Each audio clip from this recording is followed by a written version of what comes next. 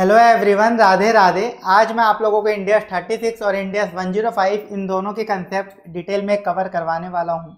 ये दोनों ही इंडियस बहुत आसान इंडियस है। एक बार अपन इनके कंसेप्ट डिटेल में कवर कर लेंगे तो आप इनके क्वेश्चन बहुत आराम से टैकल कर सकते हैं। कहीं कोई आपको दिक्कत नहीं आने वाली है।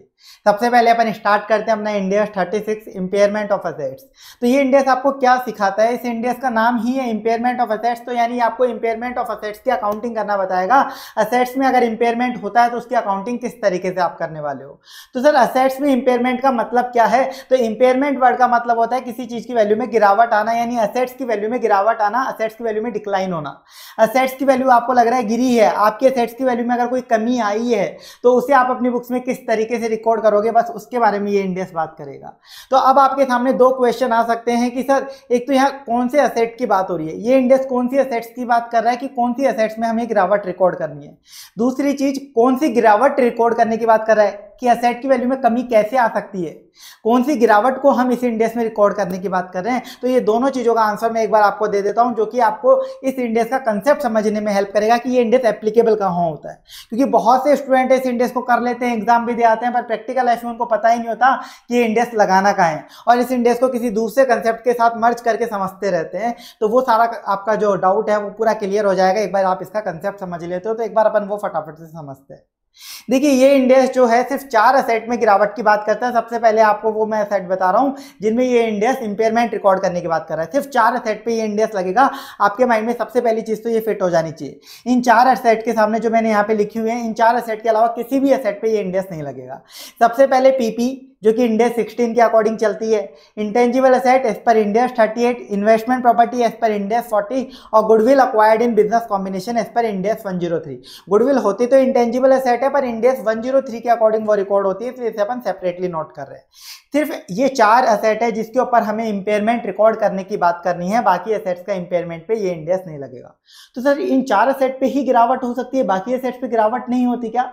बाकी सेट्स पे गिरावट नहीं होती क्या? बाकी सेट्स पे भी होती है, पर बाकी सेट्स पे जो गिरावट है उनके लिए रेस्पेक्टिव इंडिया से डिस्कशन कर देता है।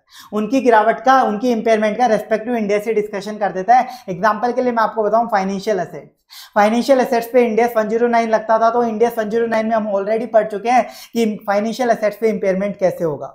इंडेक्स 109 में फाइनेंशियल एसेट्स का इंपेयरमेंट अपन ने सीखा ना, एक बार मैं वहाँ पे रीजन बताता हूँ क्यों करते थे तो यहाँ पे भी आपको रीजन समझ में आएगा जब मैं एक्सप्लेन करूँगा। देखिए फाइनेंशियल एसेट में एग्ज़ाम्पल मान लीजिए मैंने किसी को लोन दिया वन लाख रुपीज़ का तो मेरी फाइनेंशियल एसेट है। लेकिन अब मुझे एक पर्टिकुलर दिन को लग रहा है कि यार जिस बंदे को मैंने वन लाख का लोन दिया था ना, उससे ओनली नाइन्टी थाउज़ेंड रुपीज़ ही मैं वापस रिकवर कर पाऊँगा, टेन थाउज़ेंड रिकवर नहीं कर पाऊँगा। यानी जो मेरी एसेट है, उससे मैं उतना पैसा रिकवर ही नहीं कर पाऊँगा जितना मेरा बुक्स में आ रहा है। तो यानी मेरी एसेट की वैल्यू में गिरावट हुई है, कमी हुई है, उसे मैं रिकॉर्ड करता था इंपेयरमेंट के नाम से फाइनेंशियल एसेट सेम ऐसे डेटर्स के लिए, मान लीजिए मेरा वन लाख रुपीज़ का डेटर है और मुझे लग रहा था टेन थाउज़ेंड का डेटर बेड डेट्स हो जाएगा था तो मैं उसका provision for doubtful debts impairment की तरह बना देता था इंडियस वन ज़ीरो नाइन में। तो फाइनेंशियल असेट्स का इंपेयरमेंट के लिए इंडिया वन ज़ीरो नाइन में डिस्कशन कर लेता था, इसलिए वो नहीं आ रहा। इसके अलावा सर और कोई असेट बची क्या? बिल्कुल, एक और असेट बची इन्वेंट्री तो इन्वेंट्री जो है ना, उसका इंपेयरमेंट भी रेस्पेक्टिव इंडियस इंडियस टू में पड़ा हुआ है। सर इंडियस टू में तो इंपेयरमेंट के नाम से कुछ नहीं पढ़ा इंपेयरमेंट के नाम से नहीं पढ़ा पर उसका इंपेयरमेंट हम ऑलरेडी पढ़ चुके हैं। कैसे? एक एग्ज़ाम्पल से याद दिलाता हूँ। इंडियस टू में हमने पढ़ा था कि इन्वेंट्री को आपको कॉस्ट और NRV whichever is lower पे दिखाना है। मान लीजिए हंड्रेड रुपीज़ की कॉस्ट की इन्वेंट्री थी जिसकी एनआरवी मुझे नज़र आ रही थी नाइन्टी रुपीज़ तो मैं उसे बुक्स में नाइन्टी पे दिखाता था। इसका मतलब क्या था कि सौ रुपए की तो कॉस्ट है इन्वेंट्री की, पर मैं उससे नाइन्टी रुपीज़ ही रिकवर कर पाऊँगा। एनआरयू का मतलब था नेट रियलाइजेबल वैल्यू की उसको बेच के नेट अमाउंट क्या मिलेगा, उससे रिकवर कितना होगा। तो हम उससे सिर्फ़ नाइन्टी रुपीज़ ही रिकवर करने वाले थे तो यानी उस सेट की वैल्यू में गिरावट हुई थी तो हम उसको रिकॉर्ड कर रहे थे एक तरीके से। बस इन्वेंट्री के लिए कोई अलग से एंट्री पास नहीं होती तो इंपेयरमेंट का वहाँ होता था तो कोई एंट्री पास नहीं करते थे। हम डायरेक्टली पीएनडल में नाइन्टी की इन्वेंट्री दिखा देते थे इंपैक्ट ऑटोमेटिकली आ जाता था। क्योंकि हमको पता है कि इन्वेंट्री की कोई एंट्रीज पास नहीं होती, इसलिए वहीं पर उसका डिस्कशन हो गया था। समझ में आया? तो यही बाकी असेट्स थी और कोई असेट बसती नहीं है। बायोलॉजिकल असेट और बसती है, उसका रीजन मैं आपको बाद में दूँगा कि उसके ऊपर ये इंडेक्स क्यों नहीं लग रहा। उस पर आपका इंपेयरमेंट हो ही नहीं सकता, वो मैं आपको बाद में बताऊँगा, अभी आपको बताऊँगा, समझ नहीं आएगा। ठीक है? तो ये है सिर्फ़ चार असेट जिसपे इंडिया थर्टी सिक्स लगेगा आपको ये क्लियर होना चाहिए। यानी इन असेट की वैल्यू में गिरावट आती है तो उस पर आपको इंडिया थर्टी सिक्स के अकॉर्डिंग अकाउंटिंग करनी पड़ेगी। ठीक है सर वैल्यू में गिरावट की बात कर रहे हो तो गिरावट कौन सी गिरावट? गिरावट आएगी तो कैसे आएगी? तो उसका रीजन वही है जो अभी मैंने दिया फाइनेंशियल असेट ये सब वाला एग्ज़ाम्पल आपका जो बेसिक कंसेप्ट है ना, जो फंडामेंटल प्रिंसिपल अकाउंटिंग का, वो बोलता है कि असेट्स की बुक्स में जो वैल्यू दिखाई दे रही है ना, अगर मेरी बुक्स में एक पीपी दिखाई दे रही है वन लाख रुपीज़ की, इसका मतलब है कि आप इस पीपी से वन लाख रुपीज़ जितना बेनिफिट ले सकते हो। यानी ये पीपी आपको वन लाख जितना बेनिफिट देगी, यानी आप इससे इतना पैसा रिकवर कर सकते हो। तो आपकी बुक्स में असेट उतने अमाउंट पे दिखनी चाहिए जितना आप उससे बेनिफिट ले सकते हो, जितना रिकवर कर सकते हो, यानी कंजर्वेटिव अप्रोच पे चलते हो। आप असेट्स के लिए हमेशा कंजर्वेटिव अप्रोच पे चलते हो कि यार उससे आपको लग रहा है कम बेनिफिट ले पाओगे, कम रिकवर कर पाओगे तो उस असेट की वैल्यू गिरा दो आप। तो वही चीज़ है इंपेयरमेंट उसे ही हम इंपेयरमेंट का नाम देते हैं। तो इन चार असेट्स पे इंपेयरमेंट होगा। अब वो किस वजह से वैल्यू गिरावट हो सकती है, वो भी मैं आपको समझा देता हूँ। तीन रीजन होते हैं जिसकी वजह से असेट की वैल्यू गिर सकती है। पहला टेक्नोलॉजिकल एनवायरमेंट में चेंज आना। एग्ज़ाम्पल से समझिए, मान लीजिए मेरी बुक्स में एक लैपटॉप आ रहा है, जो मैंने एक एडवांस टेक्नोलॉजी का खरीदा हुआ था पहले, और उस पर डेप्रिशिएशन लग लग के आज के दिन वो बुक्स में फोर लाख रुपीज़ का कैनिंग अमाउंट दिख रहा है मेरी बुक्स के अंदर। आज के दिन मार्केट में एक नया लैपटॉप कंपनी ने अनाउंस कर दिया, जिस कंपनी का मैंने लैपटॉप खरीदा हुआ था। उस कंपनी ने मार्केट में नया लैपटॉप अनाउंस कर दिया उससे भी ज़्यादा एडवांस टेक्नोलॉजी का जो मेरे पास है। और वो मार्केट में आपको ओनली मान लीजिए कि थ्री लाख रुपीज़ में ही मिल रहा है। मार्केट में ओनली थ्री लाख रुपीज़ में ही मिल रहा है।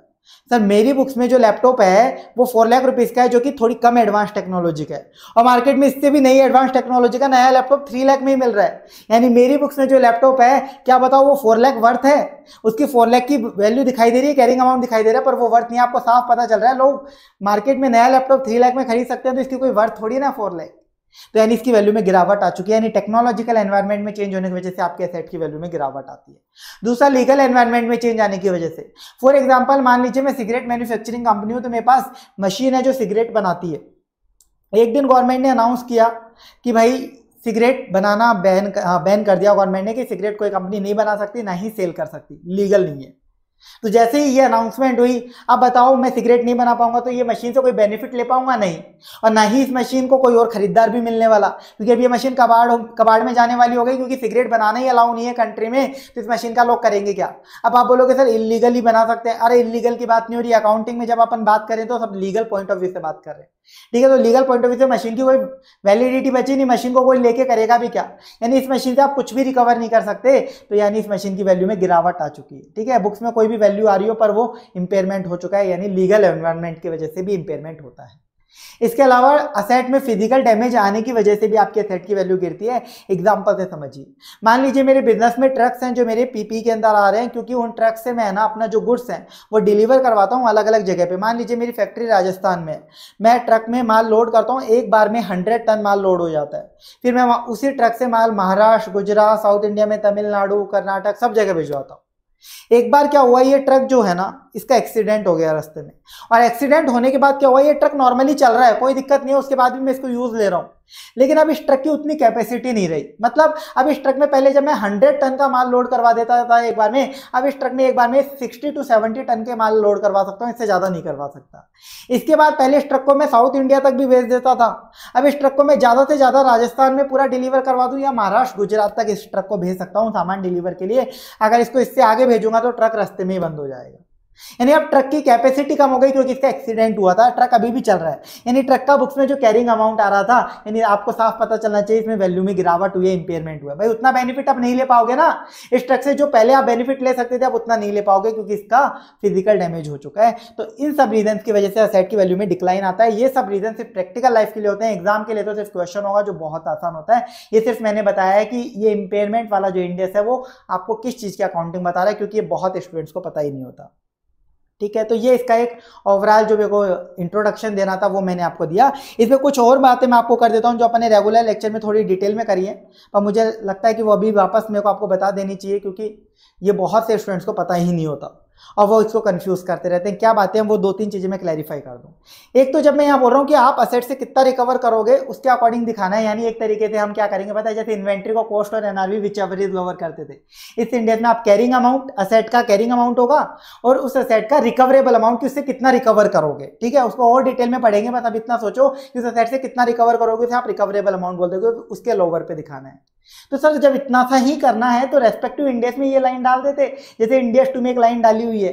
तो यहाँ पे ऐसा क्यों नहीं किया? यहाँ पे इसलिए नहीं किया क्योंकि इंडिया टू में कोई अकाउंटिंग नहीं होती, वहाँ तो डायरेक्टली इन्वेंट्री दिखा दो वैल्यू एंट्रीज वगैरह पास नहीं होती।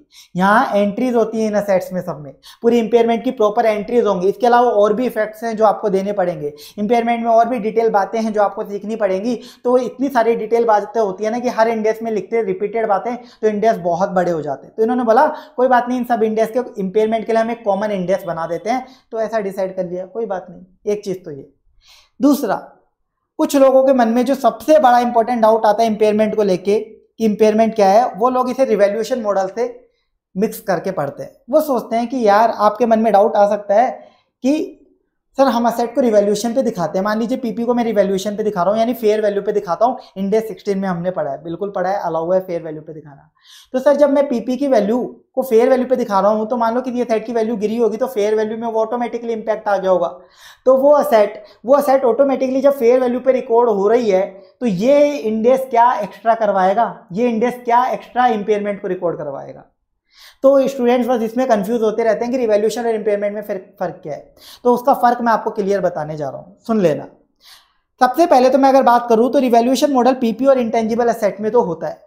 पर इन्वेस्टमेंट प्रॉपर्टी और गुडविल में कौन सा है revaluation model investment property index forty में कोई रिवैल्यूएशन मॉडल अलाउ नहीं है।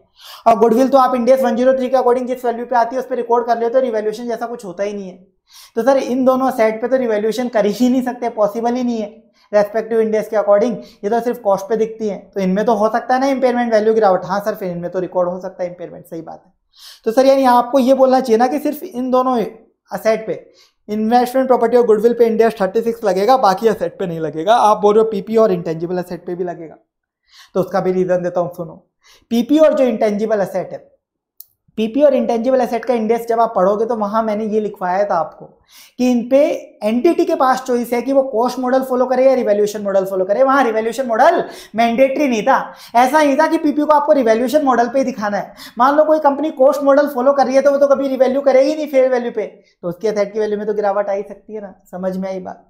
तो यानी सर कंक्लूजन ये है कि इन्वेस्टमेंट प्रॉपर्टी और गुडविल पे तो हमेशा इंडेक्स थर्टी सिक्स लगेगा। और पीपी और इंटेंजिबल असेट अगर कोस्ट मॉडल पे दिखाएँगे तो इंडिया थर्टी सिक्स लगेगा, वरना नहीं लगेगा। तो ये भी गलत है।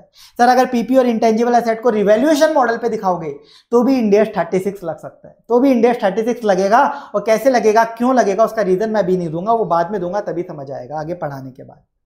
ठीक है, यानी इन इन चारों सेट पे हर केस में इंपेयरमेंट लगेगा। रिवैल्यूएशन से कैसे डिफरेंट है वो भी बताऊँगा। एक थोड़ा सा डिफरेंस तो अभी बताता हूँ। देखो, जब रिवैल्यूएशन मॉडल पे भी दिखाओगे ना, मान लो आप अपनी पीपी को तो रिवैल्यूएशन मॉडल में अपवार्ड और डाउनवार्ड दोनों बातें होती है। कि फेयर वैल्यू बढ़ रही है तो भी रिकॉर्ड करो, गिर रही है तो भी रिकॉर्ड करो। इंपेयरमेंट सिर्फ़ गिरावट की बात करेगा, पहली बात तो ये माइंड में फिट रख लेना। जब इस इंडेक्स को पढ़ रहे हो, इस इंडेक्स का नाम है इंपेयरमेंट ऑफ़ असेट्स असेट की वैल्यू में गिरावट। इस इंडेक्स में सिर्फ़ आप वैल्यू में गिरावट को रिकॉर्ड करने की बात करोगे, कभी अगर असेट की वैल्यू बढ़ रही होगी ना तो उसको रिकॉर्ड मत कर देना। वरना फिर आप बेवकूफ़ी कर रहे हो, जब इंडेक्स का नाम ही है गिरावट को रिकॉर्ड करना तो आप गेन तो कभी रिकॉर्ड करना ही नहीं है आपको। आप अपनी असेट को एक ऐसा पॉइंट भी दिखाना चाहते हो कंजर्वेटिव अप्रोच है कि इतना तो एटलीस्ट आप रिकवर कर सकते हो। इस वजह से इस इंडेक्स में सिर्फ़ गिरावट रिकॉर्ड होती है। बाकी रिवॉल्यूशन मॉडल से कैसे डिफरेंट है, वो थोड़ी देर में आगे बताऊँगा। चाहे एसेट रिवॉल्यूशन मॉडल पे आ रही हो, फिर भी ये इंडेक्स लगेगा। क्यों लगेगा, वो अभी थोड़ी देर बाद मैं आपको बता दूँगा। तो ये था इस इंडेक्स का इंट्रोडक्शन मेरे को लगता है कि इसमें आपको पूरी क्लैरिटी मिल गई होगी कि कब लगता है ये इंडिया सबसे इंपॉर्टेंट चीज़ वही होती है प्रैक्टिकल लाइफ के लिए। एग्ज़ाम के लिए बहुत आसान है। अब एग्ज़ाम वाला पार्ट स्टार्ट करते हैं।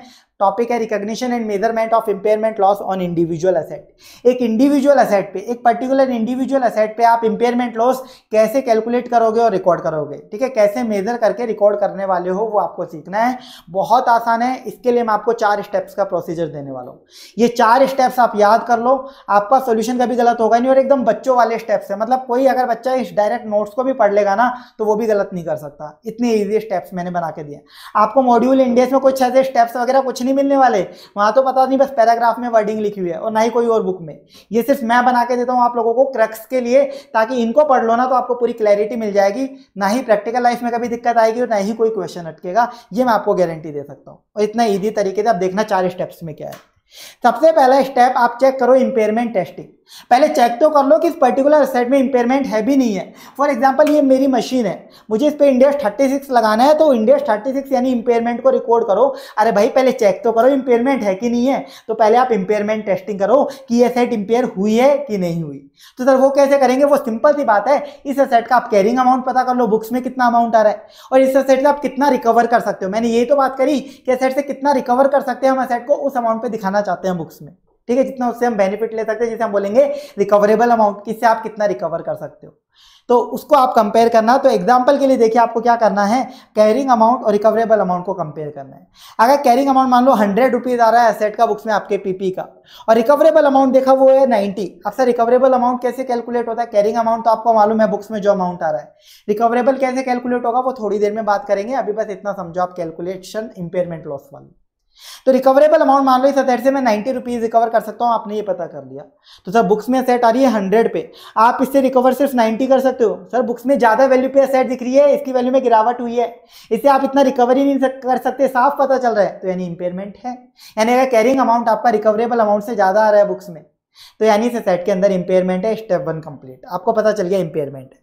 तो यहाँ पे ऐसा होता है कैरिंग अमाउंट हंड्रेड और रिकवरेबल अमाउंट वन ट्वेंटी तो बुक्स में अमाउंट कम है, लेकिन रिकवर ज़्यादा कर सकते हैं। तो वैल्यू असेट की वैल्यू बढ़ा दे क्या फिर? बढ़ाने की बात नहीं करते ये इंडिया सब भूल जाओ। बस ये इंडिया का काम ही कंप्लीट आगे कोई स्टेप लगेगा ही नहीं। कोई अकाउंटिंग नहीं होगी, कोई गिरावट ही नहीं है ना। तो वैल्यू बढ़ा कर सकते हैं? कोई उस असेट का रेस्पेक्टिव इंडेक्स अगर वैल्यू बढ़ाने की बात करता है, जैसे कोई रिवोल्यूशन मॉडल वगैरह है तो आप बढ़ा सकते हो, वरना ये इंडेक्स नहीं बढ़ाने देगा। अगर यहाँ पे रिकवरेबल अमाउंट कैरिंग अमाउंट से ज़्यादा होता, बस इस इंडेस का काम वहीं कंप्लीट हो जाता है क्वेश्चन वहीं कंप्लीट आगे बढ़ना ही नहीं था आपको। समझ में आ गई बात? तो आप सबसे पहले देखोगे इंपेयरमेंट है कि नहीं है। पता चल गया कि कैरिंग अमाउंट ज़्यादा है तो इंपेयरमेंट है तो स्टेप टू में आ जाओ इंपेयरमेंट लॉस निकालो। पता चल गया इंपेयरमेंट है तो इंपेयरमेंट लॉस निकालो ना, कितनी गिरावट आई है। अब बताओ, ये कोई कैलकुलेट करने के लिए आपको दिमाग लगाना पड़ेगा क्या, कितनी गिरावट आई है? सिंपल सा है तो कैरिंग अमाउंट ज़्यादा है रिकवरेबल कम है तो गिरावट है। कितनी गिरावट है? Carrying amount minus recoverable amount तो बुक्स में हंड्रेड का अमाउंट आ रहा है, और इससे हम रिकवर सिर्फ़ नाइन्टी कर सकते हैं। तो साफ़ पता चल रहा है ना टेन रुपीज़ की वैल्यू कम करनी है तो बस यही गिरावट है। इंपेयरमेंट लॉस क्या आ गया? Carrying amount minus recoverable amount ये आपका स्टेप नंबर टू हो गया। स्टेप नंबर थ्री बस हो गया इंपेयरमेंट लॉस यही है इंडेस मतलब आप सोचो, अगर लॉजिकली पढ़ते हो तो बस इतना ही इंडेस और कुछ नहीं है इसमें। इसके बाद देखो स्टेप थ्री आप इस इंपेयरमेंट लॉस को बुक्स में रिकॉर्ड कर लो। अब बुक्स में आप किस तरीके से रिकॉर्ड करने वाले हो इंपेयरमेंट लॉस वो देखो, बहुत सिंपल है। इंपेयरमेंट लॉस है। खर्चा है आपका नुकसान है लॉस है तो कहाँ जाएगा? पी एंडल में। तो आप पी एंडल में रिकॉर्ड करोगे तो जनरल एंट्री देखो क्या पास करोगे? आपकी असेट की वैल्यू कम हो रही है। ठीक है इंपेयरमेंट लॉस आपका नुकसान है। नुकसान है तो डेबिट किया। Impairment loss debit to asset ये एंट्री होगी। ठीक है तो आप ऐसी एंट्री पास करोगे impairment loss debit to asset ten rupees अब ये जो इंपेयरमेंट लॉस है, दस रुपए का, ये कहाँ जाएगा? पी एंडल खर्चा पी एंडल में जाता ना, नुकसान पी एंडल में। P and L account debit to impairment loss कर दोगे आप नेक्स्ट एंट्री हो जाएगी P and L account debit to impairment loss complete ये अकाउंटिंग है इसकी। आपने कैलकुलेट करा और अकाउंटिंग कर दी।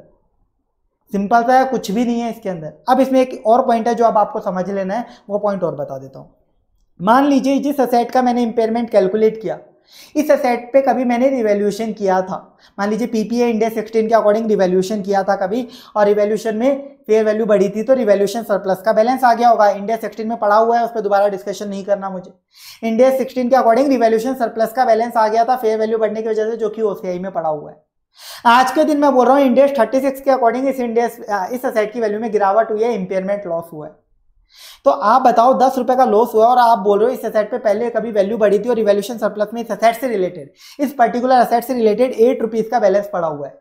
तो बताओ, क्या वो बैलेंस पड़ा हुआ सही होना चाहिए? उसका मतलब ये था असेट की वैल्यू बढ़ी हुई है। मतलब इतनी असेट की वैल्यू ज़्यादा है। जबकि आज पता चल रहा है असेट की वैल्यू गिरी है तो ये बैलेंस तो बिना बात में आ रहा है ना बुक्स में, ये तो होना ही नहीं चाहिए। ये क्या बता रहा है कि असेट की वैल्यू बढ़ी है, जबकि आज बोल रहे हैं कि हम असेट की वैल्यू गिरी है तो पहले इस बैलेंस से, इस बैलेंस को खत्म करो। यानी इंपेयरमेंट लॉस जो पीएनएल में डाल रहे हो ना, पहले यहाँ से इंपेयरमेंट लॉस सेट ऑफ़ करो, बाकी पीएनएल में। यानी दस रुपए की मैंने एंट्री पास करी इंपेयरमेंट लॉस टू असेट अब ये इंपेयरमेंट लॉस पीएनएल की जगह आप पहले रिवोल्यूशन सरप्लस को खत्म करोगे आठ रुपए का। बचा हुआ दो रुपए का इंपेयरमेंट लॉस है और है ना, वो पीएनएल में जाएगा balancing figure to impairment loss है यानी सेम रिवैल्यूएशन लॉस की जो अकाउंटिंग होती थी ना रिवैल्यूएशन लॉस भी तो नुकसान ही था। बस वही वाली अकाउंटिंग लगानी है, बस वो रिवैल्यूएशन लॉस अलग चीज़ है और ये इंपेयरमेंट लॉस अलग चीज़ है। वो बाद में बताऊँगा कैसे अलग है। समझ में आई बात? तो बस यही लिखा है इंपेयरमेंट लॉस को जनरली पीएनएल में रिकॉर्ड करोगे। हाउ अगर आपका रिवोल्यूशन सरप्लस ओसीआई में कोई बैलेंस पड़ा है उस असेट से रिलेटेड तो पहले इंपेयरमेंट लॉस को आप रिवोल्यूशन सरप्लस ओसीआई से रिकॉर्ड करोगे और बचा हुआ आप पी से सेट ऑफ़ करोगे। कंप्लीट बस। ये स्टेप नंबर थ्री हो गया। Last step step number four sir accounting कर लिया अब क्या स्टेप है? अब ये अलग, ये लास्ट स्टेप आगे की वर्किंग की बात करेगा। आपने असेट में इंपेयरमेंट रिकॉर्ड कर लिया तो अब उस असेट का रिवाइज कैरिंग अमाउंट क्या हो गया? आज के दिन हंड्रेड रुपीज़ की रुपीज़ की बुक्स में असेट थी टेन रुपीज़ का इंपेयरमेंट लॉस बुक किया तो असेट का बैलेंस टेन रुपीज़ से आपने कम किया था ना यहाँ पे देखो। तो असेट का बैलेंस टेन से कम किया तो रिवाइज कैरिंग अमाउंट क्या होगा? Ninety hundred minus ten. तो रिवाइज कैरिंग अमाउंट जिसे शॉर्ट में अपन आरसीए बोलते हैं carrying amount after impairment loss is charge यानी बिफोर इंपेयरमेंट लॉस क्या कैरिंग अमाउंट था? उसमें से इंपेयरमेंट लॉस हटा दो। ये अमाउंट पता है हमेशा जनरली जो आपका रिकवरेबल अमाउंट है ना, उसके बराबर ही आएगा। भाई आप अपनी असेट को रिकवरेबल अमाउंट पे तो ले आए हो, ठीक है? जब इंपेयरमेंट लॉस होगा। आगे से फ्यूचर में बताओ डेप्रीशिएशन किस पे लगेगा? इस रिवाइज कैरिंग अमाउंट पे लगेगा। बुक्स में सर अब नाइन्टी रुपीज़ का बैलेंस हो गया तो बुक्स में जो डेप्रीशिएशन लगेगा इस सेट पे, वो इस नए अमाउंट पे लगेगा ना। ये सब बातें आप ऑलरेडी इंडिया सिक्सटीन में सीख चुके हो तो वही वाली चीज़ें हैं ये तो। इसमें कुछ स्पेशल था नहीं।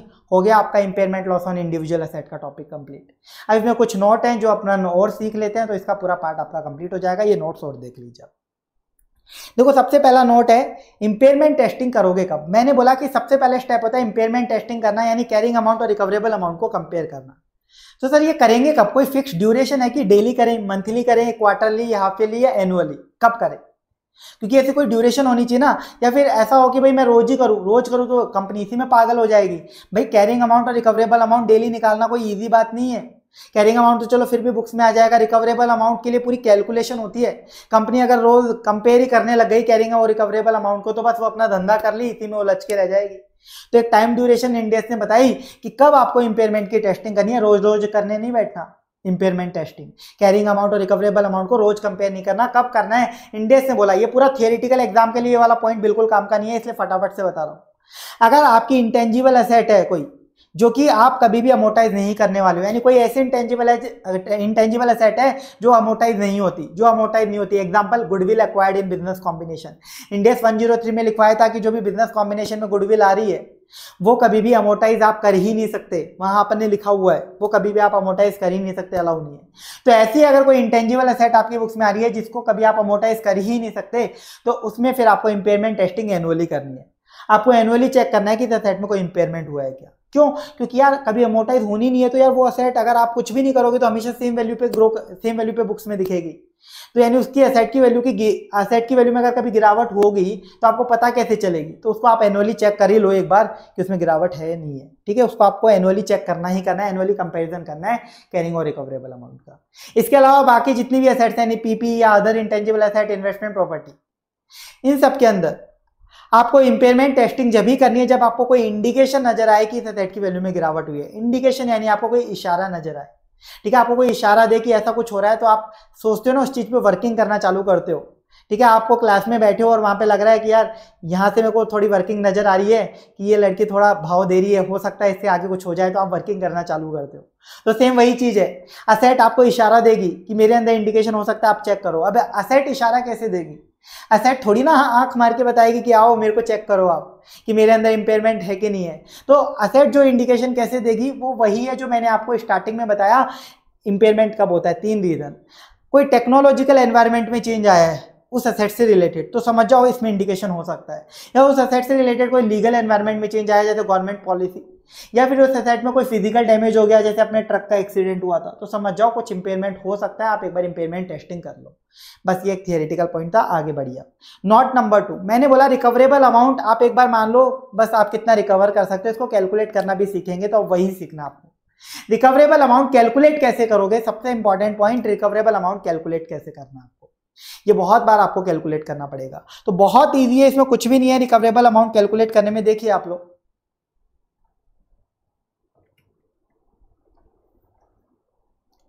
देखिए अब recoverable amount recoverable amount calculate कैसे करना है? रिकवरेबल अमाउंट यानी इस असेट से आप रिकवर कितना कर सकते हो? मान लो ये असेट आ रही है मेरी बुक्स में, जिसका मैंने कैरिंग अमाउंट हंड्रेड रुपीज़ बताया।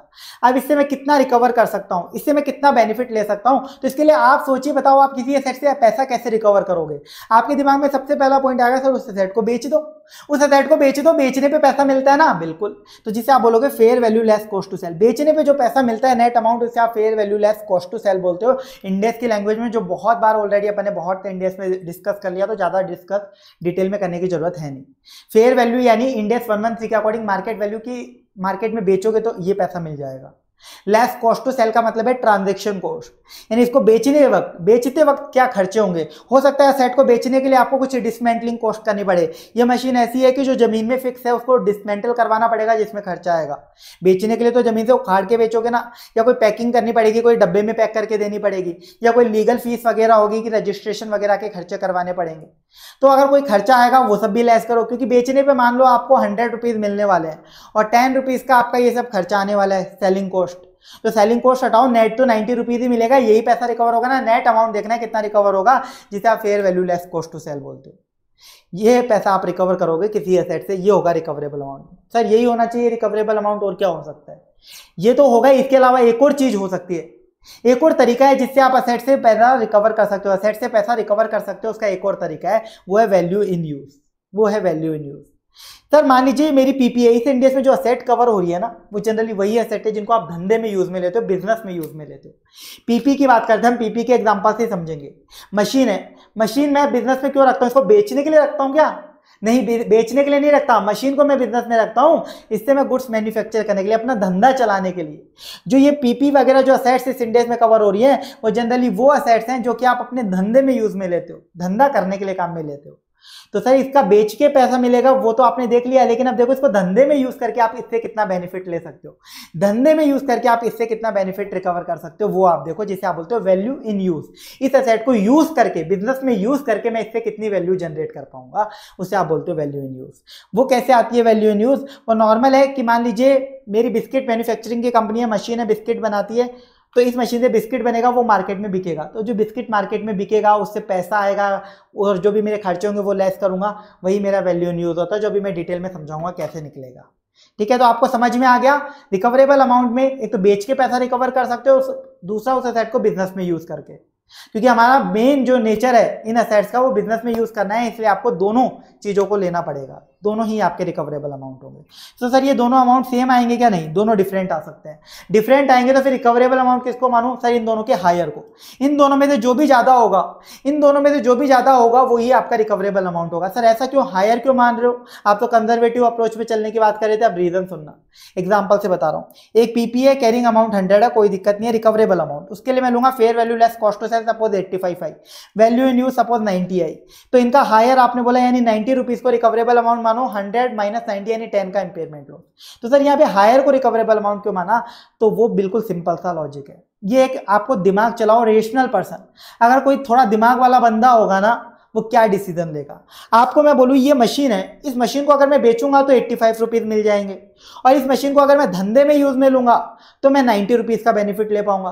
तो अगर आप थोड़े से भी दिमाग से संतुलित इंसान हो तो आप क्या डिसीज़न लोगे जहाँ पे नाइन्टी रुपीज़ का बेनिफिट हो रहा है? भाई, कोई भी समझदार आदमी होगा, वो बोलेगा, मेरे को तो जहाँ ज़्यादा बेनिफिट मिल रहा है, मैं वो डिसीज़न लूँगा। आप इस मशीन को बेचोगे थोड़ी ना। अगर आप अभी भी ऐसा बोलो, सर, वहाँ नाइन्टी का बेनिफिट मिल रहा है धंधे में यूज़ में लेके, लेकिन मैं तो फिर भी बेच के एट्टी फाइव कमाना चाहूँगा। तो फिर मैं कुछ बोल ही नहीं सकता। वो फिर आपकी चॉइस है। ये इंडियस बोलेगा, आप अपना जानो, कुछ नहीं कर सकते अकाउंटिंग तो इसी तरीके से होगी। फिर उस इंसान की तो क्या ही बात करनी। वो इंसान तो फिर अपने आप में स्पेशली आदमी है, ठीक है, जो खुद अपना लॉस करवा रहा है। ज़बरदस्ती का लॉस भी नहीं करना, यानी कहने की बात इतनी है। आप समझदार आदमी हो तो आप वहाँ असेट को यूज़ में लेना चाहोगे, वो वाले तरीके से पैसा रिकवर करना चाहोगे, जहाँ ज़्यादा पैसा रिकवर हो रहा होगा। तो इस केस में नाइन्टी रुपीज़ वैल्यू यूज़ से आ रहा है तो यानी आप इस असेट को बिज़नेस में यूज़ करके ही पैसा रिकवर करना चाहोगे और नाइन्टी रुपीज़ रिकवरेबल अमाउंट हो जाएगा। बस ये इसका रीजन था, पूरा मैंने आपको समझाया। Recoverable amount is higher of fair value less cost to sale और वैल्यू इन यूज़ अब fair value less cost to sale को आप fair value less cost to disposal भी बोल सकते हो, जिसे शॉर्ट में F V L C T S अपन बोलते हैं। Fair value as per Ind AS one one three जो कि मार्केट वैल्यू होती है, वो ले लो। सारी सेलिंग कॉस्ट या डिस्पोजल कॉस्ट हटा दो, जिन्हें आप ट्रांजेक्शन कॉस्ट भी बोलते हो, जिसमें हम आएँगे आपके selling expenses dismantling cost packing cost legal fees ये सब। तो आ जाएगी fair value less cost to sale अब देखिए value in use value in use कैसे निकालोगे? वैल्यू इन यूज़ यानी सेट को बिज़नेस में यूज़ लेके आप कितना पैसा जनरेट कर लोगे? तो बिज़नेस में यूज़ लोगे तो क्या होगा? फ्यूचर में जो इससे मान लो बिस्किट बनेंगे मेरी मशीन से, वो मार्केट में बिकेंगे कैश फ्लो आएँगे. तो फ्यूचर में जो भी आपको कैश फ्लो मिलने वाले हैं, इस सेट को यूज़ में लेने के बाद उनकी प्रेजेंट वैल्यू क्योंकि कैश फ्लो तो फ्यूचर के होंगे, वो वैल्यू इन यूज़ मैं आज निकाल रहा हूँ तो आप उसकी प्रेजेंट वैल्यू कर लोगे पीवी कर लोगे। पीवी वाला कंसेप्ट ऑलरेडी बहुत बार डिस्कस हो चुका, बहुत सारे इंडेक्स में आप इसको डिटेल में बात करने की ज़रूरत नहीं है, क्योंकि कैश फ्लो फ्यूचर के हमें तो आज के दिन की वैल्यू निकालनी है तो उसका हम पीवी कर लेते हैं, ये आपको समझ में आना चाहिए। तो अब सर फ्यूचर के कैश फ्लो का पीवी करना है तो आपके माइंड में दो चीज़ें आएँगी। सर, एक तो हम कैश फ्लो कैसे पता करेंगे और पीवी करने के लिए डिस्काउंटिंग रेट क्या लेंगे? सबसे पहले फ्यूचर के कैश फ्लो कैसे पता करोगे? हमें क्या मालूम? हमने फ्यूचर देखा थोड़ी ना कि इस मशीन से फ्यूचर में कितना रेवेन्यू जनरेट होगा, कितने बिस्किट मैन्युफैक्चर होकर सेल हो जाएँगे। तो आप एक्सपेक्टेशन लगाओगे, ठीक है? एक्सपेक्टेशन से निकलते हैं। एक्सपेक्टेड फ्यूचर कैश फ्लो निकालोगे। क्या क्या आएगा कैश फ्लो में इंक्लूड एक तो इस असेट को कंटिन्यू यूज़ लेने से क्या कैश इनफ्लो और आउटफ्लो होने वाले हैं? आप देखो, मान लो मेरे को लगता है यार ये असेट नेक्स्ट फाइव ईयर्स चलने वाली है। और नेक्स्ट फाइव ईयर्स में से जो बिस्किट मैन्युफैक्चर होंगे ना, उनसे इतनी इतनी सेल आएगी हर साल एक्सपेक्टेशन और सेल आएगी तो वो सेल आपका रेवेन्यू होगा। लेस सेल क्या ऐसी आ जाएगी? खर्चे भी तो होंगे मैन्युफैक्चरिंग वगैरह की कॉस्ट भी लगेगी, वो खर्चे लेस करो। हर साल जो भी आपको एस्टिमेशन में लग रहा है क्वेश्चन में देगा सब कुछ आपको। तो आपको मिल जाएगा कैश फ्लो का अमाउंट इसके बाद इस जैसे यूजफुल लाइफ असेट की कंप्लीट होगी। आपको उस असेट को डिस्पोजल करने पे, उस असेट को बेचने पे भी नेट कैश फ्लो कुछ मिल सकता है रेजिडुअल वैल्यू जिसे बोलते हो, वो भी आप कंसिडर कर लेना लास्ट ईयर के अंदर, जब भी वो क्वेश्चन में बोले। क्योंकि वो भी तो आपको मिलेगा, जब वो असेट कंप्लीट हो जाएगी तो टोटल बिज़नेस में यूज़ में लेने के बाद ये टोटल कैश फ्लो आपको मिलेंगे, जो आपको कंसिडर करने अब कुछ कैश फ्लो ऐसे हैं जो क्वेश्चन में दिए रहेंगे, पर फिर भी आपको इग्नोर करना है वैल्यू इन यूज़ की कैलकुलेशन के लिए। कौन से कैश फ्लो एक interest and tax expense interest का खर्चा दे रखा है। फॉर एग्जांपल मान लीजिए ये मशीन थी बिस्कुट मैन्युफैक्चरिंग वाली। ये मशीन मैं मार्केट से खरीद के लाया। कैसे खरीद के लाया? इसके लिए मैंने लोन लिया था लोन लिया, उस लोन से मैं मशीन खरीद के लाया तो लोन पे मेरा इंटरेस्ट का खर्चा जा रहा है। क्वेश्चन में दे रखा होगा। आपके मन में आएगा, सर ने बोला था कैश इनफ्लो माइनस आउटफ्लो कर देना तो इंटरेस्ट भी खर्चा ये भी लेस कर देते तो आपका क्वेश्चन गलत हो जाएगा। तो सर इंटरेस्ट का खर्चा लेस क्यों नहीं करना? कोई लॉजिक है क्या? बिल्कुल लॉजिक है। मान लीजिए सेम मशीन मेरे पड़ोस में एक और बंदा है, वो भी सेम बिज़नेस कर रहा हो, वो भी सेम मशीन लेके आया। पर उसके पास खुद से पैसा था, वो कोई बिना लोन लेके, उसने बिना लोन लिए ये मशीन मार्केट से खरीदी।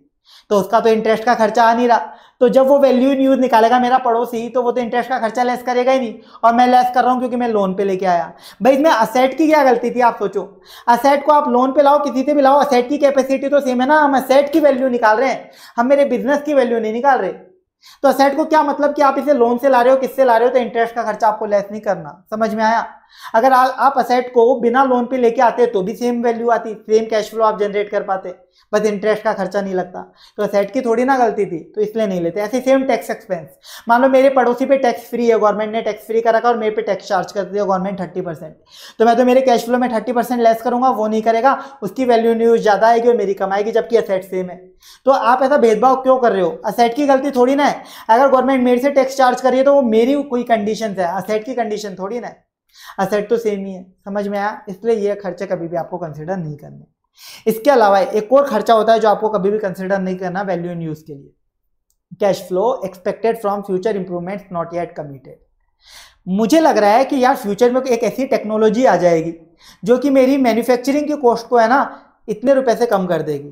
तो मैं एक काम करता हूँ कि मैं अज्यूम कर लेता हूँ कि जब वो टेक्नोलॉजी आएगी, मैं उसमें पैसा इन्वेस्ट करूँगा, उससे मेरी मैन्युफैक्चरिंग कॉस्ट कम होगी और उस अकॉर्डिंग मैंने कैश फ्लो ले लिए ऐसे सपने वाले कैश फ्लो नहीं देख, लेने आपको। आपको सपना नहीं देखना रियलिटी में जीना है। अभी कोई टेक्नोलॉजी आई नहीं हो, ना ही आपने कमिटमेंट कर दिया कि मैं इस टेक्नोलॉजी को खरीदने वाला हूँ। आप बस सपना देख रहे हो, ऐसी टेक्नोलॉजी आएगी, उसमें मैं इन्वेस्ट करूँगा, फिर मेरी मैन्युफैक्चरिंग कॉस्ट कम होगी तो मैं वो वाला कैश फ्लो ले लेता हूँ। नहीं, ऐसा कभी नहीं करना। आपको कैश फ्लो केवल आज जो आपके पास कमिटमेंट्स हैं, जो सब है, उसके बेसिस पे लेना है।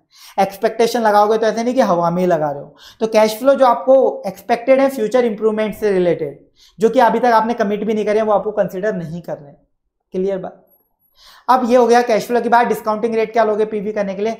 Sir pre tax cost of capital cost of capital का मतलब आपने जो पैसा उठाया हुआ है धंधे ने, अपने जहाँ जहाँ से पैसा उठाया हुआ है weighted average cost of capital जिसे बोलते हो डेट इक्विटी सबके लेना क्योंकि कैश फ्लो क्या है? सबके लिए हम देख रहे हैं।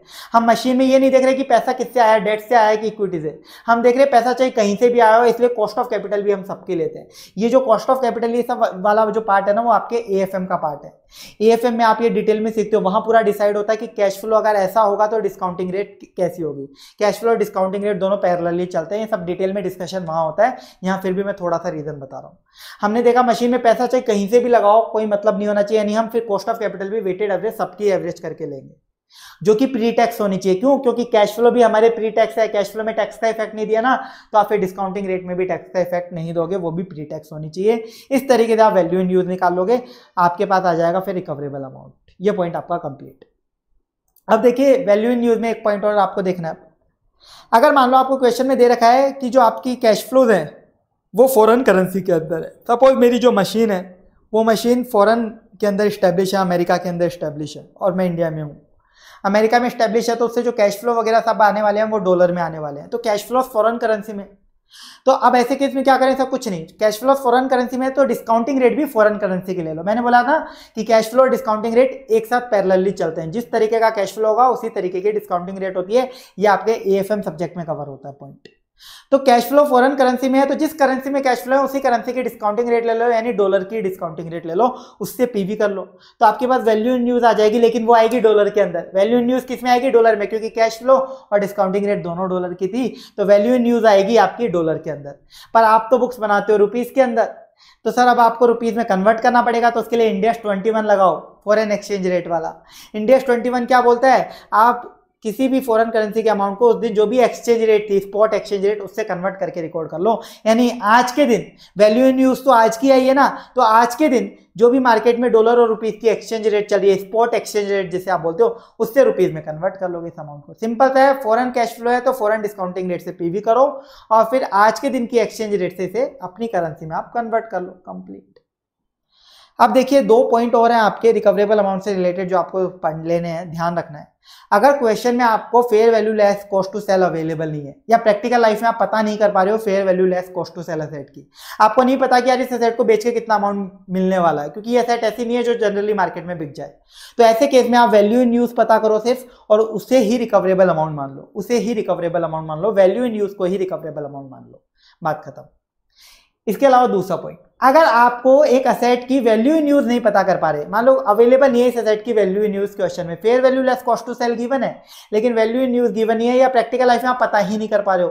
क्यों पता नहीं कर पा रहे? क्योंकि इस असेट ये असेट इंडिपेंडेंटली कितने कैश फ्लो जनरेट कर सकती है, वो कैलकुलेट करना पॉसिबल ही नहीं है, जो आगे थोड़ी देर बाद बताऊँगा, अभी आपको नहीं आएगा समझ में। पूरा डिटेल में एग्ज़ाम्पल लेके समझेंगे अपन। तो अगर आप किसी असेट की वैल्यू इन यूज़ पता ही नहीं कर सकते हो तो उस केस में आप ये बोलोगे कि इसका रिकवरेबल अमाउंट हम डिटरमाइन ही नहीं कर सकते। सर, क्यों? इस केस में भी आप ये बोल दो ना fair value less cost to sale पता है तो वही इसकी वैल्यू रिकवरेबल अमाउंट हो जाएगी। ऐसा नहीं कर सकते आप। एक, जो ये असेट इस इंडेक्स में आ रही है, उनका मेन नेचर क्या बिज़नेस में यूज़ में लेना। जब आप उनकी बिज़नेस में यूज़ में लेने वाली वैल्यू ही निकाल नहीं सकते तो फिर आप ऐसा बोलोगे कि इनका रिकवरेबल अमाउंट पता नहीं है हमें। आप डायरेक्टली बेचने वाली वैल्यू को रिकवरेबल अमाउंट नहीं मान सकते ऐसे केस में, बस ये। अगर बेचने वाली वैल्यू अवेलेबल नहीं है और वैल्यू इन यूज़ अवेलेबल है तो ठीक है वैल्यू इन यूज़ को रिकवरेबल अमाउंट ले लो। लेकिन अगर वैल्यू इन यूज़ अवेलेबल नहीं है तो आप डायरेक्टली ये बोल दोगे रिकवरेबल अमाउंट पता ही नहीं कर सकते। फिर ऐसी सेट का इंपेयरमेंट आपको सीजीयू के अंदर करना पड़ेगा, जो इस इंडिया का सबसे इंपॉर्टेंट टॉपिक होता है, जो आगे अभी अपन सीखेंगे। ठीक है? तो ये पॉइंट आपको ध्यान रखना है। इस पॉइंट की जो लिंक आएगा, वो आगे मैं आपको समझा दूँगा। तो ये था आपका इंपेयरमेंट लॉस किस तरीके से आप करने वाले हो, किसका एक एग्ज़ाम्पल मैंने लिखा है। पीपी एक परचेस करी थी अपने फ़र्स्ट अप्रैल 2001 को वन लाख रुपीज़ में useful life ten year thirty first March two thousand three यानी दो साल बाद। कंपनी ने इसकी fair value less cost to sale sixty five thousand measure करी और value in use seventy two thousand आप इंपेयरमेंट लॉस निकालो कैरिंग अमाउंट निकालो रिवाइज वाला और सब्सिक्वेंट डेप्रिशिएशन क्या लगेगा? तो सर, सबसे पहले स्टेप इंपेयरमेंट टेस्टिंग आज का कैरिंग अमाउंट और रिकवरेबल अमाउंट कंपेयर करो। आज का कैरिंग अमाउंट कैसे आएगा? सर जब परचेज करी थी, वो वाला अमाउंट वन लैख माइनस दो साल का डेप्रिशिएशन लगा दो टेन ईयर्स की यूजफुल लाइफ तो इसके अकॉर्डिंग तो आज का carrying amount eighty thousand recoverable amount कैसे आएगा? Value in use fair value less cost sale whichever is higher यानी सेवेंटी टू थाउज़ेंड तो sir carrying amount eighty thousand recoverable amount seventy two thousand साफ़ साफ़ पता चल रहा है इंपेयरमेंट लॉस है। तो सेकेंड स्टेप में इंपेयरमेंट लॉस दोनों का difference eight thousand rupees third step में general entry impairment loss P में जाएगा to asset eight thousand complete last step revised carrying amount revise carrying amount कैसे आएगा? बिफोर आपका इंपेयरमेंट लॉस कैरिंग अमाउंट कितना था? Eighty thousand impairment loss eight thousand हटाओ seventy two thousand आ गया. अब फ्यूचर में डेप्रिसिएशन किस पे लगेगा? इस रिवाइज कैरिंग अमाउंट पे, यानी थर्ड ईयर ऑनवर्ड्स दो साल तो जा चुके हैं ना अब थर्ड ईयर से सेवेंटी टू थाउज़ेंड पे लगेगा. अब यूजफुल लाइफ कितनी बाकी है? सर पहले दस साल थी. दो साल जा चुके हैं, यानी remaining useful life eight years बची है तो एट ईयर्स में डेप्रिसिएशन यानी रुपीज़ नाइन थाउज़ेंड पर है ना. बस यही क्वेश्चन होते हैं जो आपके एग्ज़ाम में आपको देखने को मिलते हैं. उसी के बेसिस पे एग्ज़ाम्पल मैंने आपको दिया था। यही एग्ज़ाम्पल थे अपन ने सारे क्वेश्चन फिर अपने क्लास में सॉल्व करे थे रेगुलर बैच में। अब आ जाइए नेक्स्ट टॉपिक इस इंडेक्स के अंदर।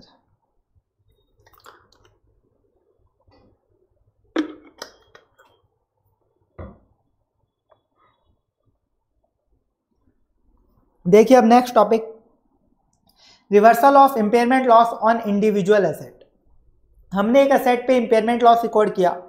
फ्यूचर में क्या वो इम्पेयरमेंट लॉस हम रिवर्स कर सकते हैं? तो बिल्कुल कर सकते हैं, तभी तो ये टॉपिक बना है। तो रिवर्स कर सकते हैं तो किस तरीके से रिवर्स करेंगे वो आपको सीखना है। क्यों कर रहे हैं रिवर्स वो सब मैं आपको बताता हूँ। एक एग्ज़ाम्पल से मैं आपको समझाता हूँ।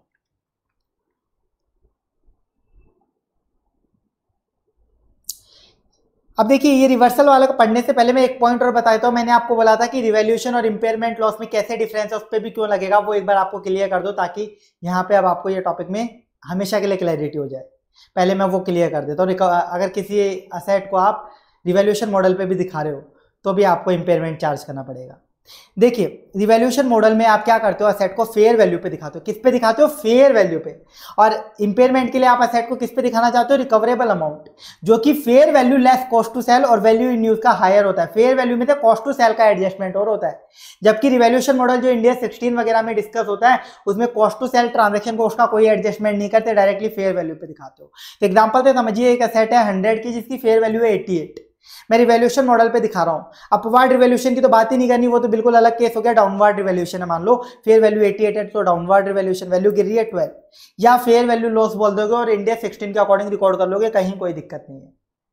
अब आपका रिवाइज कैरिंग अमाउंट क्या हो गया? एट्टी इंडिया सिक्सटीन के अकॉर्डिंग अब देखो, आपको बताया हुआ है कि कॉस्ट टू सेल जब आप असेट को बेचोगे ना, उस टाइम पे सेलिंग कॉस्ट लगेगी थ्री तो fair value less cost to sale कितनी होगी? फेयर वैल्यू एटी और लेस कॉस्ट सेल थ्री यानी 85 वैल्यू इन यूज़ मान लो इसका 80 है तो रिकवरेबल अमाउंट हायर आ गया 85 तो यानी इंडिया 36 क्या बोलते हैं? को 85 पे दिखाना चाहिए. बुक्स में आज कितने भी दिख रही है? 88 यानी आपने फेयर वैल्यू पे रिकॉर्ड कर लिया रिवैल्यूएशन के अकॉर्डिंग डाउनवर्ड रिवेल्यूशन कर दिया तो असेट 88 पे दिख रही है, पर फिर भी इंडिया 36 के अकॉर्डिंग 85 पे आनी चाहिए, यानी थ्री रुपीज़ का और लॉस दिख रहा है, इसे आप इंपेयरमेंट लॉस बोलोगे। समझ में आया?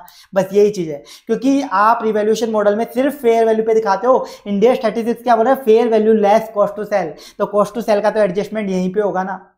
ठीक है? और अगर मान लो वैल्यू इन यूज़ हायर आ गई तो और भी कम हो गया, फिर आप वैल्यू इन यूज़ के अकॉर्डिंग उस पर ले आओगे। मतलब इंपेयरमेंट लॉस फिर भी हो सकता है जब आप असेट को रिवेल्यूशन मॉडल पे दिखाओ तो भी आपका इंपेयरमेंट लॉस हो सकता है, जो इस एग्ज़ाम्पल से मैंने वेरीफाई करवाया। तो आपको क्लियर हो जाना चाहिए। अब आ जाइए अपना रिवर्सल ऑफ़ इंपेयरमेंट लॉस वाले टॉपिक पे, समझिए इस एग्ज़ाम्पल से। ईयर फ़र्स्ट के एंड में कैरिंग अमाउंट असेट का हंड्रेड है और रिकवरेबल अमाउंट नाइन्टी तो मैंने टेन रुपीज़ का इंपेयरमेंट लॉस बुक कर लिया था, ये मैंने अभी आपको समझाया रिवाइज कैरिंग अमाउंट हो गया नाइन्टी यहाँ तक कोई दिक्कत नहीं थी आपको। अब आप एक बार अज्यूम कर लीजिए कि डेप्रीशिएशन नहीं लग रहा इस सेट पे। इग्नोर करिए डेप्रीशिएशन अपने को एग्जांपल समझना है। इसलिए बोल रहा हूँ, एक बार डेप्रीशिएशन इग्नोर करना। तो ईयर सेकंड के एंड में बताओ, इस सेट का कैरिंग अमाउंट कितना होगा? सर, पिछली बार जो था, वही आ जाएगा, क्योंकि डेप्रीशिएशन तो है नहीं, वरना वो भी लग जाता तो यानी 90 का कैरिंग अमाउंट 90 पे दिखा दिया था ना बस पिछले साल के एंड में तो अब 90 का ही अगले साल के एंड में भी ये कैरिंग अमाउंट बचेगा। अब देखिए सेकेंड ईयर के एंड में इसका रिकवरेबल अमाउंट आपको बताया वन हंड्रेड टू रुपीज़ कितना बताया? वन हंड्रेड टू आपको देख के लगेगा sir carrying amount 90 recoverable amount 102 asset की वैल्यू बढ़ रही है, पर ये इंडिया असेट की वैल्यू बढ़ाने के लिए अलाउ नहीं करता तो इसको इग्नोर कर दें, जैसा मैंने बताया था, पर नहीं। यहाँ आप इग्नोर नहीं कर पाओगे। असेट की वैल्यू अगर बढ़ रही है रिकवरेबल अमाउंट ज़्यादा है तो हम जनरली इग्नोर करते हैं, पर इस केस में क्या हो रहा है, इस असेट पे पहले हम इंपेयरमेंट लॉस चार्ज कर चुके हैं। अगर किसी असेट पे पहले आप कोई भी ईयर्स में, पिछले कोई भी सालों में आपने अगर उस असेट पे इंपेयरमेंट लॉस चार्ज किया हुआ है और in future year in future years अगर उस सेट का रिकवरेबल अमाउंट कैरिंग अमाउंट से ज़्यादा होता है तो यानी वो इंडिकेशन दे रहा है कि पहले आपने सेट की वैल्यू गिरा दी। पहले तो आपने बोला था कि रिकवरेबल अमाउंट 90 है तो आप इतना ही रिकवर कर पाओगे। अब आप बोल रहे हो कि रिकवरेबल अमाउंट 102 है, ज़्यादा रिकवर कर पाओगे।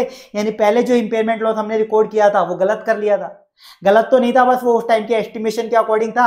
आज का एस्टिमेशन बोलता है कि आप ज़्यादा रिकवर कर पाओगे। तो सर जो इंपेयरमेंट लॉस रिकवर रिकॉर्ड किया था हमने वो गलत था तो आज वो हमें रिवर्स करना चाहिए, ठीक है? आज के सिनेरियो में देखा जाए तो कोई इंपेयरमेंट लॉस नहीं होना चाहिए तो वो हमें रिवर्स करना चाहिए। अब कितना अमाउंट रिवर्स होगा वो आपको निकालना है। इसलिए पहले अगर किसी एसेट पे आपने इंपेयरमेंट लॉस बुक किया हुआ है तो वो रिवर्स हो सकता है। अगर फ्यूचर में उसका रिकवरेबल अमाउंट ज़्यादा हो जाए कैरिंग अमाउंट से, समझ में आ गया? रिवर्सल पॉसिबल है। अब रिवर्सल कितने अमाउंट का होगा, उसके लिए आपको निकालना पड़ेगा कि रिवर्सल के बाद रिवर्सल करने के बाद असेट किस अमाउंट पे दिखनी चाहिए, पहले वो पता कर लो। तो रिवर्सल के बाद असेट किस अमाउंट पे दिखनी चाहिए सर रिकवरेबल अमाउंट आपके मन में आएगा सर 90 का कैरिंग अमाउंट है रिकवरेबल 102 दिख रहा है, यानी ट्वेल्व रुपीज़ ज़्यादा है रिकवरेबल अमाउंट तो ट्वेल्व रुपीज़ रिवर्स कर दो। यानी असेट 102 पे दिखनी चाहिए आपके अकॉर्डिंग रिकवरेबल अमाउंट पर ये सही नहीं है डायरेक्टली इस पे दिखा दो, आपको कंपेयर करना पड़ेगा, और। इस एसेट का कैरिंग अमाउंट देखो आप, अगर इस एसेट पे कभी इंपेयरमेंट होता ही नहीं, हम भाई इंपेयरमेंट लॉस को रिवर्स करने की बात करें। हम क्या बात करें? इंपेयरमेंट लॉस को रिवर्स करने की बात करें, ना कि गेन रिकॉर्ड करने की। अगर आप 102 पे डायरेक्टली दिखा दोगे, यानी आप ट्वेल्व रुपीज़ रिवर्स कर रहे हो, जबकि पहले आपने इंपेयरमेंट लॉस बुक ही दस रुपए का किया है तो बारह रुपए रिवर्स कैसे कर सकते हो? वो तो फिर टू रुपीज़ का एक्स्ट्रा गेन बुक करना हो गया। ठीक है, वो अलाउ नहीं है एक्स्ट्रा बुक करना। तो मैंने बोला है ना, ये इंडियस असेट की वैल्यू बढ़ाने की तो बात कभी करेगा ही नहीं। रिवर्स करने की बात कर सकता है, अगर पहले बुक किया है तो। तो आप फिर कंपेयर करो इसको रिकवरेबल अमाउंट को। अगर इस असेट पर कभी इंपेयरमेंट होता ही नहीं तो क्या कैरिंग अमाउंट होता आज के दिन? भाई, हमें इंपेयरमेंट रिवर्स करना है तो आप ये देख लो ना इंपेयरमेंट होता नहीं तो आज के दिन क्या कैरिंग अमाउंट होता? यानी ये पता है कैसे आएगा? इंपेयर जब आपने स्टार्टिंग में असेट खरीदी थी तब क्या प्राइस थी? और उसमें से अभी तक का डेप्रिशिएशन वगैरह सब लेस कर दो उस असेट पे। रिवैल्यूएशन वगैरह जो भी करना है, उन रेस्पेक्टिव इंडेक्स के अकॉर्डिंग सब कुछ कर लो इंपेयरमेंट को छोड़ के, वो कैरिंग अमाउंट आप देख लो। तो सर हमने तो असेट हंड्रेड की जब खरीदी हुई थी डेप्रिशिएशन वगैरह लग नहीं रहा इंपेयरमेंट नहीं होता तो आज भी हंड्रेड की आती है अपने एग्ज़ाम्पल में तो। तो सर रिकवरेबल अमाउंट 102 और अगर कभी इंपेयर नहीं होती तो carrying amount 100 whichever is lower यानी 100 आप 100 पे आज के दिन असेट को दिखाओगे तो रिवर्सल कितना करना है? सर 100 पे दिखाना है और आज के दिन असेट बुक्स में कैरिंग अमाउंट क्या रहा है? 90 यानी टेन रुपीज़ का रिवर्सल होगा। टेन का रिवर्सल होगा, बस काम कंप्लीट यही आपका क्वेश्चन है। यही आपका क्वेश्चन है टेन का आपका रिवर्सल होने वाला है। समझ में आई बात? आप मैक्सिमम वही तो रिवर्स कर सकते हो जितना आपने पहले बुक किया था। वरना हम डायरेक्टली भी कर देते कि भाई कैरिंग माइनस रिकवरेबल ट्वेल्व कर दो। पर ट्वेल्व में आप ज़्यादा रिवर्स कर रहे हो, जितना पहले बुक ही नहीं कर रखे तो वो पॉसिबल ही नहीं, हम रिवर्स करने की बात कर रहे हैं। हम एक्स्ट्रा गेन बुक करने की बात नहीं कर रहे एक और एग्ज़ाम्पल देखो। अगर मान लो recoverable amount one zero two की जगह नाइन्टी एट होता तो यहाँ पे नाइन्टी एट कैरिंग अमाउंट अगर कभी इंपेयरमेंट नहीं होता तो हंड्रेड तो लोअर क्या आ गया? नाइन्टी एट तो आप नाइन्टी एट पे दिखाओगे तो नाइन्टी एट माइनस नाइन्टी यानी एट रुपीज़ रिवर्स करोगे। क्यों? क्योंकि यहाँ पे आपको पता चल रहा है कि आप रिकवर एट रुपीज़ ज़्यादा कर सकते हो आज के दिन। और अगर कभी इंपेयरमेंट होता ही नहीं तो आज के दिन हंड्रेड रुपीज़ आती है, यानी टेन रुपीज़ का रिवर्सल भाई इंपेयरमेंट लॉस तो हमने टेन का बुक किया था। तो रिवर्स आप टेन का कर सकते हो। लेकिन भाई, आज के दिन तो मैं नाइन्टी एट ही रिकवर कर सकता हूँ। एट रुपीज़ ही ज़्यादा नज़र आ रहा है मुझे। तो एट रुपीज़ ही रिवर्स करो ना, पूरा टेन रिवर्स कर ही नहीं सकते आप। इस वजह से आप नाइन्टी एट पर दिखाओगे एट रिवर्स कर पाओगे। तो आपको अब ध्यान रखना है लॉजिक मैंने बता दिया। ध्यान रखने के लिए बस जो नोट्स में मैंने स्टेप्स दिए वो फॉलो करने हैं। अब इस रिवर्सल को रिकॉर्ड कैसे करोगे? सिंपल था असेट की वैल्यू बढ़ेगी। टेन रुपीज़ का रिवर्सल है सपोज़ ये वाला एग्ज़ाम्पल अपना। तो असेट टेन से बढ़ेगी to impairment loss reversal reversal कहाँ जाएगा? सेम वही रिवर्सल को आप पी एंडल में करोगे। जैसे इंपेयरमेंट लॉस पी एंडल में जा रहा था तो impairment loss reversal to P and L gain है तो to P and L P and L credit हो जाएगा। लेकिन मान लो, अगर पिछली बार इस सेट पे जो इंपेयरमेंट लॉस आपने बुक किया था, वो इंपेयरमेंट लॉस को रिवैल्यूएशन सरप्लस से सेट ऑफ़ किया था तो उतने एक्सटेंट तक आप इस रिवर्सल को इंपेयरमेंट रिवैल्यूएशन सरप्लस में लेके जाओगे और बचा हुआ पीएनएल में। फॉर एग्जांपल पिछली बार हमने इंपेयरमेंट लॉस टेन का बुक किया था, जिसमें एट रुपीज़ रिवैल्यूएशन सरप्लस से सेट ऑफ़ किया था टू पीएनएल से। तो अब की बार अगर टेन का रिवर्सल हो रहा है तो एट रुपीज़ पहले रिवैल्यूएशन सरप्लस बढ़ाओगे गया वापस। और फिर पी एंड एल क्योंकि भाई पहले आपने इसको कम किया था रिवोल्यूशन सरप्लस को इंपेयरमेंट लॉस मान के। अब इंपेयरमेंट लॉस है ही नहीं तो इसको वापस बढ़ा दो। और बचा हुआ फिर पी एंड एल में। समझ में आ गया? तो बस यही पॉइंट है स्टेप्स ध्यान रख लेना। रिवर्सल कब होगा? जब कैरिंग अमाउंट कम हो रिकवरेबल बढ़ जाए फ्यूचर में, अगर पहले इंपेयरमेंट लॉस बुक किया हुआ है तो। पहला स्टेप कैरिंग अमाउंट पता कर लो on date of reversal asset का आज के दिन बुक्स में क्या अमाउंट है। सेकेंड स्टेप आप वो अमाउंट पता कर लो असेट का, जिस पे असेट को दिखाना चाहिए after reversal carrying amount at which asset should be shown after reversal of impairment loss जो कि आएगा लोअर ऑफ़ असेट का रिकवरेबल अमाउंट क्या ऑन डेट ऑफ़ रिवर्सल या फिर असेट का कैरिंग अमाउंट अगर असेट को कभी इंपेयर किया ही नहीं गया होता तो क्या होता आज के दिन? इसके बाद थर्ड स्टेप में रिवर्सल का अमाउंट बहुत सिंपल है। आपको मालूम पड़िए सेट को किस अमाउंट पे दिखाना चाहिए स्टेप टू में? माइनस आज के दिन सेट किस अमाउंट पे दिख रही है? स्टेप वन वाले अमाउंट पे। तो इन दोनों का डिफरेंस ही तो रिवर्सल का अमाउंट है, यही तो रिवर्स करना है। दिखाना किस पे चाहिए, दिख किस पे रहे दोनों का डिफरेंस है रिवर्सल कितना करना है। पता चल गया रिवर्सल कितना करना है तो रिवर्सल रिकॉर्ड कर लो पी एंडल में जाएगा। लेकिन अगर पहले impairment loss revaluation surplus OCI से सेट ऑफ़ हुआ था तो उतनी एक्सटेंट तक रिवर्सल रिवैल्यूशन सरप्लस ओसीआई में होगा, बचा हुआ पी एंडल से होगा। जनरल एंट्री आपके सामने लिखी हुई है। इसके बाद last fifth number step total पाँच स्टेप लगेंगे इसके अंदर फिफ्थ नंबर स्टेप में। आपका revise carrying amount revise carrying amount बिल्कुल सिंपल है। रिवर्सल के बाद क्या कैरिंग अमाउंट होगा? यानी बिफोर रिवर्सल क्या कैरिंग अमाउंट था? रिवर्सल करने से क्या हुआ? सेट का बैलेंस बढ़ा, यानी प्लस कर दो रिवर्सल ऑफ़ इंपेयरमेंट लॉस का अमाउंट ठीक है तो ये आ जाएगा। ये अमाउंट पता है स्टेप टू के अमाउंट के बराबर ही आएगा। स्टेप टू में यही तो देख रहे थे कि रिवर्सल के बाद किस अमाउंट पे सेट दिखनी चाहिए। तो ये हमेशा उसके बराबर ही आएगा। फ्यूचर में अब डेप्रीशिएशन इस अमाउंट पे लगेगा। भाई डेप्रीशिएशन तो जो भी नया कैरिंग अमाउंट होता है, उस पर लगना चालू होता है। तो फ्यूचर में अब डेप्रीशिएशन इस रिवाइज कैरिंग अमाउंट पर लगेगा। कंप्लीट हो चुका है आपका रिवर्सल का टॉपिक इसका एक मैं आपको एग्ज़ाम्पल दे देता हूँ। जो भी अपन एग्ज़ाम्पल देखा था, उसी को कंटिन्यू करते हैं। उस एग्ज़ाम्पल में अपने thirty first March two thousand three को इम्पेयरमेंट बुक किया था। ठीक है, ये वो पूरा एग्ज़ाम्पल था। अब इसमें आ जाइए next thirty first March two thousand six को। रिकवरेबल अमाउंट उस पीपी का हो गया फिफ्टी वन थाउज़ेंड अब इसमें रिवर्सल हो रहा है तो वो अमाउंट बताओ। रिवाइज कैरिंग अमाउंट क्या होगा और सब्सिक्वेंट डेप्रिशिएशन क्या होगा। तो पहले तो आप पता करो आज के दिन का कैरिंग अमाउंट एसेट का बुक्स में क्या है। तो सर बुक्स में लास्ट कैरिंग अमाउंट कब का था? Thirty first March two thousand three का सेवेंटी टू थाउज़ेंड जिसपे आपको अब रिमेनिंग एट ईयर्स की यूजफुल लाइफ में डेप्रिशिएशन लगाना था। यानी आज thirty first March two thousand six है तो तीन साल का डेप्रिशिएशन और लगा दोगे सेवेंटी टू थाउज़ेंड पे। तो आज के दिन का कैरिंग अमाउंट बुक्स में आ रहा है फोर्टी फाइव थाउज़ेंड अब रिवर्सल के बाद कितने पे आज के दिन असेट दिखनी चाहिए सर आज का recoverable amount fifty one thousand या फिर इस असेट का क्या कैरिंग अमाउंट आज के दिन होता अगर कभी इंपेयरमेंट नहीं होता तो? इस असेट को जब आपने खरीदा था, तब कितना अमाउंट था? First April two thousand one को वन लैख में खरीदा गया था इस असेट को। इसमें अभी तक का डेप्रिशिएशन लगा दो फ़र्स्ट अप्रैल 2001 से थर्टी फ़र्स्ट मार्च 2006 पाँच साल का इंपेयरमेंट तो कुछ लगाने नहीं है। तो टेन ईयर्स की यूजफुल लाइफ के अकॉर्डिंग पाँच साल का डेप्रिशिएशन लगाया फिफ्टी थाउज़ेंड आया। लोअर क्या है? फिफ्टी थाउज़ेंड यानी आज के दिन असेट रिवर्सल के बाद फिफ्टी थाउज़ेंड पे दिखनी चाहिए। बुक्स में दिख कितने पे रही है? फोर्टी फाइव थाउज़ेंड पे, यानी रिवर्सल कितने साफ़ पता चल रहा है फाइव थाउज़ेंड का step three journal entry PP बढ़ जाएगी to impairment loss reversal assume P and L में जाएगा, कोई रिवोल्यूशन सरप्लस वगैरह था नहीं, ठीक है? तो नॉर्मली यही चलेगा अपना। इसके बाद रिवाइज कैरिंग अमाउंट क्या हो जाएगा? सर वही fifty thousand forty five thousand आज का कैरिंग अमाउंट प्लस रिवर्सल वाला अमाउंट सब्सिक्वेंट डेप्रिशिएशन अब क्या लगेगा आगे? सिक्स ईयर पाँच साल पूरे हो चुके हैं सिक्स ईयर से। तो इस रिवाइज कैरिंग अमाउंट पे यूजफुल लाइफ कितनी बाकी रह गई? सर दस साल थी, पाँच साल कंप्लीट हो चुके पाँच बाकी तो डिवाइड बाय फाइव ईयर यानी टेन थाउज़ेंड पर है कंप्लीट हो चुका है ये आपका विद एग्ज़ाम्पल अब इसमें एक नोट है जो मैं आपको बता देता हूँ, जिसपे एक क्वेश्चन आता है अपने पास, जो कि बहुत स्टूडेंट्स गलत करते हैं कि सर इस क्वेश्चन में क्यों किया? क्योंकि कोई पढ़ता ही नहीं है, पढ़ना ही नहीं चाहता नोट वगैरह। आप मॉड्यूल में पढ़ोगे तो वहाँ पे भी आपको इंडेक्स में पैराग्राफ फॉर्म में मिलेगा, यहाँ मैंने आपको करवाया है। नोट में मैंने क्या लिखा है? अगर आपके असेट का रिकवरेबल अमाउंट कैरिंग अमाउंट से ज़्यादा दिखाई दे रहा है और पहले असेट पे आपने इंपेयरमेंट बुक किया हुआ है और अब फ्यूचर ईयर में रिकवरेबल अमाउंट कैरिंग अमाउंट से ज़्यादा हो गया लेकिन सिर्फ़ एक रीजन की वजह से। किस रीजन की वजह से? आपकी कैश फ्लो जो थे, जिनकी, जिन कैश फ्लो को कंसिडर करके आपने वैल्यू इन यूज़ निकाली थी, उन कैश फ्लो में सिर्फ़ अनवाइंडिंग ऑफ़ डिस्काउंट हुआ है पैसेज ऑफ़ टाइम की वजह से। पैसेज ऑफ़ टाइम की वजह से आपका वैल्यू इन यूज़ ज़्यादा आ रहा है, जिसकी वजह से रिकवरेबल अमाउंट आपको कैरिंग अमाउंट से ज़्यादा दिख रहा है। सुनना वापस से। सिर्फ़ आपका पैसेज ऑफ़ टाइम की वजह से अनवाइंडिंग ऑफ़ डिस्काउंट की वजह से वैल्यू इन यूज़ ज़्यादा आ रहा है, और उसकी वजह से आपका रिकवरेबल अमाउंट कैरिंग अमाउंट से ज़्यादा दिख रहा है। और पिछले सालों में आपने इंपेयरमेंट लॉस बुक किया तो आप बोलोगे, सर रिवर्स कर दो करंट ईयर में। आप नहीं करोगे। ऐसे केस में इंपेयरमेंट लॉस रिवर्स नहीं होता। है एग्ज़ाम्पल से मैं समझा देता हूँ, बहुत इंपॉर्टेंट है, ध्यान रख लेना क्वेश्चन आया और अगर आपने नोटिस नहीं किया तो गलत हो जाएगा। देखिए फ़र्स्ट ईयर के एंड में हंड्रेड का कैरिंग अमाउंट नाइन्टी का रिकवरेबल अमाउंट कैसे आया? मान लो fair value less cost to sell seventy थी। और वैल्यू न्यूज़ नाइन्टी थी तो हायर नाइन्टी टेन रुपीज़ का impairment loss revise carrying amount ninety remaining useful life मान लेते हैं, दिन के बाद से टेन ईयर्स थी। तो सेकंड ईयर एंड में बताओ कैरिंग अमाउंट क्या होगा? सर 90 पे दिखाया टेन ईयर्स की यूजफुल लाइफ यानी एक साल का डेप्रिशिएशन लगाया तो 81 पे दिख रहा होगा। अब इसका रिकवरेबल अमाउंट देख रहे हैं हम सेकंड ईयर एंड में। तो fair value less cost to sell तो हम अज्यूम कर रहे हैं सेम ही है सेवेंटी लेकिन वैल्यू इन यूज़ हो चुकी है एट्टी सिक्स तो हायर क्या आया? एट्टी सिक्स बताओ कैरिंग अमाउंट से ज़्यादा है? बिल्कुल है.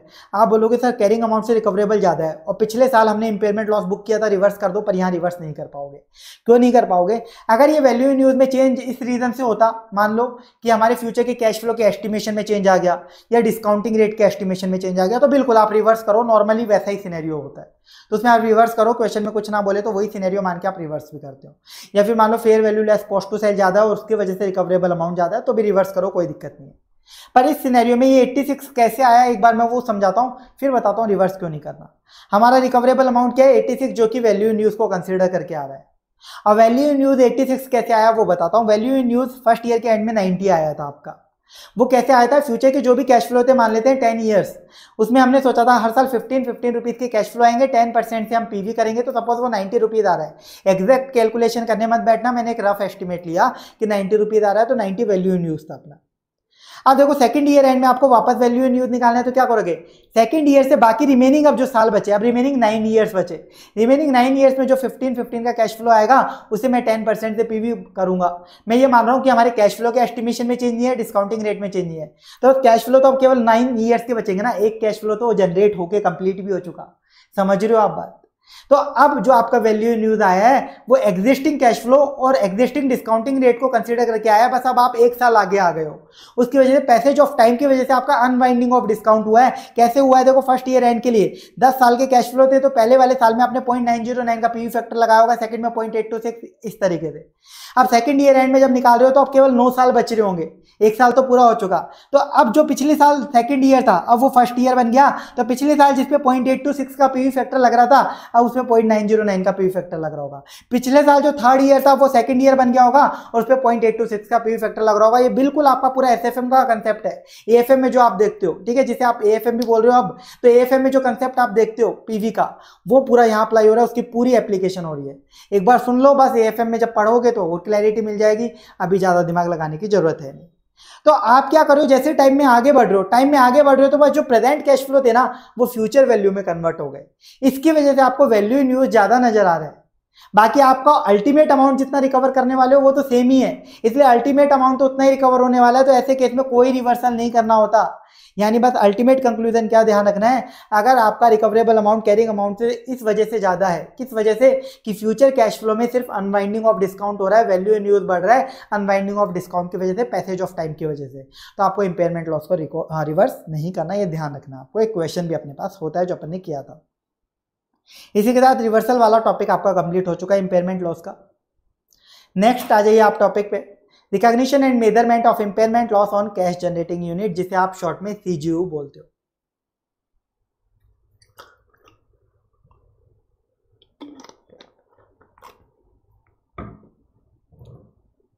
देखिए अब ये टॉपिक इस इंडेक्स में स्टूडेंट्स को जब डर लगता है ना, अभी तक के जो टॉपिक मैंने बताया, वो तो फिर भी कुछ लोग कर लेते हैं।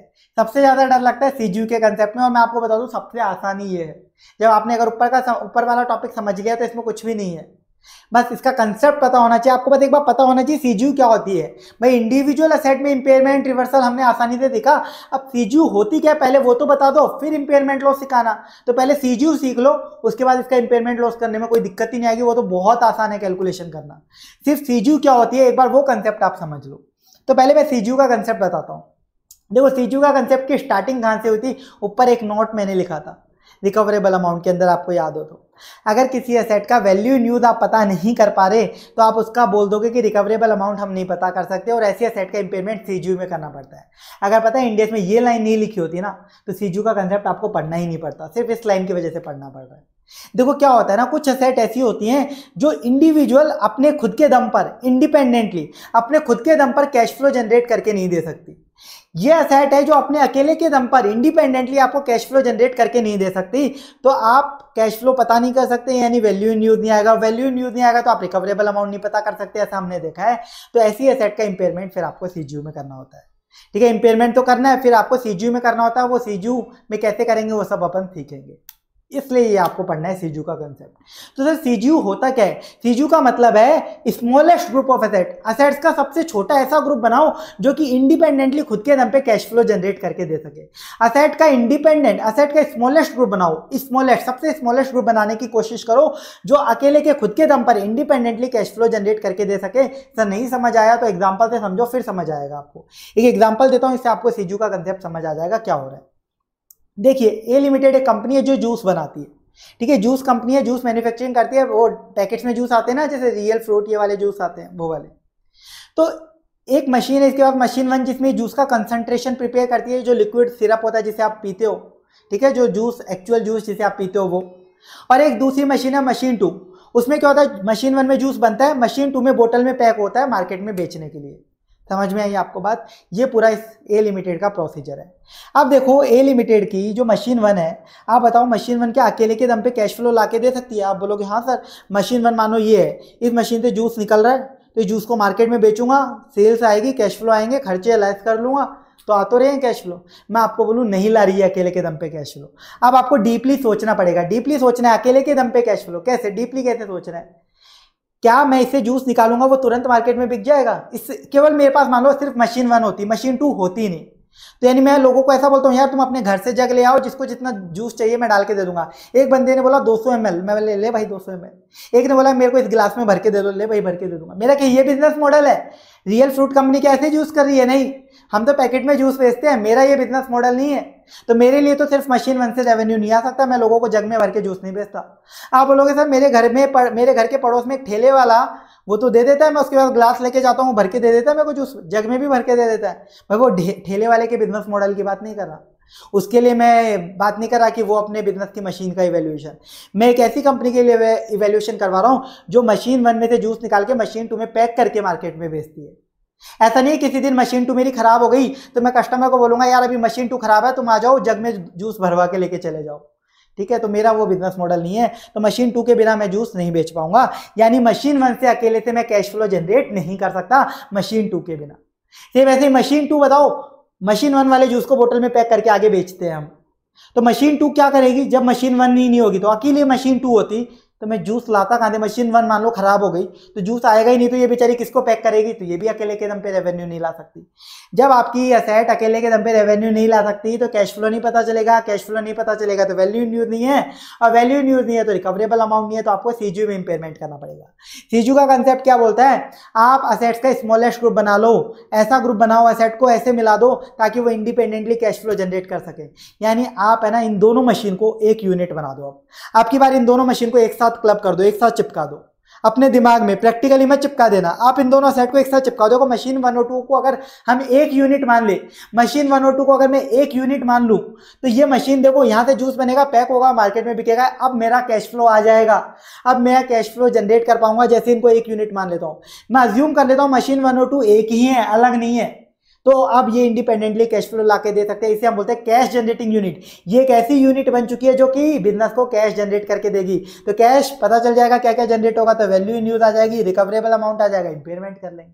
समझ में आया? बहुत सिंपल है। सीजू कब फॉलो करना होता है? जब आप किसी असेट का इंडिपेंडेंट कैश फ्लो नहीं पता कर सकते। ताकि आप उन असेट्स को क्लब करो एक साथ। ऐसी असेट्स को क्लब करो और एक यूनिट बना लो ताकि वो कैश फ्लो ला दे सके। फिर आप रिकवरेबल अमाउंट पता कर लोगे और इम्पेयरमेंट कर लोगे। सिर्फ़ अपने दिमाग में क्लबिंग करनी है, अपने दिमाग में इनको चिपकाना है। ऐसे नहीं कि आप क्लाइंट के पास जाओ, बोलो, यार, तुम्हारी ये मशीन है ना, अकेले के दम पे कैश फ्लो नहीं लाते, आप इन दोनों को चिपका लो। ठीक है, फेविकोल से चिपका दो तो क्लाइंट आपको चिपका देगा, ऐसा नहीं करना आपको। ना आपको प्रैक्टिकल लाइफ में वहाँ चिपकाना तो सर चिपकाना क्या है? बुक्स में मैं मशीन वन और टू का बैलेंस एक साथ जोड़ के दिखाऊँ नहीं। बुक्स में भी कुछ नहीं करना। आपको सिर्फ़ अपने दिमाग में या अलग से पेन पेपर पे कैलकुलेशन करनी है। एक्सेल शीट में अलग से। कहीं ऐसा नहीं होगा कि मशीन वन और टू क्लब करके बुक्स में दिखाओगे। बुक्स में मशीन वन टू सब अलग से दिखेगी। आपके दिमाग में वो चिपकी हुई है, आपके दिमाग में वो दोनों एक यूनिट है बस। मशीन वन और टू एक यूनिट है आपके दिमाग में। जो मैंने एक रेगुलर बैच में एग्ज़ाम्पल दिया था, आपको पता हो, धमाल मूवी धमाल मूवी में एक कैरेक्टर है, अरशद वारसी और जावेद जाफरी ने कैरेक्टर किया था, आदि और मानव का। ठीक है, वो दोनों अलग अलग पर्सन थे और अलग अलग ही थे, दोनों आपस में चिपके हुए नहीं थे। लेकिन जब जब उनको अपना फ़ायदा लेना होता था ना, वो बोलते थे कि हम दोनों एक ही यूनिट है। अगर आपने सुना हो मूवी देखी हो, अच्छी मूवी है, जो पहले बॉलीवुड वाले बनाते थे, आजकल तो कचरा बनाते हैं, वो बहुत शानदार है। तो देखना उसमें कॉमेडी भी बढ़िया है तो उसमें वो दोनों बोलते हैं कि हम दोनों एक ही यूनिट हैं, जब उनको फ़ायदा लेना होता है। वो एक यूनिट बन जाते हैं इमेजिनेशन में, जबकि वो दोनों अलग अलग पर्सन है, आपस में चिपके हुए भी नहीं है। तो सेम चीज़ यहाँ अप्लाई हो रही है कि मशीन वन और टू आपके दिमाग में अब एक यूनिट हो जानी चाहिए इंपेयरमेंट लॉस की कैलकुलेशन के लिए बस। इस इंडेक्स के लिए इंपेयरमेंट टेस्टिंग के पर्पज से बाकी वो दोनों अलग अलग मशीन ही है। बस यही मैंने एग्ज़ाम्पल लिखा है, ये आपको पता होना चाहिए। अब समझ आ गया होगा सीजू क्या है। आपको अब समझ आ गया होगा सीजू क्या है। अब स्मॉलेस्ट ग्रुप का क्या मतलब है? इसको मैं क्लियर कर देता हूँ। मान लो तीन मशीन है machine one two three machine one और टू को एक साथ पिला दे तो इंडिपेंडेंट कैश फ्लो आ सकता है। तो अब ऐसे केस में आप तीनों मशीन को एक यूनिट मत मानना फिर ज़बरदस्ती। मशीन वन और टू को मिला के इंडिपेंडेंट कैश फ्लो ला पा रहे हो ना तो फिर मशीन थ्री को क्यों क्लब करना? हमें तो स्मॉलेस्ट ग्रुप बनाना है जो इंडिपेंडेंट कैश फ्लो ला पाए। तो मशीन वन टू थ्री तीनों को मिलाएँगे, तभी इंडिपेंडेंट कैश फ्लो आ पाएगा। तो फिर तीनों को मिलाओ। मतलब आपको पॉसिबल एसेट्स का स्मॉलेस्ट ग्रुप बनाना है, जिससे इंडिपेंडेंट कैश फ्लो ला सको। ये आपके लिए प्रैक्टिकल बात थी एग्ज़ाम में तो आपको डायरेक्ट गिवन होगा सब कुछ। आपको तो सिर्फ़ कैलकुलेशन करनी है। ये मैं डिटेल में इसलिए बता रहा हूँ ताकि आपको कंसेप्ट समझ में आए, क्योंकि हमें कंसेप्ट नहीं पता होता तो हम इंडियस को टफ बोलने लग जाते हैं। हम फिर सिलेबस टफ बोल देते हैं, फिर हम सीए कोर्स को टफ बोल देते हैं, क्योंकि हमारी मेंटेलिटी खराब है। क्योंकि हम, हमें किसी चीज़ को सही नज़रिए से देखना ही नहीं है। हमारा नज़रिया ही ऐसा बना लिया हमने कि ये तो टफ है। टफ है तो बस फिर आप मनी मन टफ सोचते रहो और फिर ऐसे रहोगे ज़िंदगी में। चीज़ों को सही नज़रिए से सोचना सोचो। चीज़ों को जिस दिन आप सोचना स्टार्ट कर दो कि सब कुछ ईजी है, सही तरीके से अगर स्ट्रेटेजिकली प्लान करोगे तो वो चीज़ वास्तव में ईजी बन जाएगी और आराम से आप कर भी लोगे। ठीक है तो सही चीज़ें पढ़ोगे, सही तरीके से पढ़ोगे तो सब ईजी है। और ऐसे ही कुछ भी करते रहोगे तो फिर सब कुछ ही टफ होगा। फिर तो आप कुछ भी पढ़ लो। ठीक है तो ये बात हो गई आपकी सीजीयू की। सीजू का आपको कंसेप्ट मैंने बता दिया। अब कुछ और पॉइंट इसमें सीजू में मुझे आपको बताने देखिए, अब आपके पास दो असेट्स की मैं बातें करूँगा। Goodwill acquired in business combination और corporate assets goodwill acquired in business combination और कॉर्पोरेट असेट्स की बात करनी है। पहले goodwill acquired in business combination देखिए, जो गुडविल मेरे बुक्स में रिकॉर्ड होती है, वो सिर्फ़ बिज़नेस कॉम्बिनेशन में अक्वायर वाली गुडविल रिकॉर्ड होती है। गुडविल आती ही जब है, जब आप किसी कंपनी को खरीदते हो, उसके उसके पास से ही गुडविल आती है आपके पास। आप सेल्फ जनरेटेड गुडविल को तो वैसे रिकॉर्ड नहीं कर सकते। तो जो गुडविल आप बिज़नेस कॉम्बिनेशन में अक्वायर करते हो, जब आती है, वो गुडविल हमेशा ध्यान रखना सिर्फ़ सीएफएस में आती है। एसएफएस में किसी भी कंपनी की बुक्स में कभी भी गुडविल आ ही नहीं सकती। एसएफएस में तो हम, हमारी खुद की एसेट लाइबिलिटी दिखाते हैं तो हमारी गुडविल तो हम खुद रिकॉर्ड कर ही नहीं सकते सेल्फ जनरेटेड तो। और सामने वाली कंपनी को खरीद के जो गुडविल आती है बिज़नेस कॉम्बिनेशन में, वो आप रिकॉर्ड सीएफएस में करते हो। तो गुडविल हमेशा सीएफएस में होगी, ये आपको माइंड में क्लियर होना चाहिए। ठीक है गुडविल हमेशा सीएफएस में होती है। तो गुडविल जो है, आप बताओ, गुडविल से कभी आप इंडिपेंडेंटली कैश फ्लो जनरेट कर सकते हो? मान लो मेरा बिज़नेस और मेरे बिज़नेस की अच्छी खासी गुडविल है। आपको लगता है कि यार A I R one C career institute की अच्छी खासी गुडविल है। तो आप लोग आके क्या मुझे सिर्फ़ गुडविल के नाम पे पैसा देके चले जाओगे? मैं आपको कोई सर्विस नहीं दे रहा। ना आप, मैं आपको क्लास दे रहा, कुछ भी नहीं दे रहा। आप बोल रहे हो, सर, आपकी तो बहुत अच्छी गुडविल है, लो पचास हज़ार रुपये लो एक लाख रुपए। ऐसा करोगे क्या कोई इंसान किसी को सिर्फ़ गुडविल के नाम पे पैसे दे के आता है क्या? नहीं। तो गुडविल कभी भी अपने अकेले के दम पे कैश फ्लो जनरेट नहीं कर सकती। ये दूसरी एसेट्स को कंट्रीब्यूट करती है कैश फ्लो जनरेट करने में। गुडविल मेरे को कंट्रीब्यूट करेगी। जब मेरी बाकी सब्जेक्ट्स की जब मैं क्लासेस लॉन्च करूँगा, मैं आप लोगों को क्लासेस दूँगा कि ये क्लासेस मार्केट में अवेलेबल आप चाहें तो ये परचेज कर सकते हैं। तो मेरी गुडविल वहाँ मुझे हेल्प करेगी रेवेन्यू जनरेट करवाने में। समझ में आ रही है? बाकी मेरी अदर असेट्स में। तो ये गुडविल है अदर असेट्स को कॉन्ट्रीब्यूट करती है रेवेन्यू जनरेट करने में। तो गुडविल का हमेशा ध्यान रखना, जब भी इंपेयरमेंट होगा सीजीयू में ही होगा, क्योंकि इंडिविजुअल कैश फ्लो तो ला नहीं सकते तो रिकवरेबल अमाउंट नहीं आएगा। इसका, इसलिए हमेशा गुडविल का जो इंपेयरमेंट है, वो सीजीयू के अंदर ही होता है। ऐसे कॉर्पोरेट एसेट्स कॉर्पोरेट एसेट्स का मतलब हेड ऑफ़िस बिल्डिंग यानी वो एसेट जो पूरी कंपनी की है। हेड ऑफ़िस बिल्डिंग है। मान लो मेरी कंपनी फ़ूड आइटम का बिज़नेस भी करती है इलेक्ट्रॉनिक आइटम का बिज़नेस भी करती है। और मैंने एक ऑफ़िस बिल्डिंग बना रखी है, जिसमें दोनों बिज़नेस का स्टाफ बैठता है। वहीं से सारी अकाउंटिंग होती है मार्केटिंग होती है, दोनों बिज़नेस की सब कुछ होता है। तो अब ये हेड ऑफ़िस बिल्डिंग बताओ, क्या अकेले से रेवेन्यू ला के दे सकती है? हेड ऑफ़िस बिल्डिंग क्या मुझे अकेले से रेवेन्यू ला के दे सकती है? मान लो मैं प्रोडक्ट वगैरह कुछ नहीं बेच रहा, सिर्फ़ हेड ऑफ़िस बिल्डिंग है तो उससे रेवेन्यू थोड़ी आएगा। वो तो बाकी अदर फैक्ट्री वाली जो बिल्डिंग वगैरह फैक्ट्री में जो मशीन वगैरह है, उनसे जो प्रोडक्ट बन रहा है, उनको कॉन्ट्रीब्यूट कर रही है। उनको कॉन्ट्रीब्यूट कर रही है रेवेन्यू जनरेट करने में। तो कॉर्पोरेट असेट्स भी कभी भी खुद से रेवेन्यू ला नहीं दे सकती।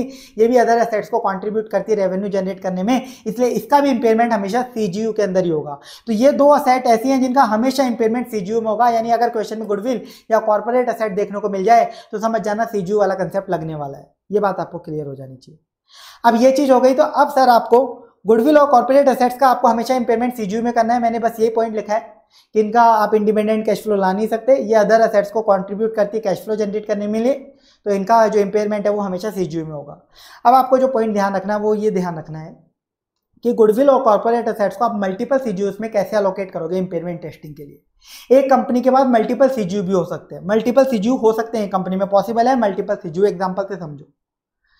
देखिए, एक कंपनी है, जिसके बाद एक हेड ऑफ़िस बिल्डिंग है पीपी और ये कंपनी दो बिज़नेस चला रही है फ़ूड आइटम और इलेक्ट्रॉनिक आइटम मैं बोल रहा हूँ फ़ूड आइटम के बिज़नेस की जितनी भी असेट्स है ना, वो अपने आप में एक सीजू है। और इलेक्ट्रॉनिक आइटम के बिज़नेस की जितनी भी असेट है, वो अपने आप में एक सीजू है। ये मैं एक बार के लिए अज्यूम कर रहा हूँ। तो अब ये हेड ऑफ़िस बिल्डिंग जो है, ये सीजू में इंपेयर होगी तो कौन सी सीजू में इंपेयर होगी सर सीजू वन है ये फ़ूड आइटम वाला, मान लो। सीजू वन है ये फ़ूड आइटम वाला। फ़ूड आइटम वाला तो है सीजू वन। और इलेक्ट्रॉनिक आइटम वाला है सी जी टू तो head office building C G one में जाके इंपेयर होगी कि सी जी टू में जाके इंपेयर होगी? कौन से सी जी में इसे अलोकेट करोगे? एक कंपनी के पास मल्टीपल सी जी होंगे तो कॉर्पोरेट असेट और गुडविल को कैसे अलोकेट करोगे? तो सिंपल सा आपको सोचो, आपके पास क्वेश्चन में गिवन होगा रेशियो या बेसिस आप देखो ये ऑफ़िस बिल्डिंग आप सिर्फ़ फ़ूड आइटम के बिज़नेस को मॉनिटर करने के लिए काम में ले रहे हो तो पूरा का पूरा पैसा इसका सी जी वन में जाके अलोकेट हो जाएगा। मान लो इसको पूरा का पूरा आप इलेक्ट्रॉनिक आइटम के लिए काम में ले रहे हो तो उसमें अलोकेट हो जाएगा। लेकिन सर, हम इस हेड ऑफ़िस बिल्डिंग से दोनों बिज़नेस को मॉनिटर करते हैं। तो सर, आप दोनों बिज़नेस का जो कैरिंग अमाउंट है, उस बेसिस पे भी कर सकते हो। क्वेश्चन में बोल दिया कैरिंग अमाउंट जो है, इस सीजू के अंदर बाकी असेट्स भी तो होंगी और इसमें भी बाकी असेट्स होंगी। इन सीजू की जो बाकी असेट्स है, उनके कैरिंग अमाउंट के रेशियो में डाल दो। या फिर क्वेश्चन में रेशियो दे दिया कि थ्री टू टू के रेशियो में डालो। यानी सीजू वन में थ्री बाई फाइव अमाउंट और इसमें two by five amount ratio basis question में देगा, उसके अकॉर्डिंग अलोकेट करना समझ में आ गया, बस लॉजिक बताना था मुझे।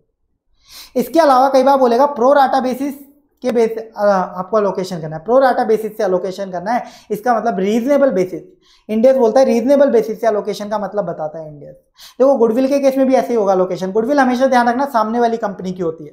मैं जब सामने वाली कंपनी को खरीदता हूँ ना, तब मेरी बुक्स में सीएफएस में गुडविल आती है। होती तो उसकी गुडविल है, उसके धंधे की गुडविल है। जब मैंने उसको खरीद लिया तो मेरे सीएफएस में दिखाई दे रही है। तो अगर उसके धंधे में फ़ूड आइटम और इलेक्ट्रॉनिक आइटम का बिज़नेस है तो और दोनों अपने आप में अलग अलग सीजू है तो गुडविल कौन से बिज़नेस में जाएगी? तो आप देख लो, उसके फ़ूड आइटम के बिज़नेस की गुडविल थी कि इलेक्ट्रॉनिक की या रेशियो के बेसिस पे, समझ में आ गई? वैसे ही अलोकेशन होगा। क्वेश्चन में गिवन होगा सब कुछ आपको। अगर क्वेश्चन में बोलते प्रो राटा बेसिस पे एलोकेशन करना है, यानी रीजनेबल बेसिस पे तो आप अलोकेशन कैसे करने वाले हो, वो समझिएगा आप लोग। आपको फिर एलोकेशन करना है, जितनी भी सीजू है, मान लो दो सीजू है, सीजू वन और सीजू टू तो इन इन दोनों सीजू में जो भी अदर असेट्स हैं, बाकी जितनी भी असेट्स हैं इन सीजू के अंदर, उन असेट के carrying amount into useful life उन असेट के carrying amount into useful life के रेशियो में। यानी सीजू वन में जो अदर असेट है, उनका कैरिंग अमाउंट मल्टीप्लाई बाय उनकी यूजफुल लाइफ क्या है? उसके रेशियो में, उसके रेशियो में आपको अलोकेट करना पड़ेगा। ऐसा क्यों करें सर? मान लो गुडविल थी हंड्रेड रुपीज़ की जो अलोकेट करनी थी इन दोनों के अंदर। अब देखो इस असेट इस सीजू के अंदर कैरिंग अमाउंट असेट है, कुछ एक पर्टिकुलर अमाउंट दूसरे में भी है कैरिंग अमाउंट अदर असेट तो यार किसी असेट का कैरिंग अमाउंट मान लो किसी सीजू के अंदर बिज़नेस का कैरिंग अमाउंट असेट्स का बढ़ रहा है तो यानी वहाँ पे ज़्यादा प्रॉफिट वगैरह कर रहे होगे, ज़्यादा बिज़नेस कर रहे होगे, यानी गुडविल होगी, तभी तो वहाँ आपका बढ़ रहा होगा। तो सिंपल सी बात है, उसमें ज़्यादा लोकेट होनी चाहिए। फिर यूजफुल लाइफ का क्या रोल है? मान लो इसकी यूजफुल लाइफ टेन ईयर्स है और इसकी यूजफुल लाइफ फिफ्टीन ईयर्स है। तो यार जिसकी यूजफुल लाइफ ज़्यादा है, वहाँ पे आप ज़्यादा टाइम तक उस गुडविल वगैरह का बेनिफिट ले पाओगे या कॉर्पोरेट असेट है तो उसका बेनिफिट ले पाओगे। तो इस वजह से इस रेशियो में एलोकेट करा जाता है, अगर रीजनेबल बेसिस बोला जाए तो। जिस सीजू जो सीजू है, उसका कैरिंग अमाउंट ले लो सीजू में जितनी भी अदर असेट है, इस गुडविल या कॉर्पोरेट असेट के अलावा बाकी जितनी भी अदर असेट है, उनका carrying amount into useful life का रेशियो इसमें आप अलोकेट करोगे। तो ये आपको देख लेना है अलोकेशन किस तरीके से होने वाला है गुडविल और कॉर्पोरेट एसेट अलोकेट होंगी। मल्टीपल सीजू में ऑन द बेसिस या रेशियो गिवन इन क्वेश्चन अगर क्वेश्चन बोलता है प्रो राटा बेसिस पे अलोकेट करो तो आपको मल्टीपल सीजू में अलोकेट करना है। Carrying amount of other assets in CGU into useful life of CGU के रेशियो के अंदर, हर सीजू के अंदर। इसके बाद भी देखिए, मान लीजिए आप अपनी गुडविल या कॉर्पोरेट एसेट को अलोकेट ही नहीं कर पाते हो, किसी भी सीजू में। प्रैक्टिकल लाइफ में मान लो आपको समझ नहीं आ रहा कि कौन से सीजू से रिलेटेड है अनअलोकेबल हो गई। क्वेश्चन में लिख देगा अनअलोकेबल आप अलोकेट ही नहीं कर पा रहे हो। अनअलोकेबल गुडविल या अनअलोकेबल कॉर्पोरेट एसेट आपके पास बच जाती है तो फिर उसका इंपेयरमेंट करने का तरीका बिल्कुल अलग होगा, जो मैं आपको अलग से बाद में बताऊँगा। एक डिफरेंट मैनर में उसको इंपेयर किया जाएगा, वो अभी अपन सीखेंगे। तो ये पूरा सीजू का कंसेप्ट था। आप सीजू में इंपेयरमेंट लॉस की कैलकुलेशन कैसे होगी, वो मैं आपको स्टेप वाइज प्रोसीजर देने जा रहा हूँ। आपको कंसेप्ट अगर समझ में आ गया तो ये बिल्कुल सिंपल तरीके से आपको हो जाएगा। टोटल पाँच स्टेप में वर्किंग होगी।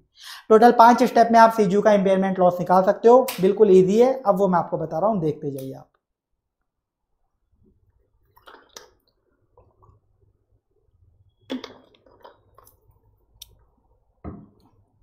मैंने सीजू की जितनी भी नॉलेज दी वो आपको सिर्फ़ टॉपिक समझने के लिए थी या फिर एग्ज़ाम के लिए थी? प्रैक्टिकल लाइफ के लिए थी। एग्ज़ाम के लिए वो कोई रेलिवेंसी नहीं रखती थी। एग्ज़ाम के लिए सिर्फ़ ये रेलिवेंसी रखता है जो कि एकदम ईजी है कि सीजी में आप इंपेयरमेंट लॉस कैसे कैलकुलेट करके रिकॉर्ड करोगे। देखिए सबसे पहले आप वही स्टेप जैसे इंडिविजुअल असेट में करे थे इंपेयरमेंट टेस्टिंग करो सीजू इंपेयर है कि नहीं है? सीजू इंपेयर है कि नहीं है? कैसे करोगे? कैरिंग अमाउंट और रिकवरेबल अमाउंट अब लॉजिक दोबारा डिस्कस करने की ज़रूरत नहीं है, वो ऑलरेडी बता दिए हैं। लॉजिक वही रहेंगे, बस कैलकुलेशन वगैरह देखनी है तो सीजू का कैरिंग अमाउंट ले लोगे आपकी बार, और रिकवरेबल अमाउंट भी सीजू का ले लोगे कंपेयर कर लोगे। कैरिंग अमाउंट ज़्यादा है सीजू का रिकवरेबल कम है तो इंपेयरमेंट लॉस है यानी बस ये इंपेयरमेंट टेस्टिंग हो जाएगी। आप सीजू का कैरिंग अमाउंट कैसे निकालोगे? सीजू में क्या क्या हो सकता है? सर मशीन वगैरह हो सकती है तो पीपी जो भी सीजू का पार्ट होगी वो, उसका कैरिंग अमाउंट सीजू में इंटेंजिबल असेट भी हो सकती है। कैरिंग अमाउंट ले लोगे। इसके अलावा सीजू में कोई करंट असेट इन्वेंट्री वगैरह भी हो सकती है, वो कैसे हो सकती है वो भी बताऊँगा। या फिर गुडविल या कॉर्पोरेट असेट जो आपने सीजू में अलोकेट करी, ठीक है? यानी ये ऊपर की असेट तो वो है जो इस इंडियस में कवर हो रही है, ये आप अलोकेट कर लेते हो सीजू में जो इस इंडियस के स्कॉप में आती है।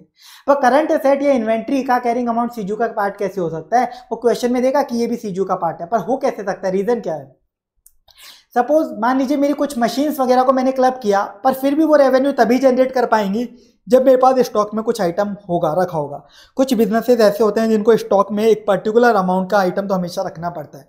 इन्वेंट्री उसके पास होनी चाहिए, वरना उनके पास ऑर्डर नहीं आते। तो मेरे पास अगर मुझे रेवेन्यू के ऑर्डर लाने हैं तो मेरे को इन्वेंट्री हमेशा अपने पास कुछ अमाउंट की रखनी पड़ेगी।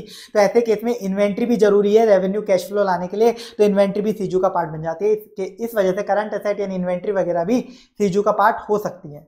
अब इंपेयरमेंट लॉस वगैरह कैसे होगा, वो सब अपन देखेंगे। इसमें तो सर इंडिया लगता ही नहीं। तो कोई बात नहीं, वो सब अपन बात की बात है। पहले मैंने रीजन बताया सीजू का पार्ट हो सकती है। तो घबराना नहीं है कि ये सीजू में आ गया तो क्या करें अब। इस पर तो इंडिया थर्टी सिक्स लगता ही नहीं। तो पहले स्टेप में आपने टेस्टिंग कर ली, बिल्कुल सिंपल सी बात है। सेकंड स्टेप में इंपेयरमेंट लॉस निकाल सीजू का carrying amount of CGU minus recoverable amount of CGU बिल्कुल सेम वही किया आपने, ये इंपेयरमेंट लॉस आ गया सीजू का। अब सर रिकॉर्ड कैसे करें? अब रिकॉर्ड करने वाली सबसे इंपॉर्टेंट चीज़ है, क्योंकि सीजू में तो गुडविल भी होगी suppose machine one machine two दो मशीन है, मान लो। उस सीजू में एक मेरी कॉर्पोरेट असेट भी है इन्वेंट्री भी है। तो अब इंपेयरमेंट लॉस कैसे रिकॉर्ड करूँ? क्योंकि बुक्स में तो सब असेट अलग अलग रिकॉर्डेड है। सीजू तो मैंने मेरे माइंड में इमेजिनरी एक यूनिट बनाई थी, या अलग से एक्सेल शीट पे बनाई थी। बुक्स के अंदर तो सारी असेट अलग अलग हैं तो इम्पेयरमेंट लॉस बुक तो कर लूँगा, मान लो टेन रुपीज़ का आया। इंपेयरमेंट लॉस टेन टू कौन सी असेट को कम करूँ? कौन सी असेट में कितना इंपेयरमेंट लॉस है? वो तो देखो, हमें तो इंडिविजुअल असेट में इंपेयरमेंट करना था, इस वजह से तो सीजू का कंसेप्ट पढ़ा, क्योंकि उस असेट का इंपेयरमेंट इंडिविजुअल लेवल पे पता करना पॉसिबल नहीं हो पा रहा था। तो हमने सीजू लेवल पे पता करा, बांटना तो पर इंडिविजुअल असेट में पड़ेगा ना इंपेयरमेंट लॉस क्योंकि बुक्स में तो इंपेयरमेंट लॉस उस पर्टिकुलर इंडिविजुअल असेट में रिकॉर्ड करवाना है। तो ये इंपेयरमेंट लॉस जितनी भी असेट्स हैं सीजू उनमें बांटा जाएगा। तभी तो बुक्स में रिकॉर्ड हो पाएगा तो आपको असेट्स में बांटना पड़ेगा। इंपेयरमेंट लॉस सीजू का निकाल लिया, बांटोगे। बांटोगे किस तरीके से वो समझ समझ लीजिए आप लोग। सबसे पहले आप इंपेयरमेंट लॉस जो भी आएगा, वो आपकी अगर सीजी में कोई गुडविल है तो उस गुडविल में अलोकेट कर दो। सारा का सारा impairment loss up to carrying amount of goodwill allocate कर दो। देखो मान लो सीजू का कैरिंग अमाउंट हंड्रेड है रिकवरेबल नाइनटी है तो टेन रुपीज़ का इंपेयरमेंट लॉस मेरे सीजू में एक मशीन वन है मशीन टू है गुडविल है कॉर्पोरेट असेट और इन्वेंट्री है, ये मेरे सीजू का पार्ट है. तो सबसे पहले आप इंपेयरमेंट लॉस जो दस रुपए का आया ना, इसको सबसे पहले आपके सीजू में गुडविल है तो इस गुडविल में अलोकेट कर दो इंपेयरमेंट लॉस कितना? Up to carrying amount of goodwill goodwill का carrying amount suppose four rupees है तो पहले चार रुपए का इंपेयरमेंट लॉस गुडविल में बांटो, पूरा का पूरा. जितना गुडविल का कैरिंग अमाउंट हो। सर, मान लो गुडविल का कैरिंग अमाउंट ट्वेल्व होता तो पूरा टेन रुपीज़ का इंपेयरमेंट लॉस गुडविल में चला जाता टू रुपीज़ का बैलेंस इसका बच जाता, बाकी किसी में इंपेयरमेंट लॉस फिर बट ही नहीं पाता कुछ, क्योंकि कुछ बचा ही नहीं है समझ में आ गया? यहाँ पे दस रुपए का इंपेयरमेंट लॉस था, गुडविल का कैरिंग अमाउंट चार था तो पूरा का पूरा पहले गुडविल को खत्म किया। सर रीजन क्या है पहले गुडविल में बांटने का? सुनना ध्यान से।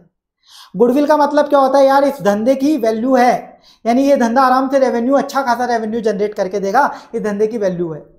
यानी अगर मेरे धंधे की वैल्यू होती रेवेन्यू जनरेट हो रहा होता तो इंपेयरमेंट लॉस आता क्या कभी?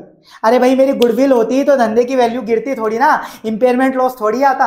आप लॉजिकली सोचो, अगर गुडविल होती तो मेरी वैल्यू थोड़ी ना गिरती इंपेयरमेंट लॉस थोड़ी आता, यानी मेरी गुडविल कब की खत्म हो चुकी है? इसका मतलब है गुडविल कब की खत्म हो चुकी है? तो पहले गुडविल को आप खत्म करो। गुडविल होती तो इंपेयरमेंट लॉस थोड़ी होता तो गुडविल बिना बात में बुक्स में आ रही है, पहले इसको खत्म करो। ये होता है इसका रीजन इसके बाद आप इंपेयरमेंट लॉस किसमें बांटोगे? फर्स्टली आप अलोकेट करोगे by goodwill up to carrying amount of goodwill इसके बाद ये इंपेयरमेंट लॉस कौन बियर करेगा? Then by that asset which can be tested for impairment individually also उसके बाद आप इंपेयरमेंट उस असेट में अलोकेट करोगे जो कि इंडिविजुअली भी इंपेयरमेंट टेस्टिंग के लिए जा सकती थी।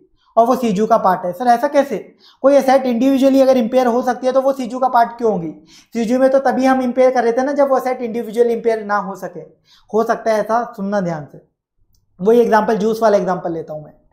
मशीन वन से मैं जूस बनाता था मशीन टू से बोतल में पैक करके मार्केट में बेचता था। तो मशीन वन से मैं जूस बनाता हूँ मशीन वन अकेले के दम पे कैश फ्लो नहीं ला सकती तो उसे सीजू में इम्पेयर करना पड़ेगा। लेकिन जो मशीन टू थी ना, उससे जो मैं बोतल बनाता था तो मैं मशीन वन से आने वाले जूस को बोतल में मैं पैक करके आगे मार्केट में बेचता तो था, साथ में मशीन टू में जो बोतल बनाता था, वो भी मैं अकेले मार्केट में बेचता हूँ। मतलब मशीन टू से जो बोतल बनाता हूँ ना, वो भी मैं मार्केट में बेचता हूँ, उससे भी रेवेन्यू आता है। यानी मशीन टू खुद के अकेले के दम पे भी तो कैश फ्लो ला सकती है। मशीन टू खुद के अकेले के दम पे भी कैश फ्लो ला सकती है। तो सर जो मशीन टू है ना वो इंडिविजुअली भी इम्पेयर हो सकती है।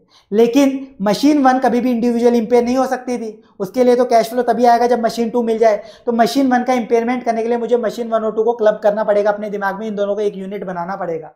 इन दोनों को एक सीजू के अंदर डालना पड़ेगा। ताकि मैं मशीन वन का इंपेयरमेंट निकाल सकूँ। ठीक है मशीन टू का तो इंडिविजुअली भी आ सकता था।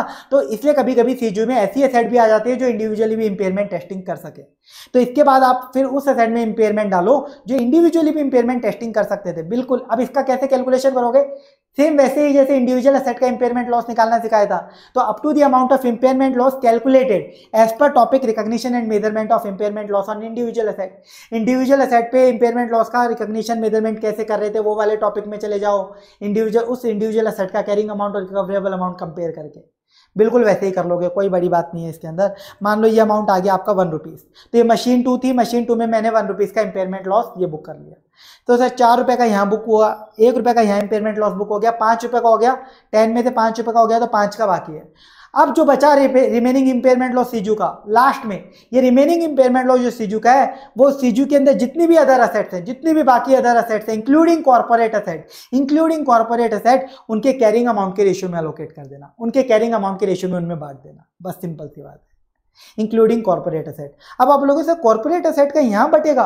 हमने तो सोचा था कि गुडविल जैसे आप बोल रहे हो कि पहले गुडविल में अलोकेट करना तो हम तो सोच रहे थे कॉर्पोरेट असेट में भी पहले अलोकेट होगा।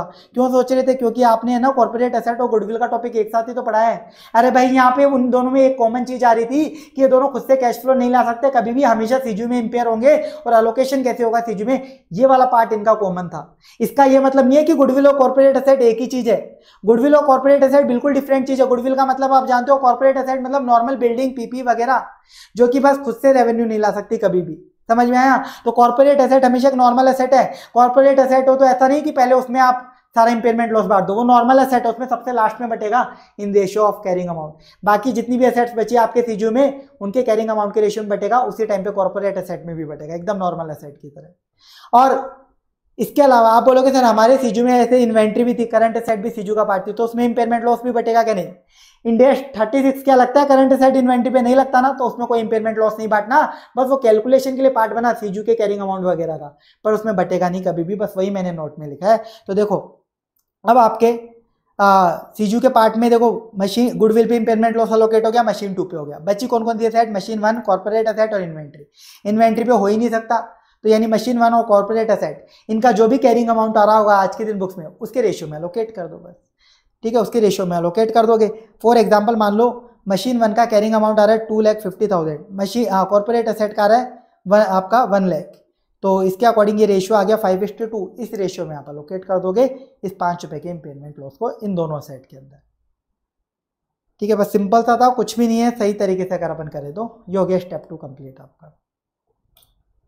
स्टेप टू हो गया, स्टेप थ्री अभी बताऊँगा, एक बार आगे ये वाले स्टेप पे आते हैं, स्टेप थ्री का एक अलग रोल है।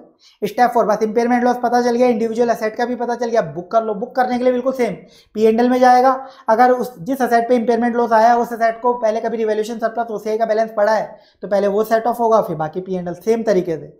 रिवाइज कैरिंग अमाउंट हर असेट का सीजू का निकाल लो, कैसे निकलेगा बिल्कुल सेम बिफोर इंपेयरमेंट लॉस उस पर्टिकुलर असेट का कैरिंग अमाउंट क्या था, और इंपेयरमेंट लॉस जो निकाला वो लेस कर दो डेप्रिशिएशन इतना ही रिवाइज कैरिंग अमाउंट पर निकलेगा। बिल्कुल सेम है जो इंडिविजुअल असेट वाला था सेम स्टेप्स हैं ये तो। एक स्टेप बस बढ़ा है, वो स्टेप नंबर थ्री जो कि अभी मैंने पढ़ाया नहीं है, वो आगे पढ़ाऊँगा, एक एग्ज़ाम्पल देखते हैं एग्ज़ाम्पल देखिए, एक सीजीयू थी हमारे पास thirty first March two thousand one को, जिसमें कैरिंग अमाउंट आ रहे थे machine A B C goodwill और इन्वेंट्री इस सीजू में ये पाँच असेट आपके पास। रिकवरेबल अमाउंट सीजू का टेन लैक है। मशीन को आप इंडिविजुअली भी इंपेयरमेंट के लिए टेस्ट कर सकते हो, जिसका रिकवरेबल अमाउंट फाइव लैक है आपको बताया हुआ है। इंपेयरमेंट लॉस इवेस्ट कैरिंग अमाउंट सब निकालना है इन असेट्स का इंपेयरमेंट के बाद। सबसे पहला step carrying amount of CGU सबका टोटल कर लो कैरिंग अमाउंट का। इस बार recoverable amount of CGU ten lakh दिया हुआ तो है आपको। कैरिंग अमाउंट ज़्यादा है रिकवरेबल अमाउंट से यानी इंपेयरमेंट लॉस है। सेकंड स्टेप में total impairment loss carrying amount minus recoverable amount यानी two lakh twenty five thousand ये इंपेयरमेंट लॉस बटेगा किसमें सर, सबसे पहले गुडविल गुडविल है बिल्कुल कितनी? वन लैख फिफ्टी थाउज़ेंड की। तो पूरा का पूरा इसमें बट गया वन लैख फिफ्टी थाउज़ेंड इसके बाद बचा कितना impairment loss sir two lakh twenty five thousand में से वन लैख फिफ्टी थाउज़ेंड चला गया सेवेंटी फाइव थाउज़ेंड अभी भी बाकी। अब ये किसमें जाएगा? सर ऐसी कोई एसेट है क्या? देखो जो इंडिविजुअल इंपेयरमेंट के लिए टेस्ट की जा सके। बिल्कुल है। मशीन ए लिखा हुआ था। तो मशीन ए का इंडिविजुअल इंपेयरमेंट इंडिविजुअल असेट वाले टॉपिक पे जाओ। कैरिंग अमाउंट मशीन ए का कितना? 525 मशीन ए का रिकवरेबल अमाउंट 5 लैख यानी 25,000 का इंपेयरमेंट तो मशीन ए में चला गया 25,000 का इंपेयरमेंट रिमेनिंग इंपेयरमेंट लॉस बाकी बची हुई असेट में डाल दो। रिमेनिंग कितना बचा? Two twenty five minus one fifty minus twenty five thousand यानी फिफ्टी थाउज़ेंड का। बची हुई असेट कौन सी है सर मशीन बी और सी और इन्वेंट्री में अलोकेट होता ही नहीं है यानी मशीन बी और सी का जो कैरिंग अमाउंट है इस रेशियो में बांटना है। टू लैख फिफ्टी थाउज़ेंड और वन लैख के रेशियो में। ये मैंने बांट दिया फाइव इस टू टू के रेशियो में। ठीक है, बस ये इंपेयरमेंट लॉस आपने बांट दिया। और इसके बाद आपका इन्वेंट्री में कुछ बटेगा नहीं। स्टेप थ्री एक बार भूल जाओ। स्टेप फोर कोई एंट्री वगैरह पास करनी हो तो वो कर देना।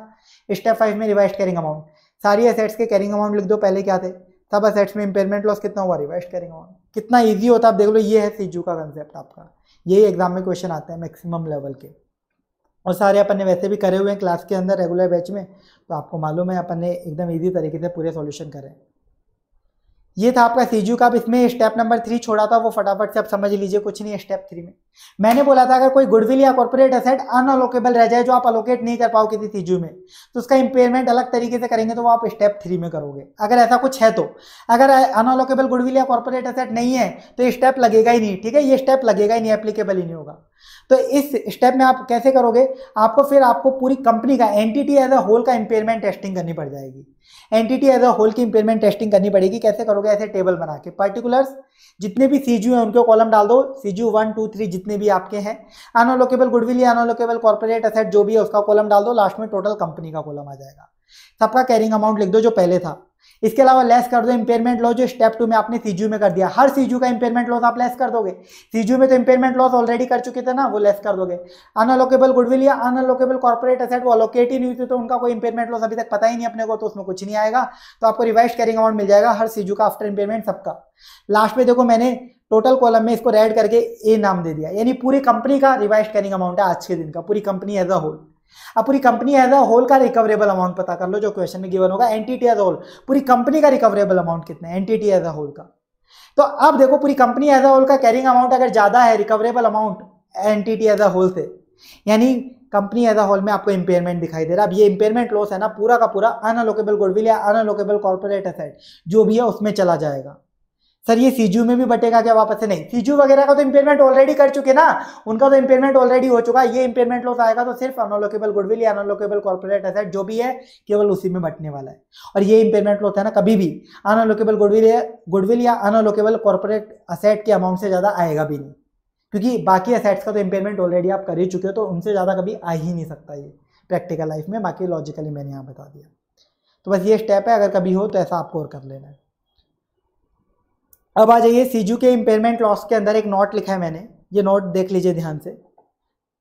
अगर आपने जो goodwill acquired in business combination है, वो पार्शियल गुडविल है। आप गुडविल जब अक्वायर करते हो बिज़नेस कॉम्बिनेशन में जो गुडविल आती है, वो दो तरीके से रिकॉर्ड करी जा सकती है। या तो अगर आप एनसीआई को फेयर वैल्यू मेथड पे ले लो या पीएसएन है इसके लिए इंडियस आपका 103 आपको याद होना चाहिए, जो अपन ने पढ़ा हुआ है बिज़नेस कॉम्बिनेशन के अंदर। पूरा डिटेल में ये बात हो चुकी है ऑलरेडी तो उस पर डिटेल में डिस्कशन अब नहीं होगा वापस से। आप जब एनसीआई को फेयर वैल्यू मेथड पे रिकॉर्ड करते हो तो आपकी जो गुडविल आती है ना, वो होती है फुल गुडविल फुल गुडविल का मतलब उस गुडविल में पेरेंट और एनसीआई दोनों का हक है. मान लो मैंने 80 परसेंट स्टेक लिया तो मैं पेरेंट बाकी 20 परसेंट वाले एनसीए वाले लोग. गुडविल मैंने बताया, सामने वाली कंपनी से रिलेटेड होती है, बस दिखाते हैं हम एस में होती उससे रिलेटेड है. और अगर मान लो मैं एनसीए को पी एस मेथड से दिखाता हूँ तो जो गुडविल आती है, उसे हम बोलते हैं पार्शियल गुडविल यानी इस गुडविल में सिर्फ़ पेरेंट का हक है. कंपनी कोई सा भी मेथड फॉलो करके बुक्स में दिखा सकती है, अलाउ है, कोई दिक्कत की बात नहीं है। तो अब देखो क्या होगा, अगर आपकी जो गुडविल आई है वो पार्शियल गुडविल है तो ऐसे केस में आपकी बुक्स में एनसीआई से रिलेटेड गुडविल रिकॉर्डेड नहीं है तो unrecognised goodwill attributable to NCI वो भी आपको कंसिडर करनी पड़ेगी इंपेयरमेंट लॉस की कैलकुलेशन के लिए। उसको बुक्स में रिकॉर्ड नहीं करना, लेकिन आपको कैलकुलेट करना पड़ेगा, उसे कंसिडर करना पड़ेगा इंपेयरमेंट लॉस की कैलकुलेशन के लिए। वो कैसे करोगे, क्यों करोगे, वो रीजन मैं आपको समझा देता हूँ, एक एग्ज़ाम्पल से देखिए। देखिए ए लिमिटेड ने बी लिमिटेड का 80 परसेंट स्टेक अक्वायर किया। 20 परसेंट एन सी बना रहे हैं ए प्लस बी का। तो बी की सारी एसेट्स और लाइबिलिटीज में टेक ओवर कर लूँगा और गुडविल आ जाएगी। होती है बी से रिलेटेड है। अब एक बार के लिए मैं बोलूँ कि बी लिमिटेड जो सामने वाली कंपनी थी ना, उसका पूरा बिज़नेस अपने आप में एक सीजू था सिंगल सीजू था। एक बार के लिए मान लेते हैं। तो उसकी जितनी भी एसेट्स थी बी लिमिटेड की, वो सारी उस सीजू में आ रही होंगी, जितनी भी असेट्स थी, क्योंकि पूरा बिज़नेस अपने आप में एक सीजू है।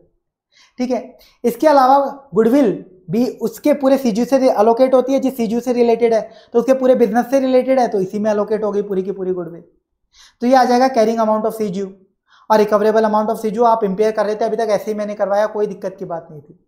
तो यहाँ पे देखो अब आप ध्यान से सुनना। अदर असेट्स जो होती हैं, सामने वाली कंपनी की, उसमें पेरेंट और एनसीआई दोनों का हिस्सा होता है। ठीक है? क्योंकि 80 परसेंट मेरा होगा 20 परसेंट उसका होगा, क्योंकि सीएफएस में हम 100 100 परसेंट ले लेते हैं। लाइबिलिटी एसेट लाइबिलिटी आपको याद आ जाना चाहिए बिज़नेस कॉम्बिनेशन और सीएफएस चैप्टर दोनों का हिस्सा होता है। अब गुडविल अगर फुल गुडविल मेथड से है तो इसमें भी पेरेंट और एनसीए दोनों का हिस्सा होगा तो कैरिंग अमाउंट दोनों का आ गया। रिकवरेबल अमाउंट आता ही दोनों का रिकवरेबल अमाउंट तो एक उस असेट का आता है। अब उस रिकवरेबल अमाउंट का ये मतलब नहीं है कि उस असेट को खरीदने के लिए पैसा पेरेंट ने कितना दिया एनसीए ने कितना दिया, वो तो सबके लिए आता है। तो वो तो वैसे ही पूरे पेरेंट और एनसीए दोनों का होता है। तो ऐसे केस में इम्पेमेंट जैसे हम कर रहे थे ना, वैसे ही करेंगे, कोई अलग केस नहीं है। यानी अगर फुल गुडविल हो तो। गुडविल अगर फुल गुडविल है, यानी एनसीए अगर फेयर वैल्यू मेथड से आया तो कोई अलग तरीका नहीं है, जैसे करते आए वैसे ही करेंगे। ठीक है? क्योंकि गुडविल के अंदर पेरेंट एनसीए दोनों का हिस्सा है। लेकिन, मान लीजिए अदर असेट्स जिसमें दोनों का हिस्सा है। लेकिन गुडविल जो है वो पार्शियल है। मैंने एनसीए को पीएसएन मेथड से लिया था। तो गुडविल यानी सिर्फ़ पेरेंट का हिस्सा यानी गुडविल सिर्फ़ 80 परसेंट को रिफ्लेक्ट कर रही है। 80 परसेंट हिस्से को रिफ्लेक्ट कर रही है, यानी कैरिंग अमाउंट में देखो, एक आइटम तो ऐसा है जो 100 परसेंट हिस्से को रिफ्लेक्ट कर रहा है और एक अमाउंट ऐसा है जो एट्टी परसेंट को रिफ्लेक्ट कर रहा है। और रिकवरेबल अमाउंट में दोनों का हिस्सा होता है। मैंने बोला रिकवरेबल अमाउंट तो असेट से कितना रिकवर कर सकते हो? वो ये थोड़ी ना देखता है कि पेरेंट ने कितना पैसा लगाया एनसीए ने कितना लगाया। तो रिकवरेबल अमाउंट हंड्रेड को आपको रेफर कर रहा है। रिकवरेबल अमाउंट हंड्रेड परसेंट को दिखा रहा है। अदर असेट्स भी हंड्रेड परसेंट को दिखा रही हैं। लेकिन गुडविल सिर्फ़ एट्टी परसेंट वाले स्कोप की आ रही है। गुडविल सिर्फ़ एट्टी परसेंट वालों की आ रही है। तो ऐसे केस में आपको जो 20 परसेंट एनसीए वालों की गुडविल है अनरिकग्नाइज गुडविल वो बुक्स में रिकॉर्डेड नहीं है, उसको भी कंसिडर करना पड़ेगा इंपेयरमेंट लॉस की कैलकुलेशन के लिए। उसको बुक्स में अलग से रिकॉर्ड नहीं करना। बुक्स में रिकॉर्ड नहीं होगी, बस इंपेयरमेंट लॉस की कैलकुलेशन के लिए अलग से वर्किंग में आपको करना पड़ेगा एक्सेल शीट में। तो देखो क्या करोगे? देखो गुडविल पार्शियल है एट हंड्रेड पेरेंट का शेयर एट्टी परसेंट है। तो आप नोशनल फुल गुडविल देखो नोशनल फुल गुडविल होती तो कितनी होती? सर एट हंड्रेड की गुडविल एट्टी परसेंट को रिफ्लेक्ट कर रही है तो हंड्रेड परसेंट कितनी होगी? थाउज़ेंड यानी अगर थाउज़ेंड रुपीज़ की गुडविल हम बोलेंगे ऐसी गुडविल होती है जिसमें पेरेंट का भी शेयर है और एनसीआई का भी है। यानी बताओ एनसीआई का कितना हो गया? 200 वो आप डायरेक्टली भी निकाल सकते हो। 800 की गुडविल 80 परसेंट को बता रही है तो 20 परसेंट को कितने की गुडविल बताएगी? टू हंड्रेड इससे हम बोलेंगे unrecognised goodwill related to N या फिर unrecognised goodwill attributed to N ऐसी गुडविल जो बुक्स में रिकॉर्डेड तो नहीं है एन वाली, लेकिन आपको कैलकुलेट करके कंसिडर करनी पड़ेगी आपके इंपेयरमेंट लॉस की कैलकुलेशन के पर्पज से। क्यों करनी पड़ेगी? वो मैंने एक एग्जांपल से बताया। अब एक एग्जांपल देखो आप। ए लिमिटेड जो है, उसने 80 परसेंट शेयर ले लिया बी लिमिटेड में। गुडविल आई 800 हंड्रेड को आपने पी से लिया, यानी पार्शियल गुडविल है। Carrying amount of net assets excluding goodwill जो था सामने वाले का, वो 2700 था। इंपेयरमेंट लॉस आपको बताना है पेरेंट और एनसीआई कितना बांटेंगे आपस में और कैरिंग अमाउंट कितना है। रिकवरेबल अमाउंट सीजू का अगर टू थाउज़ेंड हो तो। देखो, कैसे करोगे? मैंने लिखा गुडविल नेट एसेट्स और टोटल सीजू ये दो चीज़ें हैं सीजू के अंदर नेट एसेट बाकी एसेट्स और गुडविल कैरिंग अमाउंट कितना? गुडविल का 800 अदर असेट्स का 2700 3500 लेकिन ये गुडविल पार्शियल थी तो पहले इसको फुल बनाओ। तो unrecognised goodwill attributable to NCI कैसे आएगी? 800 डिवाइड बाई 80 परसेंट पेरेंट का शेयर इंटू एनसीआई का शेयर 20 परसेंट टू हंड्रेड तो टोटल वैल्यू आ गई। अब गुडविल भी टोटल की है। अदर असेट्स में तो पहले से सबका हिस्सा था और टोटल हो गया carrying amount thirty seven hundred. Recoverable amount two thousand अब नॉर्मल तरीके से कंपेयर कर लो सेवनटीन हंड्रेड का इंपेयरमेंट लॉस आ गया। पहले थाउज़ेंड गुडविल में चला गया थाउज़ेंड में से थाउज़ेंड बाकी बचा हुआ नेट असेट्स में तो revise carrying amount goodwill nil हो गया। अदर असेट्स टू थाउज़ेंड बच गई।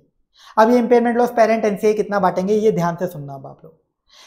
अब इंपेयरमेंट लॉस देखो गुडविल पे कितना हुआ। सबसे पहले गुडविल के इंपेयरमेंट लॉस की बात करते हैं। गुडविल पे सर इंपेयरमेंट लॉस जो हुआ है ना, वो थाउज़ेंड का हुआ है। थाउज़ेंड का बुक हुआ है। तो थाउज़ेंड का इंपेयरमेंट लॉस आप बोलोगे सर एट्टी परसेंट पेरेंट बांट लेगा ट्वेंटी परसेंट एनसीआई नहीं। बुक्स में बताओ, क्या एनसीआई की गुडविल रिकॉर्डेड है? देखो, क्या हो रहा है। बुक्स में एट हंड्रेड की गुडविल रिकॉर्डेड थी और एनसीआई की टू हंड्रेड की रिकॉर्डेड नहीं थी। तो एट हंड्रेड का इसका इंपेयरमेंट लॉस तो पूरा हो गया पेरेंट का। पेरेंट तो पूरा बुक कर रहा है। एनसीआई का जो इंपेयरमेंट लॉस है टू हंड्रेड का थाउज़ेंड में से ट्वेंटी परसेंट है ना? टू हंड्रेड तो वो बुक्स में जब एनसीआई की गुडविल ही नहीं है तो इंपेयरमेंट लॉस कहाँ से रिकॉर्ड करोगे? तो सिर्फ़ कैलकुलेशन के पर्पज से किया, अपन ने यहाँ पे इंपेयरमेंट लॉस दिखाया। पर बुक्स में तो एनसीए की गुडविल ही नहीं है टू हंड्रेड की तो इंपेयरमेंट लॉस की एंट्री पास मत करना। एनसीए का हिस्सा ही नहीं होगा। तो यानी सिर्फ़ इंपेयरमेंट लॉस गुडविल के इंपेयरमेंट लॉस में पेरेंट का हिस्सा रिकॉर्ड होगा बुक्स में। थाउज़ेंड का एट्टी परसेंट थाउज़ेंड का इंपेयरमेंट लॉस पेरेंट का हिस्सा एट्टी परसेंट तो वही रिकॉर्ड होगा। अदर एसेट्स का जो सेवन हंड्रेड का इंपेयरमेंट लॉस है, सर, इसमें दोनों का हिस्सा रिकॉर्ड होगा। क्योंकि ये दोनों की एसेट्स बुक्स में रिकॉर्डेड है तो दोनों का हिस्सा बुक्स में इंपेयरमेंट लॉस का रिकॉर्ड होगा। एनसीआई का गुडविल का हिस्सा क्यों नहीं रिकॉर्ड हुआ? क्योंकि पार्शियल गुडविल थी एनसीआई की गुडविल बुक्स में तो रिकॉर्डेड थी नहीं ना, ये सिर्फ़ कैलकुलेशन पर्पज से लिया अपन ने। तो उसका आप इंपेयरमेंट लॉस भी फिर रिकॉर्ड नहीं कर सकते। जब गुडविल ही नहीं है उसकी तो बुक्स में इंपेयरमेंट लॉस कैसे होगा? सेकंड केस देखो। अगर recoverable amount twenty eight hundred हो जाए, सब कुछ सेम है। इंपेयरमेंट लॉस अलोकेट कर दिया नाइन हंड्रेड का आया, पूरा का पूरा गुडविल में चला गया तो गुडविल का अमाउंट हंड्रेड बचा और बाकी net asset twenty seven hundred अब रिवाइज कैरिंग अमाउंट क्या है सर? यही बोलोगे नहीं। रिवाइज कैरिंग अमाउंट ये जो हंड्रेड की गुडविल दिख रही है ना आपको, अब इस वाले केस में, ये तो सर टोटल गुडविल में से दिख रही है, जो मैंने टोटल बना दी थी गुडविल यानी इसमें एट्टी परसेंट पेरेंट का है और ट्वेंटी परसेंट एन पेरेंट की गुडविल केवल बुक्स में आ रही है एनसीआई की तो बुक्स में है ही नहीं ना। यानी बुक्स में रिवाइज करेंगे अमाउंट सिर्फ़ एट्टी बचेगा। हंड्रेड का एट्टी परसेंट। क्यों? क्योंकि आप सोचो, देखो, आपने जो नाइन हंड्रेड का इंपेयरमेंट लॉस रिकॉर्ड किया ना, इसमें पेरेंट का तो एट्टी परसेंट हिस्सा ही होगा। यानी सेवन ट्वेंटी। और पेरेंट की गुडविल बुक्स में कितने रिकॉर्डेड है? Eight hundred. एट हंड्रेड का सेवन ट्वेंटी हटाओ, यानी बुक्स में तो एट्टी बचेगा कैरिंग अमाउंट गुडविल का। बाकी अदर असेट्स का वही ट्वेंटी सेवन हंड्रेड सब कुछ आएगा, लेकिन गुडविल में ये ध्यान रखना है। ये इंपेयरमेंट लॉस की कैलकुलेशन के लिए आपने फुल गुडविल बनाया है। बुक्स में तो अभी भी पार्शियल ही है बस। वो आपका दिमाग चलना चाहिए और कुछ भी नहीं है इस टॉपिक में।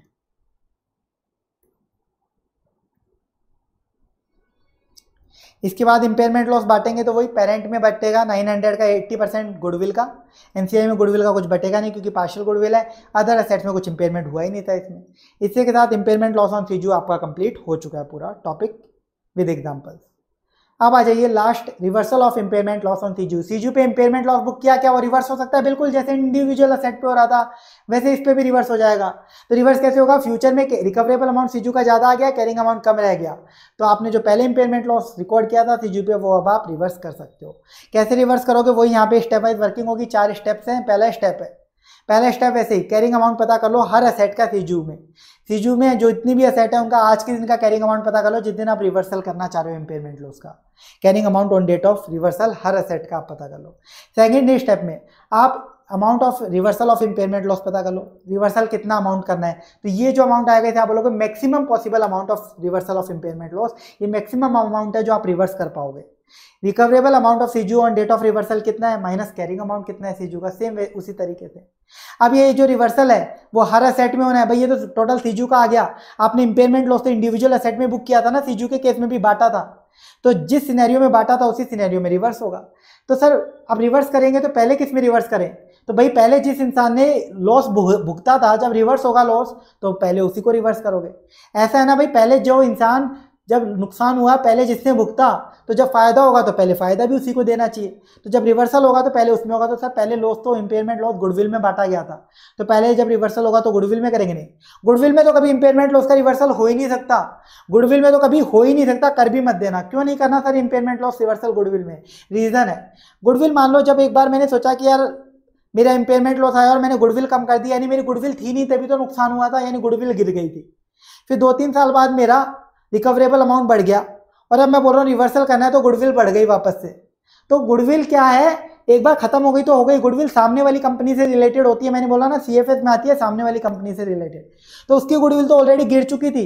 अभी जो गुडविल वापस बढ़ी है ना, वो मेरी खुद की बढ़ी है, मैंने मेहनत से बढ़ाई है, वो सेल्फ जनरेटेड है। और सेल्फ जनरेटेड तो बुक्स में रिकॉर्ड कर ही नहीं सकते। इस वजह से गुडविल में कभी भी रिवर्सल ऑफ़ इम्पेयरमेंट लॉस नहीं होता। समझ में आ गई आपको बात? ठीक है। तो सर गुडविल में हो नहीं सकता तो उसके बाद देखो। आपने फिर इंपेयरमेंट लॉस कौन सी सेट में बांटा था? उसमें बांटा था जिसको इंडिविजुअली इंपेयरमेंट के लिए टेस्ट कर सकते थे। तो अब आप उस सेट में इंपेयरमेंट लॉस रिवर्स करोगे, जिसका इंडिविजुअल रिकवरेबल अमाउंट अवेलेबल है। ठीक है, जिसका इंडिविजुअली इंपेयरमेंट की टेस्टिंग हो सकती है, बात वही है।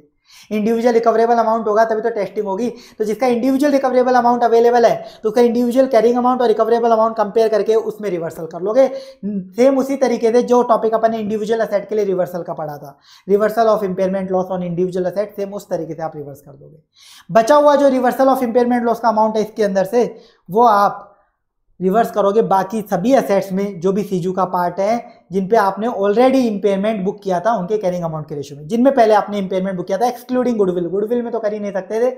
इसके अलावा सीजू में जितनी भी अदर असेट्स हैं जिनमें पहले आपने इंपेयरमेंट बुक किया हुआ है जिनमें पहले इंपेयरमेंट बुक किया ही नहीं था, उनमें रिवर्स मत कर देना, जैसे इन्वेंट्री उस पर कभी हुआ ही नहीं था तो उस पर रिवर्स करने मत बैठ जाना। जिनमें पहले बुक हुआ था अदर असेट जितनी भी बाकी रह गई एक्सक्लूडिंग गुडविल उनके आज में दिन जो भी कैरिंग अमाउंट है, उस रेशियो में आप रिवर्स कर दोगे। सिंपल सा है। अब रिवर्स करते वक्त इनका जो कैरिंग अमाउंट है ना रिवर्स करने के बाद रिवर्स करने के बाद इन असेट्स का जो कैरिंग अमाउंट है ना रिवाइज कैरिंग अमाउंट वो एक्सीड नहीं करना चाहिए। इन असेट के उस कैरिंग अमाउंट से अगर इन पर कभी इंपेयरमेंट नहीं होता तो आज के दिन क्या कैरिंग अमाउंट होता? भाई बाकी वो असेट है जिनका रिकवरेबल अमाउंट तो इंडिविजुअली अवेलेबल होगा नहीं, वो वाली असेट है। तो इन असेट का अगर कभी इंपेयरमेंट बुक होता ही नहीं तो आज के दिन क्या कैरिंग अमाउंट होता, वो तो पता कर सकते हो ना। तो आप ये वाला रिवर्सल करने के बाद इनका जो रिवाइज कैरिंग अमाउंट होगा वो इस पर्टिकुलर कैरिंग अमाउंट को इंपेयरमेंट कभी होता नहीं तो क्या कैरिंग अमाउंट होता? है इसको तो एक्सीड नहीं करना चाहिए। भाई ज़्यादा से ज़्यादा तो सर इस अमाउंट पे आ सकती है ना, कभी रिवर्स नहीं होता तो क्या अमाउंट होता? इससे ऊपर तो बढ़ा ही नहीं सकते ना। रिवर्सल करने का मतलब इस अमाउंट तक देखा ना। एक एग्ज़ाम्पल से अभी अपन इसको पूरा क्लियर कर लेंगे। बिल्कुल ईजी है। गुडविल पे इम्पेयरमेंट लॉस का रिवर्सल होता नहीं, मैंने बता दिया। अब रिवर्सल की अकाउंटिंग कैसे करोगे? वही इंडिविजुअल असेट में बिल्कुल सेम पी एंडल में जाएगा। अगर इंपेयरमेंट लॉस इवेल्यूशन सरप्लस में रिकॉर्ड हुआ था तो पहले रिवर्सल भी वहीं से होगा। रिवाइज कैरिंग अमाउंट हर असेट का क्या होगा बिफोर रिवर्सल वाला कैरिंग अमाउंट प्लस रिवर्सल का अमाउंट फ्यूचर में डेप्रिसिएशन इस नए अमाउंट पे होगा। एग्ज़ाम्पल से समझ लो, अच्छे से समझ में आएगा। सीजू वाला वही एग्ज़ाम्पल अपन कंटिन्यू करेंगे। कौन सा एग्ज़ाम्पल जो अभी सीजू का देखा था अपन ने। देखो सीजू में ये पाँच असेट थी। रिकवरेबल अमाउंट था। एक को अपने इंडिविजुअल इंपेयरमेंट के लिए टेस्ट किया था और इंपेयरमेंट लॉस बांट लिया था। और लास्ट में रिवाइज कैरिंग अमाउंट ये आ गया था अपना thirty first March two thousand one को। ठीक है? ये आ गया था आपका रिवाइज कैरिंग अमाउंट अब इसी एग्ज़ाम्पल में आगे देखो। Remaining useful life thirty first March two thousand one को टेन ईयर्स बाकी थी। यानी जिस दिन अपन इंपेयरमेंट लॉस किया, उसके बाद से आने वाले सालों की यूजफुल लाइफ टेन ईयर्स बाकी थी, यानी आगे से टेन ईयर्स में डेप्रिशिएशन लगना था।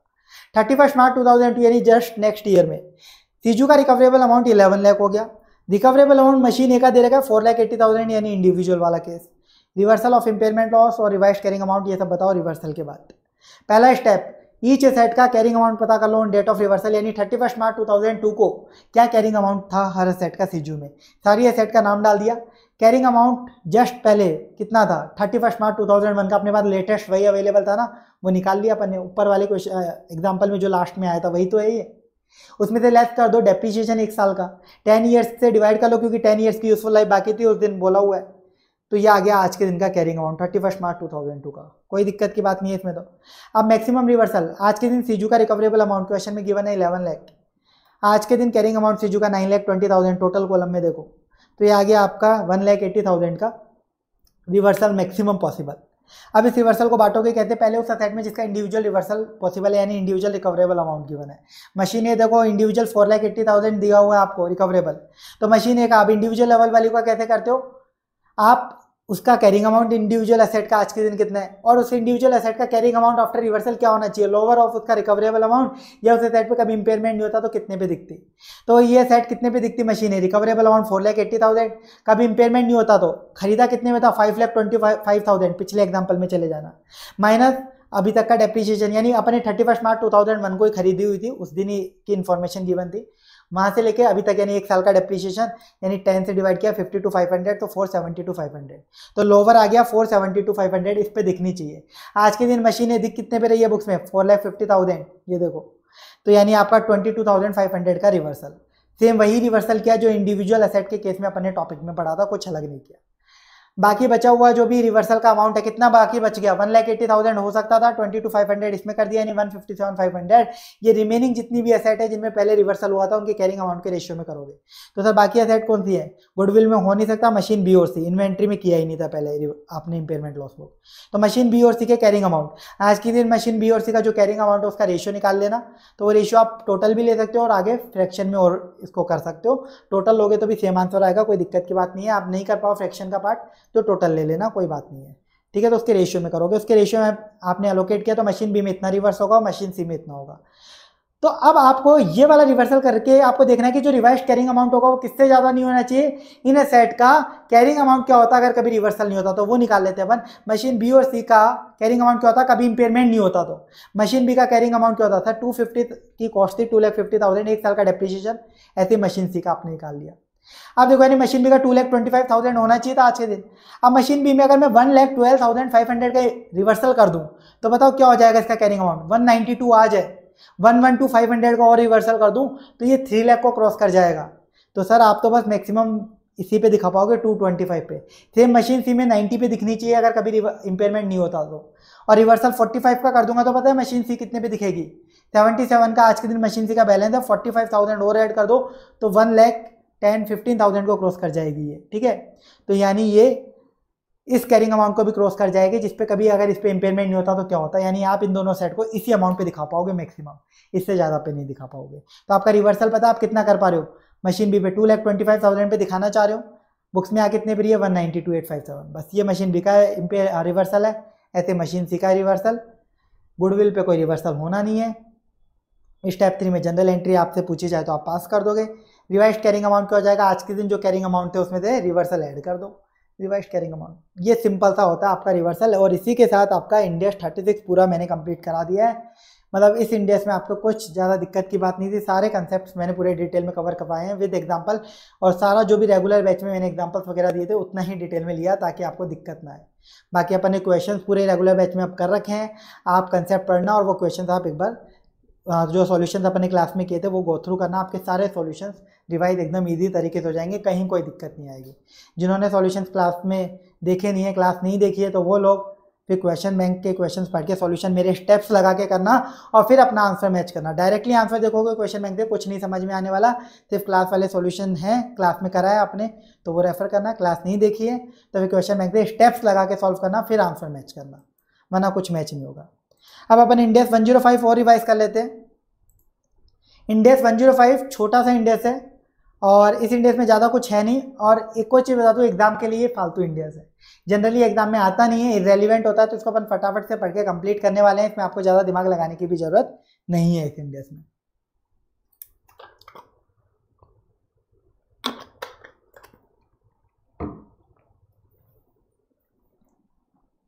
देखो Ind AS 105 non current assets held for sale and discontinued operation तो ये इंडेक्स क्या सिखाएगा सर इंडेक्स का नाम है non current asset held for sale and discontinued operation तो दो चीज़ें आ रही है इस इंडेक्स में। इस इंडेक्स में मेरे सामने दो चीज़ें आ रही है। Non current asset held for sale और डिसकंटिन्यूड ऑपरेशन तो ये दो चीज़ों की अकाउंटिंग बताएगा बिल्कुल। ये दो चीज़ों के बारे में ये इंडेक्स बात करेगा, पर मैं आपको बताऊँ ये इंडेक्स में एक चीज़ लिखी हुई नहीं है। ये इंडेक्स एक्चुअल में तीन चीज़ों के बारे में बात करता है। दो चीज़ें इस इंडेक्स के नाम में लिख दी। पहले इतना नाम बड़ा हो गया, वो और लिख देते तो और बड़ा नाम हो जाता। वो चीज़ क्या है? थोड़ी देर में समझ आ जाएगी। सिमिलर होती है, इसलिए लिखने की ज़रूरत भी नहीं थी। तो सबसे पहले अपन इस इंडेक्स का मेन कंसेप्ट बात करते हैं non current asset held for से ये इंडेक्स कहाँ अप्लाई होगा? ये Ind AS non current asset पे अप्लाई होगा। कुछ नॉन करंट असेट पे अप्लाई होगा, अगर उनको आप हेल्ड फोर सेल के लिए रख देते हो। कुछ नॉन करंट असेट जिनको आप हेल्ड फोर सेल के लिए रख देते हो तो उन पर अप्लाई होगा। तो नॉन करंट असेट क्या होती है? पहले वो बात करें अपन। तो कौन सी नॉन करंट असेट पे इंडेक्स लगेगा? तो नॉन करंट असेट आप जानते हो जो करंट असेट नहीं है। ठीक है, जिनका विद इन ट्वेल्व मंथ आप रियलाइजेशन नहीं कर सकते, वो नॉन करंट असेट ठीक है तो नॉन करंट असेट में ये इंडिया सिर्फ़ चार नॉन करंट असेट है जिन पे ये इंडेक्स लगेगा। सेम वही चार जो कि आपके इंडेक्स 36 में कवर थी। सेम वही PP intangible asset investment property goodwill same ये जो इंडेक्स है ना, इस इंडेक्स में जो रेफरेंसेस आएँगे, बहुत बार इंडेक्स 36 के आते हैं। कंसेप्ट के लिए भी उसके रेफरेंसेस बार बार भी आएँगे। तो ये इंडेक्स सिर्फ़ इन चार नॉन करंट असेट पे लगेगा, आपको मालूम होना चाहिए, चार नॉन करंट असेट वही। PP intangible asset investment property goodwill acquired in business combination जिन्हें हम बोलते हैं स्कॉप डेन असेट किस इंडेक्स के स्कॉप के अंदर कवर हो रही है। ठीक है? तो सर ये चार नॉन करंट एसेट पे ये इंडेक्स अकाउंटिंग बताएगा। लेकिन सर हमने तो पढ़ा था पीपी इंडेक्स 16 बताता है। इंटेंजिबल असेट की इंडेक्स 38 बिल्कुल। इनके जो रेस्पेक्टिव इंडेक्स है वो इनकी अकाउंटिंग बताते हैं। लेकिन ये असेट्स जो अगर आप ध्यान से नोटिस करोगे ना, ये चारों असेट ऐसी हैं जो जनरली बिज़नेस में यूज़ लेने के लिए होती है। तो बिज़नेस में अगर आप इनको नॉर्मली यूज़ ले रहे हो तो इनके रेस्पेक्टिव इंडेक्स ही इनकी अकाउंटिंग बताएँगे। इंडेक्स 105 में आपको कुछ नहीं करना। लेकिन अगर इन चारों इन चारों में से कोई भी असेट है उसको आपने हेल्ड फॉर सेल के लिए रख दिया। इंडेक्स का नाम क्या है? Non current asset held for sale non current asset का मतलब ये चार असेट इन चार के अलावा कोई और असेट आपके दिमाग में आनी ही नहीं चाहिए। ये इंडेक्स सिर्फ़ इन चार असेट पे लगेगा। ये बार बार बोल रहा हूँ क्योंकि ये सबसे इंपॉर्टेंट चीज़ है। तो ये चारों सेट में से, अगर इन चारों सेट को आपने अगर हेल्ड फॉर सेल के लिए रख दिया, आपने सोचा ये मेरी मशीन है यार, इस मशीन से बहुत सालों से प्रोडक्शन कर रहा हूँ, अब मैं बोर हो गया। तो मैंने इस मशीन को फैक्ट्री से उठा के गोडाउन में रखवा दिया और अपने स्टाफ को बोल दिया, जैसे भी कोई खरीदार दिखे ना बायर दिखे, उसको चिपका देना।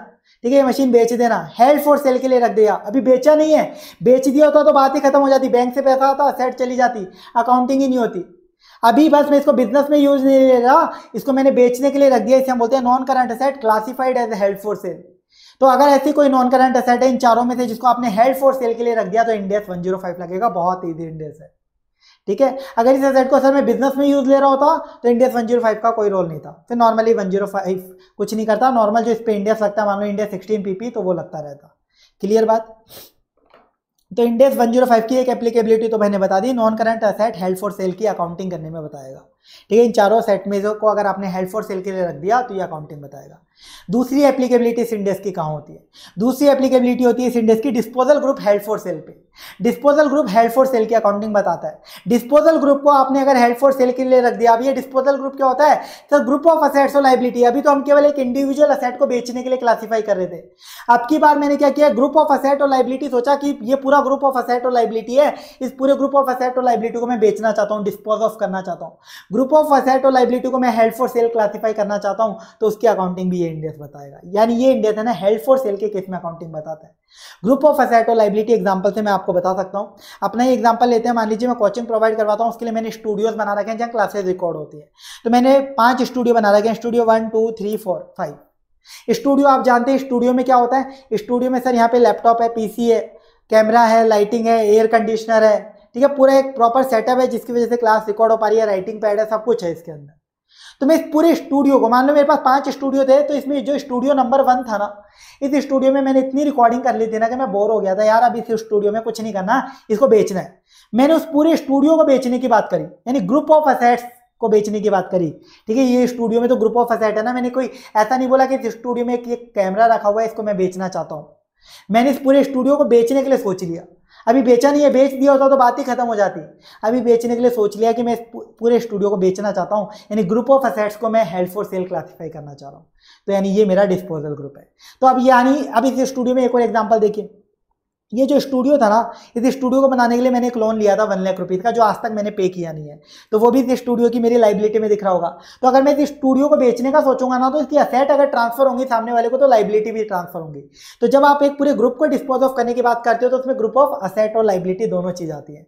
पर सर ये इंडिया तो केवल नॉन करंट असेट वो भी चार असेट पर लगता है लाइबिलिटी इस पर तो लगता ही नहीं है। तो उसकी अकाउंटिंग कैसे क्या करवाओगे, वो आगे मैं सब बताऊँगा उस पर दिमाग मत लगाओगे। इसके अलावा जब ये डिस्पोजल ग्रुप है ना इस ग्रुप के अंदर कुछ स्कोप्ड आउट असेट भी हो सकते हैं। मैंने बोला ग्रुप ऑफ़ असेट्स और लाइबिलिटीज तो असेट्स में स्कोप्ड इन असेट यानी ये चार नॉन करंट असेट हो सकते हैं इस स्टूडियो का पार्ट इसके अलावा इस स्टूडियो का पार्ट कोई करंट असेट भी हो सकती है, इस स्टूडियो से रिलेटेड कोई डेटर इन्वेंट्री वगैरह, या इस स्टूडियो से रिलेटेड कोई फाइनेंशियल असेट या कोई डीटीए वगैरह, वो भी हो सकती है, जो कि इस इंडेक्स के स्कोप में नहीं है। तो कैसे एप्लीकेबिलिटी होगी, वो सब अपन बाद में सीखेंगे। अभी तो बस बता रहा हूँ कि ये इंडेक्स किस पे लगेगा। समझ में आ गया आपको? लास्ट ये इंडेक्स किस पे लगेगा? डिसकंटिन्यूड ऑपरेशन तीन चीज़ पे लगता है, ये और ये तो इंडेक्स के नाम में है, ये नाम में नहीं था। समझ में आया? डिसकंटिन्यूड ऑपरेशन क्या? बहुत ईजी है। डिस्पोजल ग्रुप ही है। लेकिन अगर वो डिस्पोजल ग्रुप एक सेपरेट बिज़नेस लाइन या सेपरेट जियोग्राफिकल एरिया या सब्सिडरी को रिप्रेजेंट कर रहा है तो उसे आप डिसकंटिन्यूड ऑपरेशन का नाम दे दोगे। एग्ज़ाम्पल से समझिए। मेरा कोचिंग का बिज़नेस है, साथ में मेरा पेन का बिज़नेस है, मैं पेन मैन्युफैक्चर करके भी सेल करता हूँ। एक दिन मैंने सोचा, ये पेन वाले बिज़नेस से रिलेटेड सारी एसेट लाइबिलिटी में डिस्पोज करना चाहता हूँ। तो सर, यानी ये डिस्पोजल ग्रुप है। क्लासिफाइड एज इसे हेल्प फॉर सेल के लिए क्लासिफाई करना चाहता हूँ, इस डिस्पोजल ग्रुप को। लेकिन ये डिस्पोजल ग्रुप एक सेपरेट बिज़नेस लाइन को रिप्रेजेंट कर रहा है, पूरे पेन वाले बिज़नेस को। तो इस डिस्पोजल ग्रुप का नाम मैं दे दूँगा डिसकंटिन्यूड ऑपरेशन या फिर एक और एग्जांपल मान लीजिए मेरे इंडिया में कोचिंग स्टूडियो सेटअप है नेपाल में भी स्टूडियो सेटअप है, वहाँ के भी स्टूडेंट्स हैं। इसके अलावा दुबई में भी स्टूडेंट है, वहाँ पे भी कोचिंग स्टूडियो सेटअप है। ऐसे मैंने यूनाइटेड किंगडम में भी एक अपना स्टूडियो सेटअप बना रखा था कोचिंग का, क्योंकि वहाँ के भी स्टूडेंट्स है। पर एक पर्टिकुलर दिन मैंने डिसाइड किया कि ये जो यूनाइटेड किंगडम का स्टूडियो का सेटअप है ना, वो मैं बेचना चाहता हूँ पूरा। क्योंकि मुझे नहीं लगता कि वहाँ ज़्यादा स्टूडेंट्स होते हैं सी करने वाले तो वो स्टूडियो सेटअप अपन बेचते हैं, वहाँ कोई मतलब नहीं है कॉस्ट आ रही है अपनी बिना बात की, वो मैंने सोचा। तो वो डिस्पोजल ग्रुप है मेरा यूनाइटेड किंगडम वाला स्टूडियो लेकिन वो एक सेपरेट जियोग्राफिकल एरिया को रिप्रेजेंट कर रहा है मेजर जियोग्राफिकल एरिया तो यानी वो डिसकंटिन्यूड ऑपरेशन है। ऐसे मान लीजिए मैं ए लिमिटेड हूँ, मैंने बी लिमिटेड को खरीद रखा था मेरी सब्सिडरी थी। एक दिन मैंने सोचा, यार, जो बी लिमिटेड सब्सिडरी है ना, इसको बेचना चाहिए, इसकी सारी एसेट लाइबिलिटी तो ये डिस्पोजल ग्रुप एक सब्सिडरी को रिप्रेजेंट कर रहा है तो ये डिसकंटिन्यूड ऑपरेशन है। तो सर डिसकंटिन्यूड ऑपरेशन में फिर एक्स्ट्रा क्या पढ़ना है? डिस्पोजल ग्रुप की तो आप अकाउंटिंग पढ़ाओगे तो डिसकंटिन्यूड ऑपरेशन में कुछ नहीं है। अगर डिस्पोजल ग्रुप आपका डिसकंटिन्यूड ऑपरेशन बनता है तो आपको कुछ एडिशनल डिस्क्लोजर्स हो देने पड़ेंगे। वो क्या होते हैं, वो मैं आपको बाद में बताऊँगा। तो ये डिस्क्लोजर्स की बात करेगा बस। तो बस आपको इस इंडेक्स में यही देखना है। Non current asset held for sale की अकाउंटिंग यानी ऐसी असेट्स जो चार असेट की मैंने बात करी, वो चार असेट जिनकी वैल्यू आप सेल करके रिकवर करना चाह रहे हो रेदर देन यूज़ उनको बिज़नेस में यूज़ करने के बजाय उनको बेच के उनका पैसा रिकवर करना चाह रहे हो। और या फिर अकाउंटिंग बताएगा disposal group held for sale यानी ग्रुप ऑफ़ असेट्स और लाइबिलिटीज ग्रुप ऑफ़ असेट्स में स्कॉप्ड इन और स्कॉप्ड आउट असेट्स भी हो सकते हैं, जिनको आप डिस्पोज ऑफ़ करना चाहते हो। स्कॉप्ड आउट असेट्स का मतलब current asset financial asset D जो इस इंडेक्स के स्कॉप में नहीं आती। डिस्क्लोजर देने हैं आपको डिसकंटिन्यूड ऑपरेशन के लिए। डिसकंटिन्यूड ऑपरेशन मतलब डिवीज़न ऑफ़ एंटिटी एंटिटी का डिवीज़न जिसको आपने हेल्प फॉर सेल क्लासीफाई किया इसका मतलब डिस्पोजल ग्रुप जो कि बिज़नेस लाइन जोग्राफिकल एरिया या सब्सिडरी को रिप्रेजेंट कर रहा है। ये इस इंडेक्स की एप्लीकेबिलिटी है, ये एक बार आपको समझ में आनी चाहिए, फिर कंसेप्ट समझने में कोई दिक्कत नहीं है, इसलिए अपन इसको टाइम देते हैं हमेशा। क्योंकि बहुत सारे लोग होते हैं जो एप्लीकेबिलिटी नहीं पता होती, बस क्वेश्चंस करते हैं, काम कंप्लीट फिर नया क्वेश्चन आया तो पेपर टफ सब कुछ बेकार एग्ज़ाम में चलो फिर भी पास हो गए, मान लो तो प्रैक्टिकल लाइफ में बेकार। इसलिए एप्लीकेबिलिटी तो आपको पता होनी चाहिए कि कहाँ काम में आने वाला है ये। तो फिर आप क्वेश्चन में कहीं अटक ही नहीं सकते, आपको सारे लॉजिक अपने आप ही क्लियर होंगे। अब देखिए, अब आप इसमें एक थियोरिटिकल टॉपिक और है, जो भी एग्ज़ाम के लिए रेलिवेंट नहीं है। नॉन करंट असेट या डिस्पोजल ग्रुप दोनों को एक साथ ही पढ़ने वाले हैं अपन, ठीक है? इन दोनों की अकाउंटिंग देखनी है डिसकंटिन्यूड ऑपरेशन का डिस्क्लोजर वो लास्ट में देखेंगे। नॉन करंट असेट और डिस्पोजल ग्रुप को हेल्ड फॉर सेल क्लासीफाई कब करोगे? इनको हेल्ड फॉर सेल क्लासीफाई कब करोगे? यानी सर, मैंने आज मन में सोच लिया कि यार इस मशीन को बेच के पैसा रिकवर करना है, इसको धंधे में यूज़ नहीं लेना। तो क्या मैं आज के दिन इसे हेल्ड फॉर सेल क्लासीफाई कर दूँ? देखो, अगर आपको किसी एसेट को हेल्ड फॉर सेल क्लासीफाई करने का मतलब पता है क्या है? आप जब बैलेंस शीट बनाओगे ना पीपी में अगर ये एसेट दिखाई दे रही है नॉन करंट एसेट में, इसको यहाँ से निकाल के आपको एक सेपरेट हेडिंग डालनी पड़ेगी। बैलेंस शीट में एक सेपरेट हेडिंग डल जाती है, फिर असेट के अंदर एक हेडिंग आती है नॉन करंट एसेट एक करंट एसेट फिर एक और एडिशनल हेडिंग आएगी asset classified as held for sale एक सेपरेट हेडिंग में दिखाना पड़ता है इस अमाउंट को। इसलिए sir classify as held for sale आप अपना मन, जिस दिन आपका मन हुआ उस दिन कर दोगे। नहीं, आप अपने मन से नहीं कर सकते। कुछ कंडीशन है। आप हेल्ड फॉर सेल के लिए असेट को तभी क्लासीफाई कर सकते हो जब दो कंडीशन फुलफिल हो जाए। पहली कंडीशन वो असेट इमीडिएट सेल की कंडीशन में होनी चाहिए। वो असेट प्रेजेंटली इमीडिएट सेल की कंडीशन में होनी चाहिए। इसका मतलब क्या है? आज ये मशीन मैं सोच रहा हूँ, इसको बेच के पैसा रिकवर करना है बिज़नेस में यूज़ नहीं लेना। जब बेच के पैसा रिकवर करना है बिज़नेस में यूज़ में नहीं लेना तो इसका मतलब आज के दिन इसको बेचूँगा तो बेचने के लिए ग्राहक आना चाहिए बायर आना चाहिए। बायर कब आएगा? जब ये बेचने की कंडीशन में हो। मान लो ये सेट ऐसी है कि अभी ख़राब हो रही है, इसको कुछ सुधारना पड़ेगा। इसको सुधारना पड़ेगा तब ये बिक पाएगी। तो पहले इसको सुधार लो, उसके बाद हेल्ड फॉर सेल क्लासीफाई करना। अभी इसको सुधारा ही नहीं है, ख़राब पड़ी है तो इसको खरीदने कौन आएगा? तो पहले इसे इमीडिएट सेल की कंडीशन में लेके आओ। दूसरा सेल है, वो हाईली प्रोबेबल होनी चाहिए। यानी सेल होने के चांसेस होने चाहिए। ऐसा नहीं कि इसको मैंने सोच लिया कि बेच के पैसा रिकवर करूँगा, धंधे में यूज़ में ले लूँगा, लेकिन आपको मालूम है कि ये मशीन इतनी पुरानी टेक्नोलॉजी की हो चुकी है कि कोई खरीदार ही नहीं आने वाला। तो फिर हेल्ड फॉर सेल में दिखाओ, ठीक है? फिर कोई मतलब नहीं है। पहले खरीदार आना भी तो चाहिए, आप अपने मन से थोड़ी ना बोल दोगे तो हाईली प्रॉबेबल होनी चाहिए। इसके लिए हम देखते हैं कि आप एक्सपेक्टेशन लगाओ कि क्या ये नेक्स्ट वन ईयर के अंदर बिक जाएगी। आपको लगता है कि within next one year ये बिक जाएगी? अगर मुझे ऐसा लगता है कि within next one year ये बिक जाएगी तो मैं बोल दूँगा सेल हाईली प्रॉबेबल है। ठीक है? थियरिटिकल कंसेप्ट है। ये आपको ध्यान रखना है। ऐसे केस में आप इसे दिखा दोगे। हेल्प फॉर सेल अब देखिए प्रेजेंट कंडीशन में इमीडिएट सेल के लिए अवेलेबल होनी चाहिए। इसके अंदर एक नोट लिखा है मैंने। वो नोट क्या अगर आपको बोला जाए कि यार इसकी कंडीशन तो एकदम परफेक्ट है बाहर आएगा तो खरीद सकता है, कोई दिक्कत की बात नहीं है। पर इसको बेचने के लिए रेगुलेटरी अप्रूवल की ज़रूरत पड़ेगी, जो कि गवर्नमेंट से भी पेंडिंग है। तो क्या मैं ऐसे बोलूँ कि इमीडिएट सेल के लिए अवेलेबल नहीं है? नहीं। भाई रेगुलेटरी अप्रूवल तो मिल जाएगा। बेचो तो सही, भाई, जो भी रेगुलेटरी फॉर्मेलिटी होती है गवर्नमेंट के पास, वो तो आप कर लोगे। रेगुलेटरी अप्रूवल पेंडिंग है बेचने के लिए तो उसके लिए इस असेट की गलती नहीं है। असेट तो प्रेजेंट कंडीशन में बिक सकती है तो बस ठीक है। यानी इमीडिएट सेल वाली कंडीशन फुलफिल आप ऐसा ही बोलोगे उस केस में भी। ठीक है, ये आपको ध्यान रखना है। तो ये थियरिटिकल पॉइंट था, कब क्लासीफाई करना है? तो अगर ये कंडीशन फुलफिल हो गई दोनों तो आप असेट को यहाँ पे अलग से बैलेंस शीट में यहाँ से उठा के, जहाँ पे भी वो असेट थी, एक सेपरेट हेडिंग में दिखा दोगे असेट क्लासीफाइड एज हेल्पफुल से उसके आगे इसका अमाउंट आएगा, वो अमाउंट क्या आएगा, वो भी अपन देखेंगे। समझ में आगे बात? आपके मन में अब एक पॉइंट आ सकता है, सर, ये असेट ये इंडिया आपने बोला सिर्फ़ चार असेट पे लगेगा, बाकी असेट पे क्यों नहीं? चार असेट को अगर बेचने के लिए क्लासीफाई करते हैं तो ये इंडिया लग रहा है बाकी असेट में क्यों नहीं? तो बाकी असेट में देखो क्यों नहीं? उसका रीजन समझो। Non current asset major major जो थी ना, ये बिज़नेस में यूज़ आने वाली असेट थी। जिनके लिए रेस्पेक्टिव इंडिया से बिज़नेस में यूज़ नहीं आएगी तो बेचेंगे, बेचने के लिए रखेंगे तो कौन सा इंडिया लगाना है? लेकिन बाकी जो असेट्स है ना, जैसे बाकी असेट बची क्या? फाइनेंशियल असेट तो फाइनेंशियल एसेट का बेचने वगैरह की जो सारी बातें ना Ind AS one zero nine ही कर लेता है। वहाँ आप अकाउंटिंग ही इंटेंशन के बेसिस पे करते हो कि आपका इंटेंशन क्या होने वाला है, कि कब बेचोगे, कैसे रखोगे, उसके बेसिस पे अकाउंटिंग होती है। तो सब कुछ बातें वहीं हो जाती है, ज़रूरत ही नहीं अलग इंडेक्स की। इसके अलावा और क्या असेट बची सर इन्वेंट्री तो इन्वेंट्री तो असेट होती ही बेचने के लिए है वो बिज़नेस में यूज़ के लिए थोड़ी ना होती है। इन्वेंट्री का तो पर्पज़ ही होता है बेचना। तो उसकी बात तो इंडिया टू बेचने के अकॉर्डिंग ही बताता है। इंडिया टू बेचने के अकॉर्डिंग ही उसकी अकाउंटिंग बताता है और वही अकाउंटिंग यहाँ पे भी कुछ ना कुछ काम में आएगी देखना भी। ठीक है? तो इस वजह से केवल ये चार असेट ऐसी हैं जो बिज़नेस में यूज़ में आती हैं। लेकिन अगर बेचने का आप अगर उन्हें सोचते हो तो इसे इंडेक्स में क्लासीफाई करो फिर। ठीक है, बेचने का सोचते हो। बेच ही दिया तो बात ही खत्म।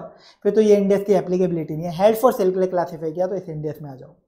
अब सर, किस वैल्यू पे दिखाएँगे? बस ये आपको सीखना है, उसके बाद कुछ नहीं है इस इंडेक्स में।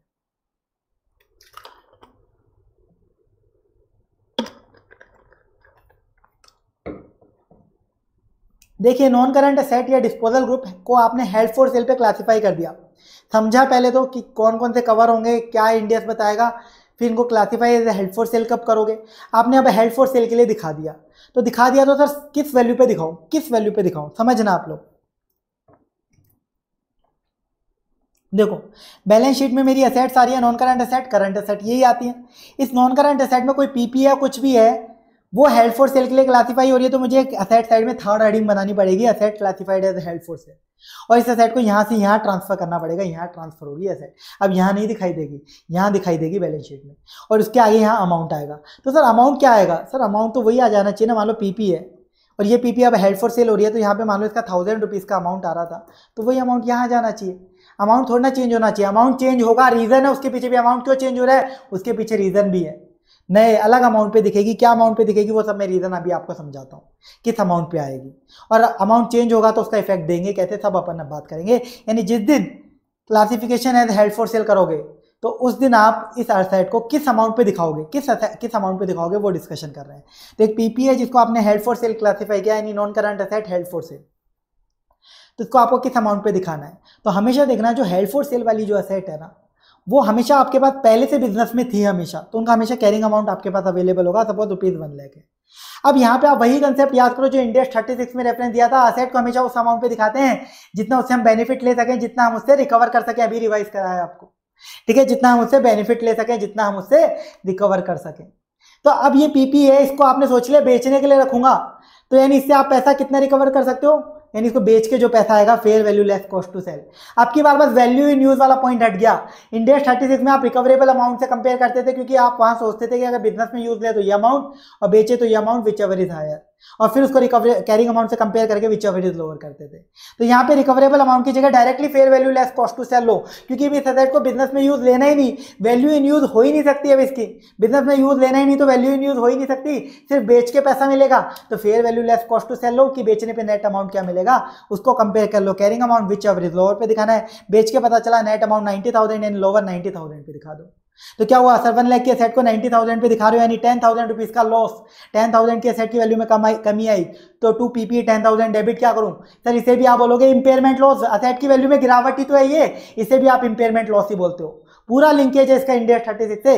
अब सर डिफ्रेंशिएट कैसे करेंगे इंपेयरमेंट लॉस कौन सा वाला है? तो आप इसके आगे लिख दोगे impairment loss as per India one zero five और उसको हम बोल देंगे impairment loss as per India thirty six India thirty six ही है, बस इंडिया थर्टी सिक्स तब लगेगा जब असेट यूज़ में आ रही होगी। क्योंकि वहाँ हम रिकवरेबल अमाउंट काम में ले लेते हैं फेयर वैल्यू और वैल्यू इन यूज़ कंपेयर करके। और यहाँ हम केवल fair value less cost to sell ले रहे हैं, क्योंकि अब इस एसेट का वैल्यू इन यूज़ होना ही नहीं है, क्योंकि बिज़नेस में यूज़ आनी नहीं है। समझ में आ गया? बिल्कुल सिंपल है। तो बस वही एंट्री होगी impairment loss P and L to P P ten thousand asset आगे नाइन्टी थाउज़ेंड पे, इधर दिख जाएगी। अकाउंटिंग भी पता चल गई, कुछ था ही नहीं इसमें। अब मैं इन्वेंट्री वाला लॉजिक देता हूँ, सबसे इंपॉर्टेंट देखो, इन्वेंट्री एसेट बेचने के लिए होती है, इस वजह से तो आप उसको कॉस्ट और एनआरवी विच एवरेज लोअर करते हो कि कॉस्ट कितनी है और बेचने पे कितना पैसा मिलेगा नेट यही करते हो। ऐसे ही, अब एसेट जो है, ये कैरिंग अमाउंट आता है इसका आपका, ठीक है? एसेट का हमेशा कैरिंग अमाउंट होता है इन एसेट का। और बेचने पे जो पैसा मिलेगा, इसे आप एनआरवी नहीं बोल सकते यहाँ पे, क्योंकि इसे आप जनरली बिज़नेस में रूटीन नेचर में नहीं बेचते।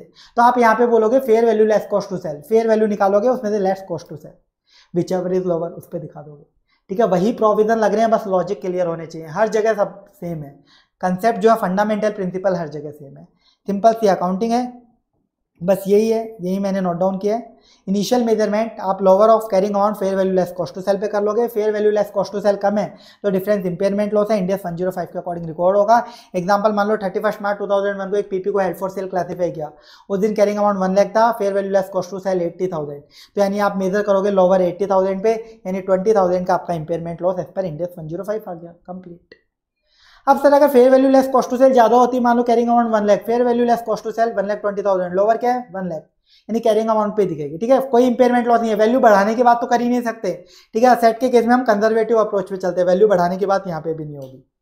वही चीज़ है फिर इसके बाद देखिए कुछ पॉइंट्स आपको इसमें ध्यान रखने हैं। जैसे आपने किसी एसेट को क्लासीफाई कर दिया है हेल्ड फॉर सेल। उस दिन के बाद से उस असेट पे डेप्रिशिएशन या अमोटाइजेशन लगना इमीडिएटली स्टॉप हो जाएगा, बंद हो जाएगा। पीपी है तो डेप्रिशिएशन बोलोगे इंटेंजिबल असेट है तो अमोटाइजेशन बोल दोगे। तो डेप्रिशिएशन और अमोटाइजेशन लगना इमीडिएटली स्टॉप हो जाएगा। क्यों? क्योंकि डेप्रिशिएशन अमोटाइजेशन कब लगता है जब वो बिज़नेस में यूज़ में आ रही हो। भाई डेप्रिशिएशन मतलब असेट की वैल्यू में गिरावट हो रही है वीयर एंड टीयर की वजह से। वीयर एंड टीयर होता है बिज़नेस में यूज़ में आने की वजह से यूज़ में लेने की वजह से। मैंने तो मशीन को उठा के गोडाउन में रखवा दिया, कोई यूज़ में नहीं ले रहा। तो किस बात का डेप्रिशिएशन तो जैसे ही हेल्ड फॉर सेल के लिए रख देते हो किसी भी एसेट को, उसका डेप्रिशिएशन अमोटाइजेशन उसी दिन से लगाना बंद कर देना है। पहले जो लगा लिया, वो लगा लिया, क्योंकि पहले तो वो यूज़ में आ ही रही थी ना। अब आगे से नहीं लगेगा बस। आगे से आपको फिर डेप्रिशिएशन अमोटाइजेशन लगाना बंद कर देना इसके बाद नेक्स्ट पॉइंट डिस्पोजल ग्रुप के केस में कैसे करोगे? तो देखो, आप एक तरीके से इंडिया थर्टी सिक्स समझो। सिंगल इंडिविजुअल एसेट का इंपेयरमेंट यानी यहाँ पे non current asset individual held for sale और सीजू का इंपेयरमेंट उसे डिस्पोजल ग्रुप समझो। Disposal group held for sale को सीजू की तरह समझो। भाई ग्रुप ऑफ़ असेट्स और लाइबिलिटीज है ना, जैसे वहाँ पे ग्रुप ऑफ़ असेट्स था सीजू एक तरीके से। तो वही चीज़ है, उसी तरीके से होगा। सीजू के केस में आप सीजू का कैरिंग अमाउंट और सीजू की fair value less cost to sell को कंपेयर कर लोगे लोअर पे। इंपेयरमेंट लॉस आएगा डिस्पोजल ग्रुप का, वो कौन बियर करेगा? डिस्पोजल ग्रुप में जो scoped in non current asset है, केवल उनमें बांटना है। भाई लाइबिलिटीज है, उनमें बटना ही नहीं चाहिए, वो इस इंडेक्स में कवर होती नहीं। या फिर कोई स्कोप्ड आउट असेट है करंट असेट या फाइनेंशियल असेट उस पर भी इंडेक्स वन ज़ीरो फाइव नहीं लगता, उस पर भी नहीं बांटना। यानी जो स्कोप्ड इन वाली नॉन करंट असेट यानी वो चार जब तो मैंने बोला, वो याद रखना PP intangible asset investment property और गुडविल इन चारों में आपको बांटना है। कैसे बांटोगे? इंपेयरमेंट लॉस सबसे पहले वही गुडविल में बांटोगे आप। सबसे पहले गुडविल अगर कुछ है, उस डिस्पोजल ग्रुप में up to carrying amount of goodwill reason बताने की ज़रूरत नहीं है सेम इंडिया थर्टी सिक्स वाला रीजन इसके बाद बचा हुआ इंपेयरमेंट लॉस आपको बांटना है। बाकी जितनी भी स्कॉप्ड इन वाली नॉन करंट एसेट यानी पीपी इंटेंजिबल एसेट और इन्वेस्टमेंट प्रॉपर्टी उनके कैरिंग अमाउंट के रेशियो में कंप्लीट इसमें ज़्यादा कुछ होता नहीं है, इसलिए यही अपने डिस्कस करके कंप्लीट कर दिया। ठीक है, एक ये पॉइंट कंप्लीट हो गया। एक लास्ट नोट है इसमें अब। अगर non current asset held for sale आपने अक्वायर करी है बिज़नेस कॉम्बिनेशन में। मान लो मैंने बी लिमिटेड कंपनी को खरीदा बिज़नेस कॉम्बिनेशन में, उसके बुक्स में कोई non current asset held for sale आ रही थी। तो वो भी अक्वायर हो गई। तो वो non current asset held for sale जो आ रही थी बिज़नेस कॉम्बिनेशन में हमने पढ़ा था, सारी असेट्स को फेयर वैल्यू पे टेक ओवर करो। लेकिन अगर उसकी बुक्स में non current asset held for sale आ रही है ना, उसे आप टेक ओवर करो fair value less cost to sell F B L C T S पे, ये इंडियस वन ज़ीरो थ्री में भी मैंने लिखवाया है। बस वही पॉइंट मैंने यहाँ पे वापस मैंशन किया। क्यों? क्योंकि जब इंडियस फेयर वैल्यू पे टेक ओवर करने की बात करता है, पर इंडियस वन ज़ीरो फाइव क्या बोलता है? Non current asset held for sale के लिए तो आप fair value less cost to sell compare करते हो। तो फिर आप टेक ओवर भी fair value less cost to sell पे कर लो। फेयर वैल्यू में से उसमें कॉस्ट टू सेल का एडजस्टमेंट करने के बाद टेक ओवर कर लो। बस ये ध्यान रखना होता है इंडिया वन ज़ीरो थ्री में भी अपन इसका पूरा लॉजिक डिस्कस किया हुआ है। अब आ जाइए सब्सिक्वेंट मेज़रमेंट इनिशियली आपने असेट को क्लासिफाई कर दिया हेल्ड फॉर सेल और एक पर्टिकुलर अमाउंट पे दिखा दिया impairment loss as per India one zero five कुछ था तो बुक कर लिया। सब्सिक्वेंटली क्या होगा? बैलेंस शीट डेट पे। मान लो आज मैंने उसे हेल्ड फॉर सेल दिखाया एक असेट को। देखो, आज मैंने एक असेट को हेल्ड फॉर सेल दिखाया initially carrying amount fair value less cost to sell one lakh eighty thousand यानी ट्वेंटी थाउज़ेंड का इंपेयरमेंट लॉस बुक हो गया। फिर आया year end balance sheet date balance sheet date आई और उस दिन तक वो असेट बिकी नहीं। तो हम वापस वो क्राइटेरिया सोच लेंगे, अभी भी सेल हाईली प्रोबेबल है क्या विद इन वन ईयर ये वाला? तो अभी भी हेल्ड फॉर सेल है तो आगे फिर अपने को हेल्ड फॉर सेल के अकॉर्डिंग ही दिखाना है। नहीं है तो क्या करेंगे, वो सब बात की बात है, ठीक है? अभी भी हेल्ड फॉर सेल के लिए क्लासीफाई हो सकती है वो कंडीशन के अकॉर्डिंग बैलेंस शीट डेट आ गई, अभी तक बिकी नहीं है और अभी भी कंडीशन मीट करी है हेल्ड फॉर सेल वाली। तो आज के दिन क्या करेंगे? सब्सिक्वेंटली फिर। तो आप सब्सिक्वेंटली वापस कंपेयर करोगे, आप carrying amount of fair value less cost to sell carrying amount कितना आ रहा था? सर जितने आप पिछली बार दिखाए थे एट्टी थाउज़ेंड पे, वही कैरिंग अमाउंट डेप्रिशिएशन वगैरह लगना बंद हो चुका था ना, यही कैरिंग अमाउंट रहेगा। आज के दिन की fair value less cost to sell suppose वो सेवेंटी फाइव थाउज़ेंड है whichever is over seventy five thousand तो फाइव थाउज़ेंड का और इंपेयरमेंट लॉस आ गया बुक हो जाएगा बस नॉर्मल इस सिनेरियो में तो कोई दिक्कत नहीं। अब मैं बैलेंस शीट डेट का एक अल्टरनेटिव सिनेरियो और दे रहा हूँ। इन पहली बार में तो हमने वन लैख और एट्टी थाउज़ेंड कंपेयर करके एट्टी थाउज़ेंड पर दिखाया ट्वेंटी थाउज़ेंड का इंपेयरमेंट लॉस बुक किया। बैलेंस शीट डेट आई अब बैलेंस शीट डेट को क्या हुआ? कैरिंग अमाउंट तो वही एट्टी थाउज़ेंड है। लेकिन fair value less cost to sell अब की बार क्या हो चुकी है? वन लैख टेन थाउज़ेंड बढ़ गई है। सर हम गेंद तो बुक करते ही नहीं है। विच एवर इज़ लोअर तो कैरिंग अमाउंट ही आ जाएगा, इस पर दिखाना चाहिए। लेकिन अब देखना। यहाँ पे क्या हो रहा है? पहले हमने इस सेट पे इंपेयरमेंट लॉस बुक किया हुआ है ना? पहले हमने बोला था कम रिकवर कर पाएँगे, अब लग रहा है ज़्यादा रिकवर करेंगे तो जो पहले इंपेयरमेंट लॉस बुक किया वो रिवर्स करने की बात आएगी तो रिवर्स कर सकते हो। कितना रिवर्स हो सकता है? सर, ये difference fair value less cost to sell और कैरिंग अमाउंट का डिफरेंस थर्टी थाउज़ेंड लेकिन मैक्सिमम आप कितना रिवर्सल कर पाओगे? आप इतना नहीं कर सकते मैक्सिमम कितना कर सकते हो? जितना पहले बुक किया था। भाई, जितना आपने इंपेयरमेंट लॉस पहले बुक किया था, वही तो रिवर्स कर पाओगे। पहले सर, मैंने ट्वेंटी थाउज़ेंड का बुक किया था तो इससे ज़्यादा रिवर्स मत कर देना, वरना वो गेन रिकॉर्ड करना हो गया। तो आप ट्वेंटी थाउज़ेंड से ज़्यादा नहीं कर पाओगे। अब इसमें एक स्पेशल पॉइंट रहा है, वो ध्यान से सुनो।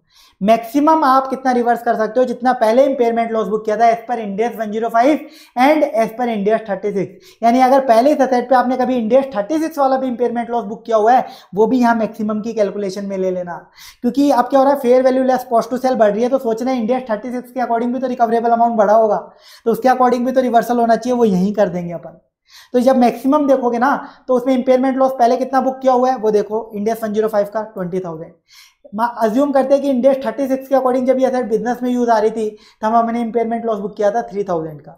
तो यानी टोटल आप ट्वेंटी थ्री थाउज़ेंड तक रिवर्स कर सकते हो. हम कितना कर पा रहे हैं? थर्टी थाउज़ेंड तो यानी आप ट्वेंटी थ्री थाउज़ेंड पूरा रिवर्स कर पाओगे.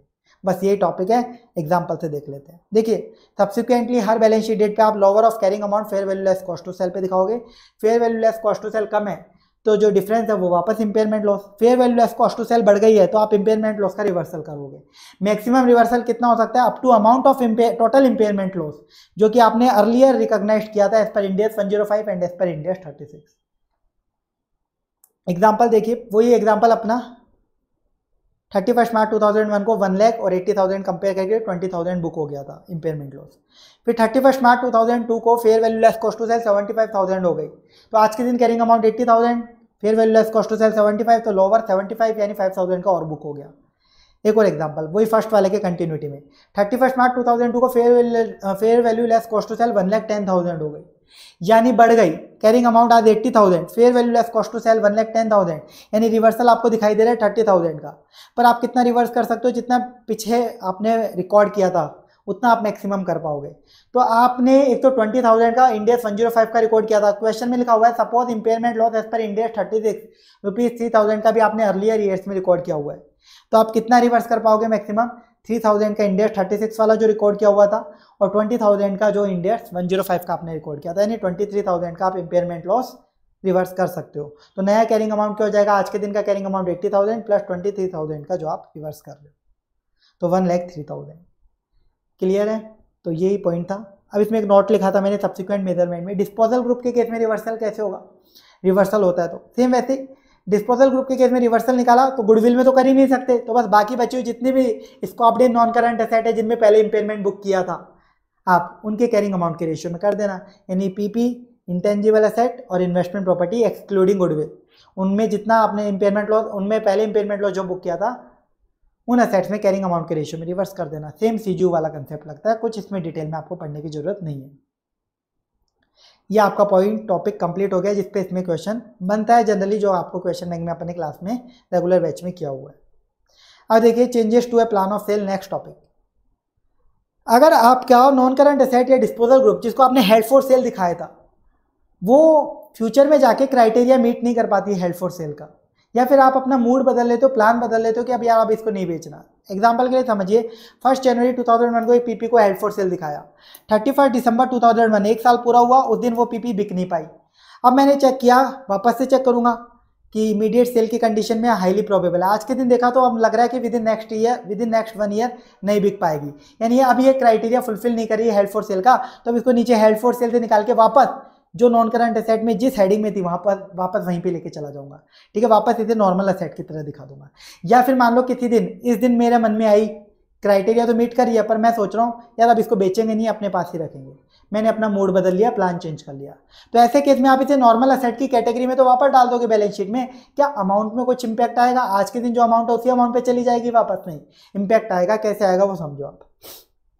फ़र्स्ट जनवरी 2001 को 100 का कैरिंग अमाउंट था फेयर वैल्यू 85 थी तो हेल्ड फॉर सेल क्लासीफाई किया तो 85 पे दिखाया 15 का इंपेयरमेंट लॉस बुक किया। थर्टी फ़र्स्ट दिसंबर 2001 को अब मैं इसे वापस नॉर्मल असेट की तरह दिखाना चाहता हूँ हेल्ड फॉर सेल नहीं दिखाना चाहता। तो आज के दिन कैरिंग अमाउंट कितना था, जो पिछली बार रिकॉर्ड किया था 85 डेप्रिशिएशन वगैरह सब बंद हो गया था। तो अब आप वापस अब आप बोलोगे, सर 85 पे नॉर्मली क्लासीफाई कर दो, ऐसा नहीं है। अब आपको क्या करना पड़ेगा, आज के दिन वो कैरिंग अमाउंट पता करना पड़ेगा अगर इस एसेट को कभी हेल्ड फॉर सेल क्लासीफाई किया नहीं होता तो क्या कैरिंग अमाउंट होता? उस पर आपको दिखाना पड़ेगा। आज के दिन आप इसे, इस एसेट को किस अमाउंट पे दिखाओगे? नॉर्मल एसेट के अंदर। अगर इस एसेट को कभी हेल्ड फॉर सेल क्लासीफाई किया नहीं होता तो इसका आज के दिन क्या कैरिंग अमाउंट आ रहा होता? यानी हेल्ड फॉर सेल वाले दिन से जस्ट पहले वाला कैरिंग अमाउंट उठा लो। और उसमें अभी तक का डेप्रिशिएशन अमोटाइजेशन लगा लो। वही तो अमाउंट आ रहा होता आज के दिन बुक्स में। तो हंड्रेड रुपीज़ का अमाउंट आ रहा था उस दिन हेल्ड फॉर सेल वाले दिन बुक्स में। हंड्रेड उसमें आज तक का डेप्रिशिएशन लगता था सपोज़ दस रुपये का तो नाइन्टी रुपीज़ की वैल्यू होती तो आप नाइन्टी पे सेट को दिखाओगे। बुक्स में आज के दिन सेट कितने पे दिख रही है? एट्टी फाइव यानी फाइव रुपीज़ का आपका क्या हो रहा है? सेट में गेन ये पी में ले जाओगे, यानी डिफरेंस पी में एडजस्ट कर दोगे, बस टॉपिक कंप्लीट अगर नॉन करंट एसेट या disposal group classified as held for sale criteria और लॉन्गर मीट नहीं करता है तो एंटिटी को सीज कर देना चाहिए उसे हेल्ड फॉर सेल क्लासीफाई करने से। यानी नॉर्मल असेट की तरह दिखाना चाहिए। इस डेट पर आप इस असेट को किस अमाउंट पे दिखाओगे? Carrying amount on date of change of plan if the asset were never classified as held for sale अगर कभी से हेल्ड फॉर सेल क्लासीफाई नहीं किया होता तो इसका क्या कैरिंग अमाउंट होता? यानी carrying amount of asset just before classification as held for sale उसमें अभी तक का डेप्रिशिएशन और अमोटाइजेशन एडजस्ट कर दो। तो यही अमाउंट आ रहा होता। इस पर दिखाएँगे। जो भी डिफरेंस होगा, आज के दिन बुक्स में जो अमाउंट और जिस पे दिखाना चाहिए, वो आप गेन और लॉस पी एंडल में एडजस्ट कर दोगे। एक क्वेश्चन होता है जो अपने रेगुलर बेच में कर रखा है। आगे देखिए अब आप लोग। Presentation and disclosure of non current asset और disposal group classified as held for sale and discontinued operation इस इंडेक्स का प्रैक्टिकल पार्ट सारा कंप्लीट अकाउंटिंग वाला, अब प्रेजेंटेशन और डिस्क्लोजर वाला पार्ट आप नॉन करंट असेट और डिस्पोजल ग्रुप जिसको आपने हेल्ड फॉर सेल क्लासीफाई किया, उसे कैसे प्रेजेंट करोगे अपने फाइनेंशियल्स में और क्या क्या डिस्क्लोज करोगे? और डिसकंटिन्यूड ऑपरेशन को कैसे प्रेजेंट करके डिस्क्लोज करोगे? तो देखो नॉन करंट एसेट और disposal group held for sale को कैसे प्रेजेंट करना है, वो तो ऑलरेडी मैंने बता दिया सेपरेट लाइन आइटम और डिटेल में यहाँ बात कर लेंगे. डिसकंटिन्यूड ऑपरेशन में कुछ एक्स्ट्रा डिस्क्लोजर्स देने होते हैं. इंडिया इसी वजह से उसकी बात करता है, वो और मैं आपको बता देता हूँ, बस. कंप्लीट हो जाएगा टॉपिक सबसे पहले non current asset held for sale को सर सेपरेट लाइन आइटम की तरह प्रेजेंट करना पड़ेगा बैलेंस शीट में. मैंने आपको बताया था ना कि बैलेंस शीट में आपको non current asset held for sale को एक अलग लाइन आइटम दिखाना पड़ेगा. असेट में non current asset current asset asset classified as held for sale एक अलग लाइन आइटम आएगी. बस यही था. Disposal group held for sale है तो इसमें क्या करना है? डिस्पोजल ग्रुप में असेट भी होंगी लाइबिलिटी भी होंगी. तो जो भी असेट्स है जिनको आपने हेल्ड फॉर सेल किया है डिस्पोजल ग्रुप की।